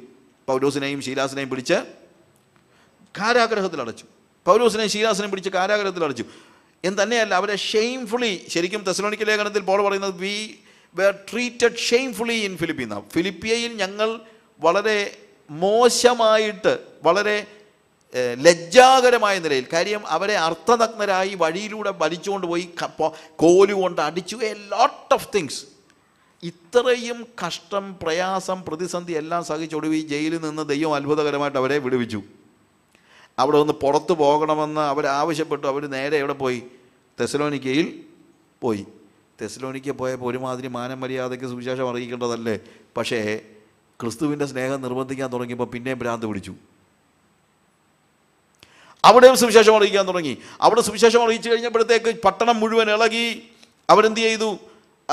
യാസോന്റെ ഭവനത്തിലായിരുന്നു. യാസോനെയും കൂട്ടരെയും അവർ പിടിച്ചുകൊണ്ട് പോയി. പൗലോസിനെ ഒരു രീതിയിൽ രക്ഷപ്പെടുത്തി. ബെരോവയിലെത്തി. ബെരോവയിലെങ്കിലും വെറുതെ ഇരിക്കണ്ടേ? ബെരോവയിലും സുവിശേഷം അറിയിക്കുകയാണ്. കാര്യം ക്രിസ്തുവിന്റെ സ്നേഹം ഞങ്ങളെ നിർബന്ധിക്കുന്നു. സി ക്രിസ്തുവിന്റെ സ്നേഹം നമ്മളെ നിർബന്ധിക്കുന്നു. അതിനുശേഷം അവിടെ നിന്ന് നേരെ അഥേനയിലേക്ക് പോകുന്നു. എ ലോട്ട് ഓഫ് അങ്ങനെ ഏറ്റവും ഒടുവിൽ അവിടെ ഇവിടെ വന്ന്? കൊരുന്തിൽ വരികയാണ്. എന്നാൽ നാട്ടുകാരെല്ലാം ഇവനോട് ചോദിക്കുന്നൊരു ചോദ്യമുണ്ട്. ഇതിന്റെ പ്രാന്താണോ നിനക്ക്? ഇത്രയും അടി കിട്ടിയിട്ടും മതിയായില്ലേ? ഫിലിപ്പിയിലെ കാരാഗ്രഹത്തിൽ ഇത്രയും അടി കിട്ടിയിട്ടും ചിലപ്പോൾ ആളുകൾ ചോദിക്കും പൗലോസെ നീ തെസലോനിക്ക് വരുമ്പോഴെങ്കിലും അല്പം കൂടെ ബുദ്ധിപൂർവം പ്രവർത്തിക്കേണ്ടതല്ലേ? ഈ ആളുകളൊക്കെ പലപ്പോഴും ചോദിക്കുന്നതാണ് അല്ലേ? സുവിശേഷീകരണത്തിൽ വളരെ മുന്നേറുന്നതായ ജനങ്ങളോട് ആളുകൾ ചോദിക്കുന്നൊരു ചോദ്യമാണ് ബുദ്ധിപൂർവം പ്രവർത്തിക്കേണ്ടതല്ലേ? പ്രിയമുള്ളവരെ മിഷണറിമാരൊക്കെ ബുദ്ധിപൂർവം പ്രവർത്തിച്ചായിരുന്നെങ്കിൽ നമ്മൾ ഉൾപ്പെടെ ആരും ക്രിസ്ത്യാനികളാകത്തില്ലായിരുന്നു. നിങ്ങളത് മറന്നു പോകരുത്. മിഷണറിമാരൊക്കെ ബുദ്ധിപൂർവം പ്രവർത്തിച്ചായിരുന്നെങ്കിൽ നമ്മൾ ഉൾപ്പെടെ ആരും ക്രിസ്ത്യാനികളാകത്തില്ലായിരുന്നു. നമ്മൾ ഉൾപ്പെടെയുള്ളവർ കർത്താവിനെ അറിയത്തില്ലായിരുന്നു. ദൈവത്തിന്റെ സന്നിധിയിലേക്ക് അവർ കടന്നു ചെന്ന് ബുദ്ധിഹീനരെ പോലെ they were beyond themselves and they were constrained by the the the love of Jesus Christ and that's the reason why they were coming to us and share gospel Paul തെസലോണിക്കയിൽ വന്നപ്പോൾ ചിലപ്പോൾ ആളുകൾ ചോദിക്കുന്ന ഒരു തെസലോണിക്ക സംഭവിച്ച ഒരു വലിയൊരു പ്രോബ്ലം ഉണ്ടെന്ന് ചോദിച്ചു കഴിഞ്ഞാൽ തെസലോണിക്കയിൽ പോളിനല്ല തല്ല് കൊള്ളുന്നത്. ആരാണ്? പോളിനെ വീട്ടിൽ സ്വീകരിച്ചതായ യാസോൻ ജെയ്സൺ. ജെയ്സൺ ആണ് ശരിക്കും എല്ലാ കാര്യങ്ങളും അനുഭവിക്കുന്നത്. അപ്പോൾ ആളുകൾ ചോദിക്കാനുള്ള സാധ്യതയുള്ള ചോദ്യമുണ്ട്. എടാ കൂടെ നിൽക്കുന്നവരുടെ കാര്യമെങ്കിലും നീ നോക്കണ്ടായോ? നിനക്കോ വട്ട് പിടിച്ചു. എന്നാൽ പിന്നെ ഈ കൂടെ നിൽക്കുന്നവരെ പോലെ കൂടെയെങ്കിലും അവന്മാരെ കൂടി ഇത്രയും ഉപദ്രവിക്കേണ്ട കാര്യമുണ്ടോ? കൂടെ നിൽക്കുന്നവരുടെ കാര്യമെങ്കിലും നോക്കണ്ടേ? പക്ഷേ കൂടെ നിൽക്കുന്നവരുടെ കാര്യം നോക്കാനും അതുകൊണ്ടാണ് പോൾ പറയുന്നത് ഞങ്ങൾ പല സമയത്തും എന്താണ് അസാധാരണമായ കാര്യങ്ങൾ ചെയ്യേണ്ടി വരുന്നു. കാരണം ക്രിസ്തുവിന്റെ സ്നേഹം ഞങ്ങളെ നിർബന്ധിക്കുന്നതുകൊണ്ട് കൂടെ നിൽക്കുന്നവരുടെ സുരക്ഷ പോലും ഞങ്ങൾക്ക് നോക്കാനായിട്ട് കഴിയുന്നില്ല. ബരോവയിലെങ്കിലും അടങ്ങിയിരിക്കണ്ടേ? ഇല്ല. ബരോവയിലും ക്രിസ്തുവിന്റെ സ്നേഹം ഞങ്ങളെ നിർബന്ധിക്കുന്നു. ക്രിസ്തുവിന്റെ സ്നേഹം നമ്മൾ ഞങ്ങളെ നിർബന്ധിക്കുന്നു. ഞാൻ പറഞ്ഞല്ലോ ലോകത്തിലെ ഏത് മിഷനറി ചരിത്രം വായിച്ചാലും നമുക്കറിയാം അവരൊക്കെ ഭ്രാന്ത് പിടിച്ചതുപോലെ പോയവരാണ്. ഭ്രാന്ത് പിടിച്ചതുപോലെ. ഡോൺ റിച്ചാർഡ്സൺ എന്ന് പറയുന്ന ദൈവദാസൻ ആയിരത്തി തൊള്ളായിരത്തി അറുപത്തി രണ്ടിൽ സ്പാനിഷ് ന്യൂഗിനിയയിൽ ഓസ്ട്രേലിയൻ ഐലൻഡ്സിൽ അവർ സുവിശേഷം അറിയിക്കാൻ പോകുന്നത്. ഇറ്റ്സ് എ വണ്ടർഫുൾ തിങ് ശരിക്കും പറഞ്ഞു കഴിഞ്ഞാൽ അവർ നമുക്കൊരിക്കലും കാണാൻ സ്വപ്നം കാണാൻ വയ്യാത്ത രീതിയിലാണ്. ഫസ്റ്റ് ടൈമാണ് അവർ പുറത്തു നിന്നുള്ള ആളുകളെ കാണുന്നത്. അവർ സ്ട്രഗിൾ ചെയ്ത കാര്യങ്ങൾക്ക് കണക്കും കഴിയില്ല എന്ത് വിശ്വസിച്ചാണ് പോകുന്നത്? അവർ നരഭോജികളാണ്. നരഭോജികളായ ആളുകളുടെ മധ്യത്തിലേക്ക് അവർ ചെല്ലുന്നത്. എന്ന് തന്നെയല്ല അവരൊരാളെ കൊല്ലുന്നത് എങ്ങനെയാണെന്ന് ചോദിച്ചു കഴിഞ്ഞാൽ ഭയങ്കര രസകരമായ കാര്യമാണ്. അവരൊരാളെ കൊല്ലണമെങ്കിൽ ചുമ്മാ അങ്ങ് ചെന്ന് കൊല്ലുകയല്ല അവനെ കൂട്ടുപിടിച്ച് നല്ല സന്തോഷിച്ചിരിക്കുമ്പോഴേ കൊല്ലത്തുള്ളൂ. അന്നേരമാണ് കൂടുതൽ ടേസ്റ്റ് എന്ന് അവർ പറയുന്നത്. ഐ എം നോട്ട് ജോക്കിംഗ് ഇതൊന്നും പണ്ട് അഞ്ഞൂറ് കൊല്ലം മുമ്പ് നടന്ന കാര്യമല്ല. ആയിരത്തി തൊള്ളായിരത്തി അറുപത്തി രണ്ടിലാണ് ഡോൺ റിച്ചാർഡ്സൺ പാപ്പ് സ്പാനിഷ് ന്യൂഗിനിയയിലെ ഓസ്ട്രേലിയയുടെ സബ ആണ് സ്പാനിഷ് ന്യൂഗിനിയയിലെ ജനങ്ങളുടെ ഇടയിലേക്ക് സുവിശേഷം അറിയിക്കാനായിട്ട് പോകുന്നത്. അന്ന് അവിടെ സ്റ്റോൺ ഏജ് ആണ്. സ്റ്റോൺ ഏജ അന്ന് അവരൊരു തീപ്പെട്ടി കണ്ടിട്ടില്ല. അവരൊരു കത്തി കണ്ടിട്ടില്ല. ഇരുമ്പ് അവർ കണ്ടിട്ടില്ല. കല്ലുകൊണ്ട് മരം മുറിച്ചുകൊണ്ടിരുന്ന ആളുകളാണ് നയന്റീൻ സിക്സ്റ്റി ടൂവിൽ ആ ജനങ്ങളുടെ മധ്യത്തിലേക്ക് കാനിബൽസിന്റെ മധ്യത്തിലേക്ക് നരഭോജികളുടെ മധ്യത്തിലേക്ക് ഈ ഡോൺ റിച്ചാർഡ്സൺ കയറി ചെന്നത് പ്രാന്തെന്നല്ലാതെ ആരെങ്കിലും പറയുമോ? എന്ത് വിശ്വസിച്ചാ പോയത്? ഒറ്റ ഉത്തരമേ ഉള്ളൂ. ക്രിസ്തുവിന്റെ സ്നേഹം ഞങ്ങളെ നിർബന്ധിക്കുന്നു. പ്രിയമുള്ളവരെ സുവിശേഷം അറിയിക്കുമ്പോൾ നമ്മുടെ മനസ്സിൽ മറ്റൊന്നുമില്ല ചിന്ത ചിന്തയിൽ മറ്റൊന്നുമില്ല. അവരെങ്ങനെയും കർത്താവിനെ അറിയണം. ഇതല്ലാതെ വേറെ ഒരു കാര്യങ്ങളുമില്ല. ക്രിസ്തുവിന്റെ സ്നേഹം എന്നെ ഭ്രാന്ത് പിടിപ്പിക്കുകയാണ്. വേറെ ഒന്നും എനിക്ക് ആലോചിക്കാൻ കഴിയുന്നില്ല. ഞാൻ അതിനെക്കുറിച്ച് ചിന്തിക്കുന്നില്ല. ഒരുപക്ഷെ എന്റെ സ്വന്തക്കാരുടെ കാര്യം പോലും ആലോചിക്കുന്നില്ല. ജിമ്മലിയട്ട് ഔക്ക ജാതിക്കാരുടെ ഇടയിൽ വറോണി എന്നാണ് അവരുടെ ഔക്ക എന്ന് അവരെ വിളിക്കുന്ന പേരാണ്. ശരിക്കും പറഞ്ഞാൽ വറോണി എന്ന് പറയുന്ന ഒരു ട്രൈബാണ് ആ ട്രൈബിൽ വറോണി എന്ന് പറയുന്ന ട്രൈബിന്റെ ഇടയിലേക്ക് സുവിശേഷം അറിയിക്കാൻ പോകുമ്പോൾ ജിമ്മലിയട്ടിന്റെ കുഞ്ഞിന്റെ പ്രായം രണ്ട് വയസ്സ് വലേറി. ജിമിലിറ്റിന്റെ വൈഫ് എലിസബത്ത്. ആ നരഭോജികളുടെ മധ്യത്തിലേക്ക് ജിമ്മലിയറ്റും വേറെ നാല് പേരും കൂടെ സുവിശേഷം അറിയിക്കാൻ പോയപ്പോൾ ആളുകൾ അവനോട് ചോദിക്കാൻ സാധ്യതയുള്ള ചോദ്യമുണ്ട്. നിന്റെ ഭാര്യയുടെയും കുഞ്ഞിന്റെയും കാര്യമെങ്കിലും ഒന്ന് തിരക്കണ്ടേ? വേണമെങ്കിൽ നമ്മൾ വേദപുസ്തക വാക്യങ്ങളെയൊക്കെ വളരെ മോശമായിട്ട് ഉപയോഗിക്കും. വേദപുസ്തക വാക്യങ്ങൾ ഇങ്ങനെയുള്ള കാര്യങ്ങളിൽ എടുത്തുപയോഗിക്കാൻ ഭയങ്കര മിടുക്ക് പല ആളുകളും കാണിക്കാറുണ്ട്. തനിക്കും തന്റെ സ്വന്തം കുടുംബത്തിനും വേണ്ടി കരുതാത്തവൻ അവിശ്വാസിയേക്കാൾ അധവനായിരിക്കുന്നു തെസ്ലോനിക്ക് ഒന്ന് ഒന്ന് തിമത്യോസിന്റെ ലേഖനത്തിൽ അഞ്ചാം അധ്യായത്തിന്റെ എട്ടാം വാക്യത്തിൽ വേദസ് തന്നെ പറഞ്ഞിട്ടുണ്ട് ബ്രദറെ. തനിക്കും സ്വന്തം കുടുംബത്തിനും വേണ്ടി കരുതാത്തവൻ. ആ ബ്രദർ ഇങ്ങനെ എല്ലാം കൂടി ഇട്ടെറിഞ്ഞ് വെച്ച് പോയി കഴിഞ്ഞാൽ എങ്ങനെയാണ്? വേദവസം പഠിക്കണം എന്നൊക്കെ പറയാൻ ആൾക്കാരുണ്ട്. പറഞ്ഞിട്ടുണ്ട്. അതുകൊണ്ടാണ് ഞാൻ പറഞ്ഞത്. പറയാൻ ആൾക്കാരുണ്ടെന്നല്ല അങ്ങനെയൊക്കെ എന്നോടും പറഞ്ഞിട്ടുണ്ട്. എന്താ വാക്യത്തിന്റെ അർത്ഥം? എക്സ്പ്ലെയിൻ ചെയ്യാൻ ഓരോന്ന് പറഞ്ഞാൽ നിങ്ങൾക്ക് മനസ്സിലാകും പക്ഷേ ഒരു കാര്യം ഞാൻ പറയാം. അവിടെ പറയുന്നത് വിധവമാരെ സംരക്ഷിക്കുന്ന കാര്യത്തെക്കുറിച്ചുള്ള വേദഭാഗത്താണ് ഇത് പറഞ്ഞിരിക്കുന്നത്. പോൾ പറയുന്നത് എല്ലാ വിധവമാരെയും നമ്മുടെ സഭയിൽ സംരക്ഷിക്കത്തക്ക രീതിയിലുള്ള സാഹചര്യം സഭയ്ക്ക് ഇല്ല. അതുകൊണ്ട് സാക്ഷാൽ വിധവമാരായ വിധവമാരെ വേണം നമ്മൾ സംരക്ഷിക്കാൻ. എന്താ ഈ സാക്ഷാൽ വിധവ എന്ന് പറഞ്ഞു കഴിഞ്ഞാൽ? സാക്ഷാൽ വിധവയും ഏകാകിയുമായവൾ നിങ്ങളെ വേദഭാഗം പോയി വായിച്ചാൽ മനസ്സിലാകും. അതായത് അവരെ നോക്കാൻ വേറെ ആരും ഇല്ല. എന്റെ when I was a young young boy എനിക്ക് പതിനഞ്ച് വയസ്സുള്ളപ്പോൾ എന്റെ ഫാദർ മരിച്ചതാണ് അതിനുശേഷം എന്റെ അമ്മ ശരിക്കും പറഞ്ഞാൽ ആരാണ്? വിധവയാണ്. ഞാനെങ്ങാണം അവരെ വിധവ ഫണ്ടിൽ നിന്ന് പൈസ വാങ്ങിപ്പിച്ച എന്തൊരു കഷ്ടമായി. എനിക്കൊരു പത്ത് വിധവകളെ നോക്കാനുള്ള സമ്പത്തെങ്കിലും അന്ന് എനിക്കുണ്ട്. പിന്നെ ഞാനെന്തിനാണ് ഇവർക്ക് വിധവാ ഫണ്ടിൽ നിന്ന് പണം വാങ്ങിക്കുന്ന സഭയിൽ നിന്ന് വിധവാ ഫണ്ടിൽ നിന്ന് എന്റെ അമ്മയ്ക്ക് വേണ്ടി പണം വാങ്ങിച്ചു കഴിഞ്ഞാൽ എന്നെ എന്നാ പറയേണ്ടത്? വിശ്വാസിയേക്കാൾ അധവൻ കാര്യം തൻ വല്ല വിധവയ്ക്കും പുത്രപൗത്രന്മാരുണ്ടെങ്കിൽ ആ പുത്രപൗത്രന്മാർ അവരുടെ ഭവനത്തിൽ അവരുടെ മാതാപിതാക്കളെ ശുശ്രൂഷിച്ചുകൊണ്ട് അല്ലെങ്കിൽ വല്യമ്മച്ചിയെ ശുശ്രൂഷിച്ചുകൊണ്ട് എന്ത് ചെയ്യണം? മറ്റുള്ളവർക്ക് മാതൃക കാണിക്കണം.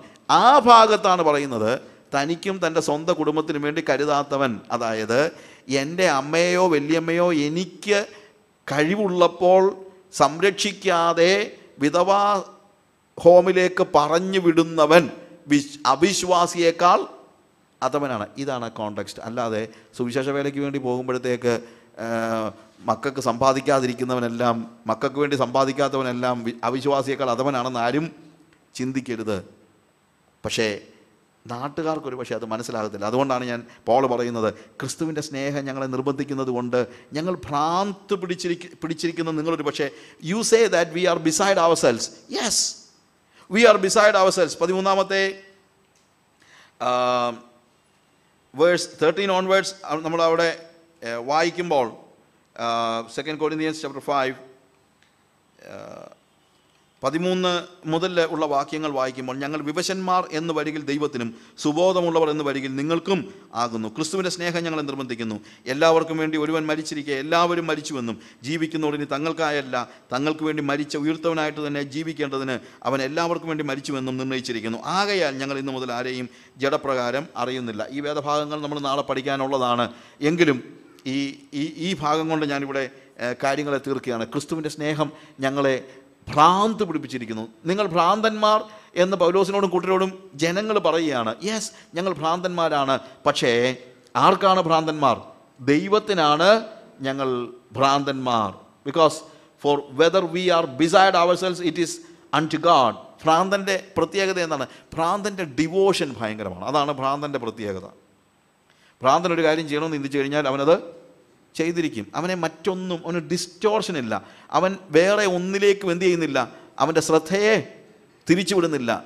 അവന്റെ ശ്രദ്ധ അവൻ ചെയ്യാനായിട്ട് അവന് അവന് അവന് നല്ലത് അവന് ബോധ്യമുള്ള കാര്യം ചെയ്യാൻ അവൻ ഭയങ്കര ഡിവോട്ടഡ് ആയിരിക്കും എന്നുള്ളതാണ്. അതുകൊണ്ട് പോൾ പറയാണ് ഞങ്ങൾ ദൈവത്തിന്റെ അടുത്ത് ചെല്ലുമ്പോൾ ഞങ്ങൾ മറ്റൊന്നും ആലോചിക്കുന്നില്ല. ഒന്നും ഞങ്ങളെ പിന്തിരിപ്പിക്കുന്നില്ല. ഞങ്ങളുടെ devotion we are beside ourselves we are not thinking about anything else വേറെ എന്തെങ്കിലും കാര്യങ്ങൾ ഞങ്ങളുടെ മനസ്സിലില്ല.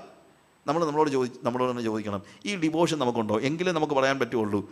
When we are with God we are beside ourselves ഇതൊരു നല്ല സ്റ്റേജാണ്. നമ്മൾ കർത്താവിന്റെ സന്നിധി ചെല്ലുമ്പോൾ കർത്താവിന്റെ വചനം കേൾക്കുമ്പോൾ കർത്താവ് നമ്മളോട് സംസാരിക്കുമ്പോൾ കർത്താവ് നമ്മളോട് എന്തെങ്കിലും കാര്യങ്ങൾ കൽപ്പിക്കുമ്പോൾ വേറെ ഒന്നും ചിന്തിക്കാതെ അതിനോട് ഡിവോട്ടഡ് ആയിട്ട് അത് നിർവഹിക്കാൻ നമ്മൾ തീരുമാനമെടുക്കുമോ?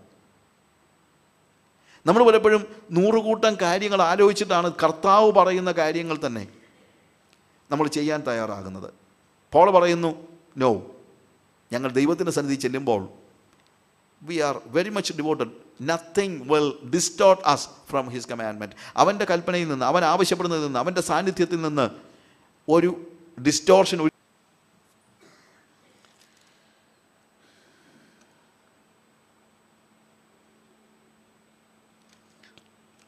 ദൈവത്തിന്റെ സന്നിധിയിൽ എന്താണ്? ഡിവോട്ടഡാണ് അത് എല്ലാ രീതിയിലും. It is not just vote എന്താണ്? സുവിശേഷം അറിയിക്കുന്ന കാര്യം മാത്രമല്ല. When you are in the presence of God we need to see that we are devoted we are not distorted ഇല്ലേ? ദൈവത്തിന് മുമ്പിൽ സമനില തെറ്റിയ തെറ്റിയവനെ പോലെ. ചിലപ്പം ദാവീദിന്റെ ചരിത്രമൊക്കെ നമ്മൾ വായിക്കുമ്പോൾ പറയുമല്ലോ. When he was in the presence of God നമ്മൾ ഈവൻ വി ഹാവ് ഹേർഡ് നമ്മൾ ആ പാട്ടും കേട്ടിട്ടുണ്ട്. എന്താണ്? When the spirit of the Lord is in my heart I will dance like David danced. When the Spirit of the Lord is in my heart, I will dance like David danced. I will dance, I will dance, I will dance like David danced. ദാവീദ് dance ചെയ്തതുപോലെ ഞാൻ dance ചെയ്യും കാര്യം ദാവീദിന്റെ ശരിക്കും പറഞ്ഞു കഴിഞ്ഞാൽ എന്താണ് മനോനില തെറ്റിയവനെ പോലെയാണ് അവൻ ദൈവത്തിന്റെ സന്നിധിയിൽ നിൽക്കുന്നത് കാരണം ദൈവം അവനോട് എന്ത് പറഞ്ഞാലും ചെയ്യത്തക്ക രീതിയിൽ. ദൈവം അവന് ദൈവം ഒരു വലിയൊരു യാഥാർത്ഥ്യമാണ്. എന്നാൽ ഞങ്ങൾ നിങ്ങളുടെ മുമ്പിൽ വരുമ്പോൾ ഞങ്ങൾ മനോനില തെറ്റിയവരല്ല. ഞങ്ങൾക്ക് നല്ല സുബോധമുണ്ട്. കാരണം ഞങ്ങൾക്കറിയാം നിങ്ങൾ ആരാണെന്നറിയാം എന്താണെന്നറിയാം എന്താകേണ്ടവരാണെന്നറിയാം. ആളുകളെ കാണുമ്പോൾ മനോനിലയൊന്നും തെറ്റുന്നില്ല. നമ്മൾ മനസ്സിലാക്കുന്ന അവരാരാണെന്ന്. അവരെക്കുറിച്ച് ഉള്ള അല്ലെങ്കിൽ അവരുടെ പ്രത്യേകത അവരെങ്ങോട്ട് യാത്ര ചെയ്യുന്നു എന്നുള്ളത് അവരെവിടേക്ക് പോകുന്നു എന്നുള്ളത് അവർ they are heading towards when we see people we know what is their destiny നമ്മൾ മനുഷ്യനെ കാണുമ്പോൾ നല്ല ബോധമുള്ളവരായിരിക്കണം. എന്ത്? അവരുടെ ഡെസ്റ്റിനി എന്താണെന്നുള്ളതിനെക്കുറിച്ചുള്ള നല്ല ബോധ്യമുണ്ടായിരിക്കണം. അവരേത് ഏ- അവരുടെ നിത്യത അവരെ അതുകൊണ്ടാണ് അതാണ് സുവിശേഷം അറിയിക്കാൻ. ഞങ്ങൾ നിങ്ങളുടെ മുമ്പിൽ വരുമ്പോൾ ബോധമില്ലാത്തവരല്ല. ദൈവത്തിന്റെ മുമ്പിൽ ഞങ്ങൾ മനോനില തെറ്റിയവരാണ് അവൻ കൽപ്പിക്കുന്ന എന്തും ഞങ്ങൾ ചെയ്തു കളയും. പക്ഷേ കാര്യം ക്രിസ്തുവിന്റെ സ്നേഹം ഞങ്ങൾ എന്ത് ചെയ്തിരിക്കുകയാണ്? ഭ്രാന്ത് പിടിപ്പിച്ചിരിക്കുകയാണ്. പക്ഷേ ഭ്രാന്തന്മാരായിട്ടല്ല ഞങ്ങൾ നിങ്ങളുടെ അടുത്ത് വരുന്നത്. എങ്ങനെയാണ് വരുന്നത്? നല്ല സുബോധത്തോടെ. ദൈവത്തിന്റെ സന്നിധി ഞങ്ങൾ മനോനില തെറ്റിയവരാണ് നിങ്ങളുടെ അടുത്ത് വരുമ്പോൾ ഞങ്ങൾക്കറിയാം നിങ്ങൾ ആരാണെന്നുള്ളത്. ഞങ്ങൾക്കറിയാം നിങ്ങളുടെ അവസ്ഥ എന്താണെന്നുള്ളത്. ഞങ്ങൾക്കറിയാം നിങ്ങൾ നരകത്തിലേക്ക് ത്വരിതഗമനം നടത്തുക. ഞങ്ങൾക്കറിയാം നിങ്ങളുടെ വീടിന് തീ പിടിച്ചിരിക്കുകയാണെന്നുള്ളത്. ഞങ്ങൾക്കറിയാം നിങ്ങൾക്ക് യേശുവിനെ ആവശ്യമുണ്ടെന്നുള്ളത്. ഞങ്ങൾക്കറിയാം നിങ്ങൾ ഒരിക്കൽ ദൈവത്തിന്റെ ന്യായാസനത്തിന് മുമ്പിൽ നിൽക്കേണ്ടവരാണെന്നുള്ളത്. ഞങ്ങൾക്ക് നല്ല ബോധമുണ്ട്. ഈ ബോധം നമുക്കുണ്ടോ? വെൻ യു സീ അതേഴ്സ് മറ്റുള്ളവരെ കാണുമ്പോൾ നമ്മുടെ അയൽക്കാരെ കാണുമ്പോൾ നമ്മുടെ സഹോദരങ്ങളെ കാണുമ്പോൾ അവരുടെ ഡെസ്റ്റിനിയെക്കുറിച്ചുള്ള നല്ല ഒരു ബോധ്യം നമുക്കുണ്ടോ? സുബോധമുള്ളവൻ ഉത്തരവാദിത്വമുണ്ട്. സുബോധമില്ലാത്തതിന് എന്തില്ല? ഉത്തരവാദിത്വമില്ല. മനുഷ്യരെ കാണുമ്പോൾ ഉത്തരവാദിത്വം വേണം. ക്രിസ്തുവിന്റെ സ്നേഹം എന്നെ നിർബന്ധിക്കണം. എന്റെ ദൈവമേ I know who he is and where he is heading towards എനിക്കറിയാം ഈ വ്യക്തി കർത്താവിനെ അംഗീകരിച്ച ആളല്ലല്ലോ കർത്താവേ. ഇവൻ എങ്ങോട്ടാണ് പോകുന്നതെന്ന് എനിക്ക് മനസ്സിലാകുന്നു. ഈസ് ഗോയിങ് ടു ഹെൽ അപ്പോഴാണ് ക്രിസ്തുവിന്റെ സ്നേഹം. ദൈവത്തിന്റെ സന്നിധിയിലെ ഈ മനോനില തെറ്റിയപ്പോൾ നമുക്കുണ്ടായ ആ ദൈവത്തിന്റെ മനോനില തെറ്റിയപ്പോൾ ഞാൻ ഉദ്ദേശിക്കുന്നത് എന്റെ ബോധമൊക്കെ കളഞ്ഞിട്ട് ഞാൻ ദൈവത്തിന്റെ സന്നിധി നിന്ന് പ്രാപിച്ച ആ വലിയ സ്നേഹമുണ്ടല്ലോ. അതിപ്പോഴാണ് പ്രാക്ടീസ് ചെയ്യാൻ പറ്റുന്നത്. എന്ത്? ആ ക്രിസ്തുവിന്റെ സ്നേഹം എന്നെ ഭ്രാന്ത് പിടിപ്പിച്ച ക്രിസ്തുവിന്റെ സ്നേഹം ബോധത്തോടുകൂടെ ഞാൻ മറ്റൊരാളിലേക്ക് ഒഴുക്കി കൊടുക്കുകയാണ്. ദൈവത്തിന്റെ സന്നിധി ചെന്നപ്പോൾ എന്റെ ബോധമെല്ലാം മാറി അവന്റെ സ്നേഹം എന്നെ അങ്ങ് മത്ത് പിടിപ്പിച്ചു. പക്ഷേ ഇപ്പോഴതല്ല ഇത് മറ്റൊരാളിലേക്ക് ഞാൻ പകർന്നു. അവനെ കാണുമ്പോഴത്തേക്ക് ക്രിസ്തുവിന്റെ സ്നേഹം എന്നെ നിർബന്ധിക്കുന്നു. സുബോധത്തിന്റെ സുബോധത്തിൽ വരുമ്പോൾ എന്റെ ചിന്തയ്ക്ക് ചൂട് പിടിക്കുകയാണ്. സുബോധത്തിൽ വരുമ്പോഴത്തേക്ക് താഴോട്ടുള്ള വാക്കുകൾ നമ്മൾ നാളെ പഠിക്കാനായിട്ട് പരിശ്രമിക്കാം. കാര്യം അത് വളരെ പ്രാധാന്യം അർഹിക്കുന്നതായ ഒരു കാര്യമാണ്. എന്നാൽ ഇന്ന് രാത്രിയിലെ എന്റെ ചോദ്യം ഇതാണ്. നമ്മൾ ജനങ്ങളെ കാണുമ്പോൾ ബോധമുള്ളവരാണോ? ബോധമുള്ളവരാണെങ്കിൽ ഉത്തരവാദിത്തമുള്ളവരായിരിക്കും. എന്താണ് ബോധം? ആ ബോധം എന്ന് പറയുന്നത് ലോകത്തിന്റെ ബോധമല്ല റെവലേഷനാണ്. ഞങ്ങൾ നിങ്ങളുടെ അടുത്ത് വരുമ്പോൾ ഞങ്ങൾ മനോനില തെറ്റിയവരല്ല സുബോധമുള്ളവരാണ്. ഞങ്ങൾ റെവലേഷൻ ഉള്ളവരാണ് ഞങ്ങൾ വെളിപ്പാടുള്ളവരാണ്. എന്താണ് ഞങ്ങളുടെ വെളിപ്പാട്? ഏത് മനുഷ്യനും ഒരു ദിവസം അവനവൻ ചെയ്തിരിക്കുന്നത് ശരീരത്തിൽ ചെയ്തിരിക്കുന്നത് നല്ലതാകലും തീയതാകലും അതിന് തക്കവണ്ണം പ്രാപിക്കേണ്ടതിന് ഏത് മനുഷ്യനും ദൈവത്തിന്റെ ന്യായാസനത്തിന് മുമ്പാകെ നിൽക്കേണ്ടതാകുന്നു. കർത്താവ് എന്നെ കണ്ട് ഭൂമിയിലേക്ക് ഇറങ്ങി വന്ന് കാൽവടി ക്രൂശിൽ എനിക്ക് വേണ്ടി മരിച്ചു. അതവന്റെ സ്നേഹത്തിന്റെ പ്രദർശനമാണ്. പക്ഷേ ഈ സ്നേഹത്തിന്റെ പ്രദർശനം ഒരു യാഥാർത്ഥ്യമായിരിക്കുമ്പോൾ തന്നെ അവന്റെ നീതിയുടെ ന്യായവിധിയുടെ പ്രദർശനം വരാനിരിക്കുന്നതേ ഉള്ളൂ. അത് ഞങ്ങളെ കർത്താവിനെ ഭയപ്പെടണമെന്ന് പഠിപ്പിക്കുന്നു. അതറിഞ്ഞിട്ട് ഞങ്ങൾ നിങ്ങളെ പേഴ്സ്യൂ ചെയ്യുന്നു. ജനങ്ങളുടെ മധ്യത്തിലേക്ക് നമ്മൾ ഇറങ്ങിച്ചെല്ലുകയാണ്. ബോധത്തോടുകൂടി ഇറങ്ങിച്ചെല്ലുകയാണ്. കാര്യം അവരുടെ ഭാവി എന്താണെന്നുള്ളത് നമുക്കറിയാം. ക്രിസ്തുവിന്റെ സ്നേഹം നമ്മളെ മത്ത് പിടിപ്പിക്കുന്നു. ഒരു പക്ഷേ നമ്മുടെ പ്രതി അവരുടെ പ്രതികരണം നല്ലതായിരിക്കത്തില്ല. നിക്കി ക്രൂസിന്റെ പ്രതികരണം നല്ലതായിരുന്നില്ല. ആദ്യം ചെകിട്ട് തെറിച്ചു രണ്ടാമത് കൈകളിൽ തുപ്പി മൂന്നാമത് സ്വിച്ച് ബ്ലേഡ് വെച്ച് അവനെ മുറിക്കാൻ നോക്കി.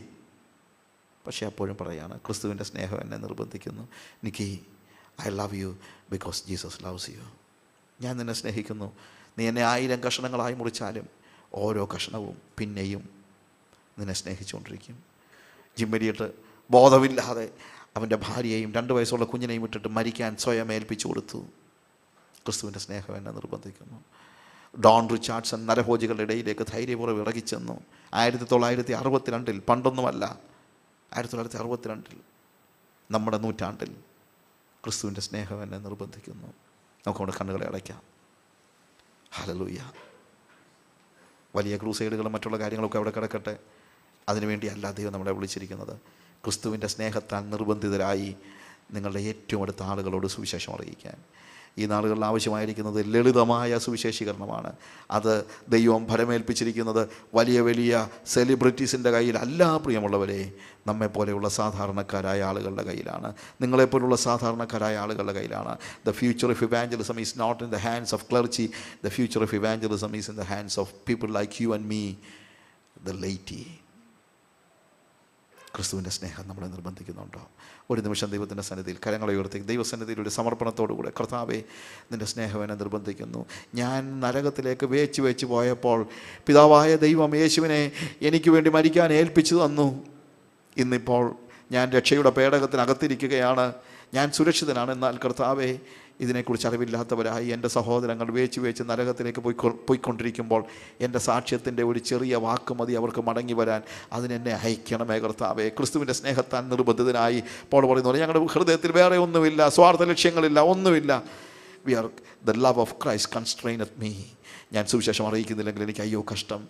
നിർബന്ധം എന്റെ മേൽ കിടക്കുന്നു. യേശുവിന്റെ സ്നേഹത്തിന്റെ നിർബന്ധം എന്റെ മേൽ കിടക്കുന്നു. എത്ര പേര് ദൈവസന്നിധിയിൽ ഒരു പ്രാവശ്യം കൂടെ ഒച്ചത്തിൽ പറയും കർത്താവ് നിന്റെ സ്നേഹത്താൽ നിർബന്ധിതനായി എന്റെ അയൽക്കാരുടെ അടുത്ത് എന്റെ സ്നേഹിതന്റെ അടുത്ത് കർത്താവ് എന്റെ ചുറ്റുമുള്ള സ്ഥലങ്ങളിലൊക്കെയും സുവിശേഷത്തിന്റെ സാക്ഷ്യം വഹിക്കുവാൻ ലളിത സുവിശേഷീകരണം. കർത്താവ് വലിയ വലിയ കാര്യങ്ങളൊന്നുമല്ല.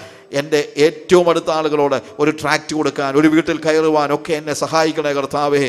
ക്രിസ്തുവിന്റെ സ്നേഹത്താൽ നിർബന്ധിതനായി. ഓ വലിയ എന്റെ ഹൃദയത്തിന്റെ ഉള്ളിൽ ഉടക്കി വലിക്കുന്ന ഒരു ഭാരത്തോടുകൂടെ അവരെ കാണുമ്പോൾ സുബോധമുള്ളവരായി അവരുടെ നിലയെക്കുറിച്ചുള്ള ബോധ്യത്തോടുകൂടെ അവർ നരകത്തിലേക്ക് ത്വരിതഗമനം നടത്തുകയാണെന്നുള്ള തിരിച്ചറിവോടുകൂടെ സുബോധത്തോടുകൂടെ ഉത്തരവാദിത്വത്തോടുകൂടെ സുവിശേഷം അറിയിക്കാൻ എന്നെ സഹായിക്കണമേ കർത്താവേ. എന്റെ ഹൃദയത്തിന്റെ ഉള്ളിലെ എല്ലാ കാപട്യങ്ങളെയും മാറ്റി എന്റെ ഹൃദയത്തിന്റെ ഉള്ളിലെ എല്ലാ സ്വാർത്ഥതയെയും മാറ്റി മറ്റുള്ളവരെ നിങ്ങളിലേക്ക് നയിക്കുവാനുള്ള വലിയ അഭിവാഞ്ചിയോടുകൂടെ ജീവിപ്പാൻ എന്നെ നീ സഹായിക്കണമേ. യേശുവിന്റെ നാമത്തിൽ തന്നെ.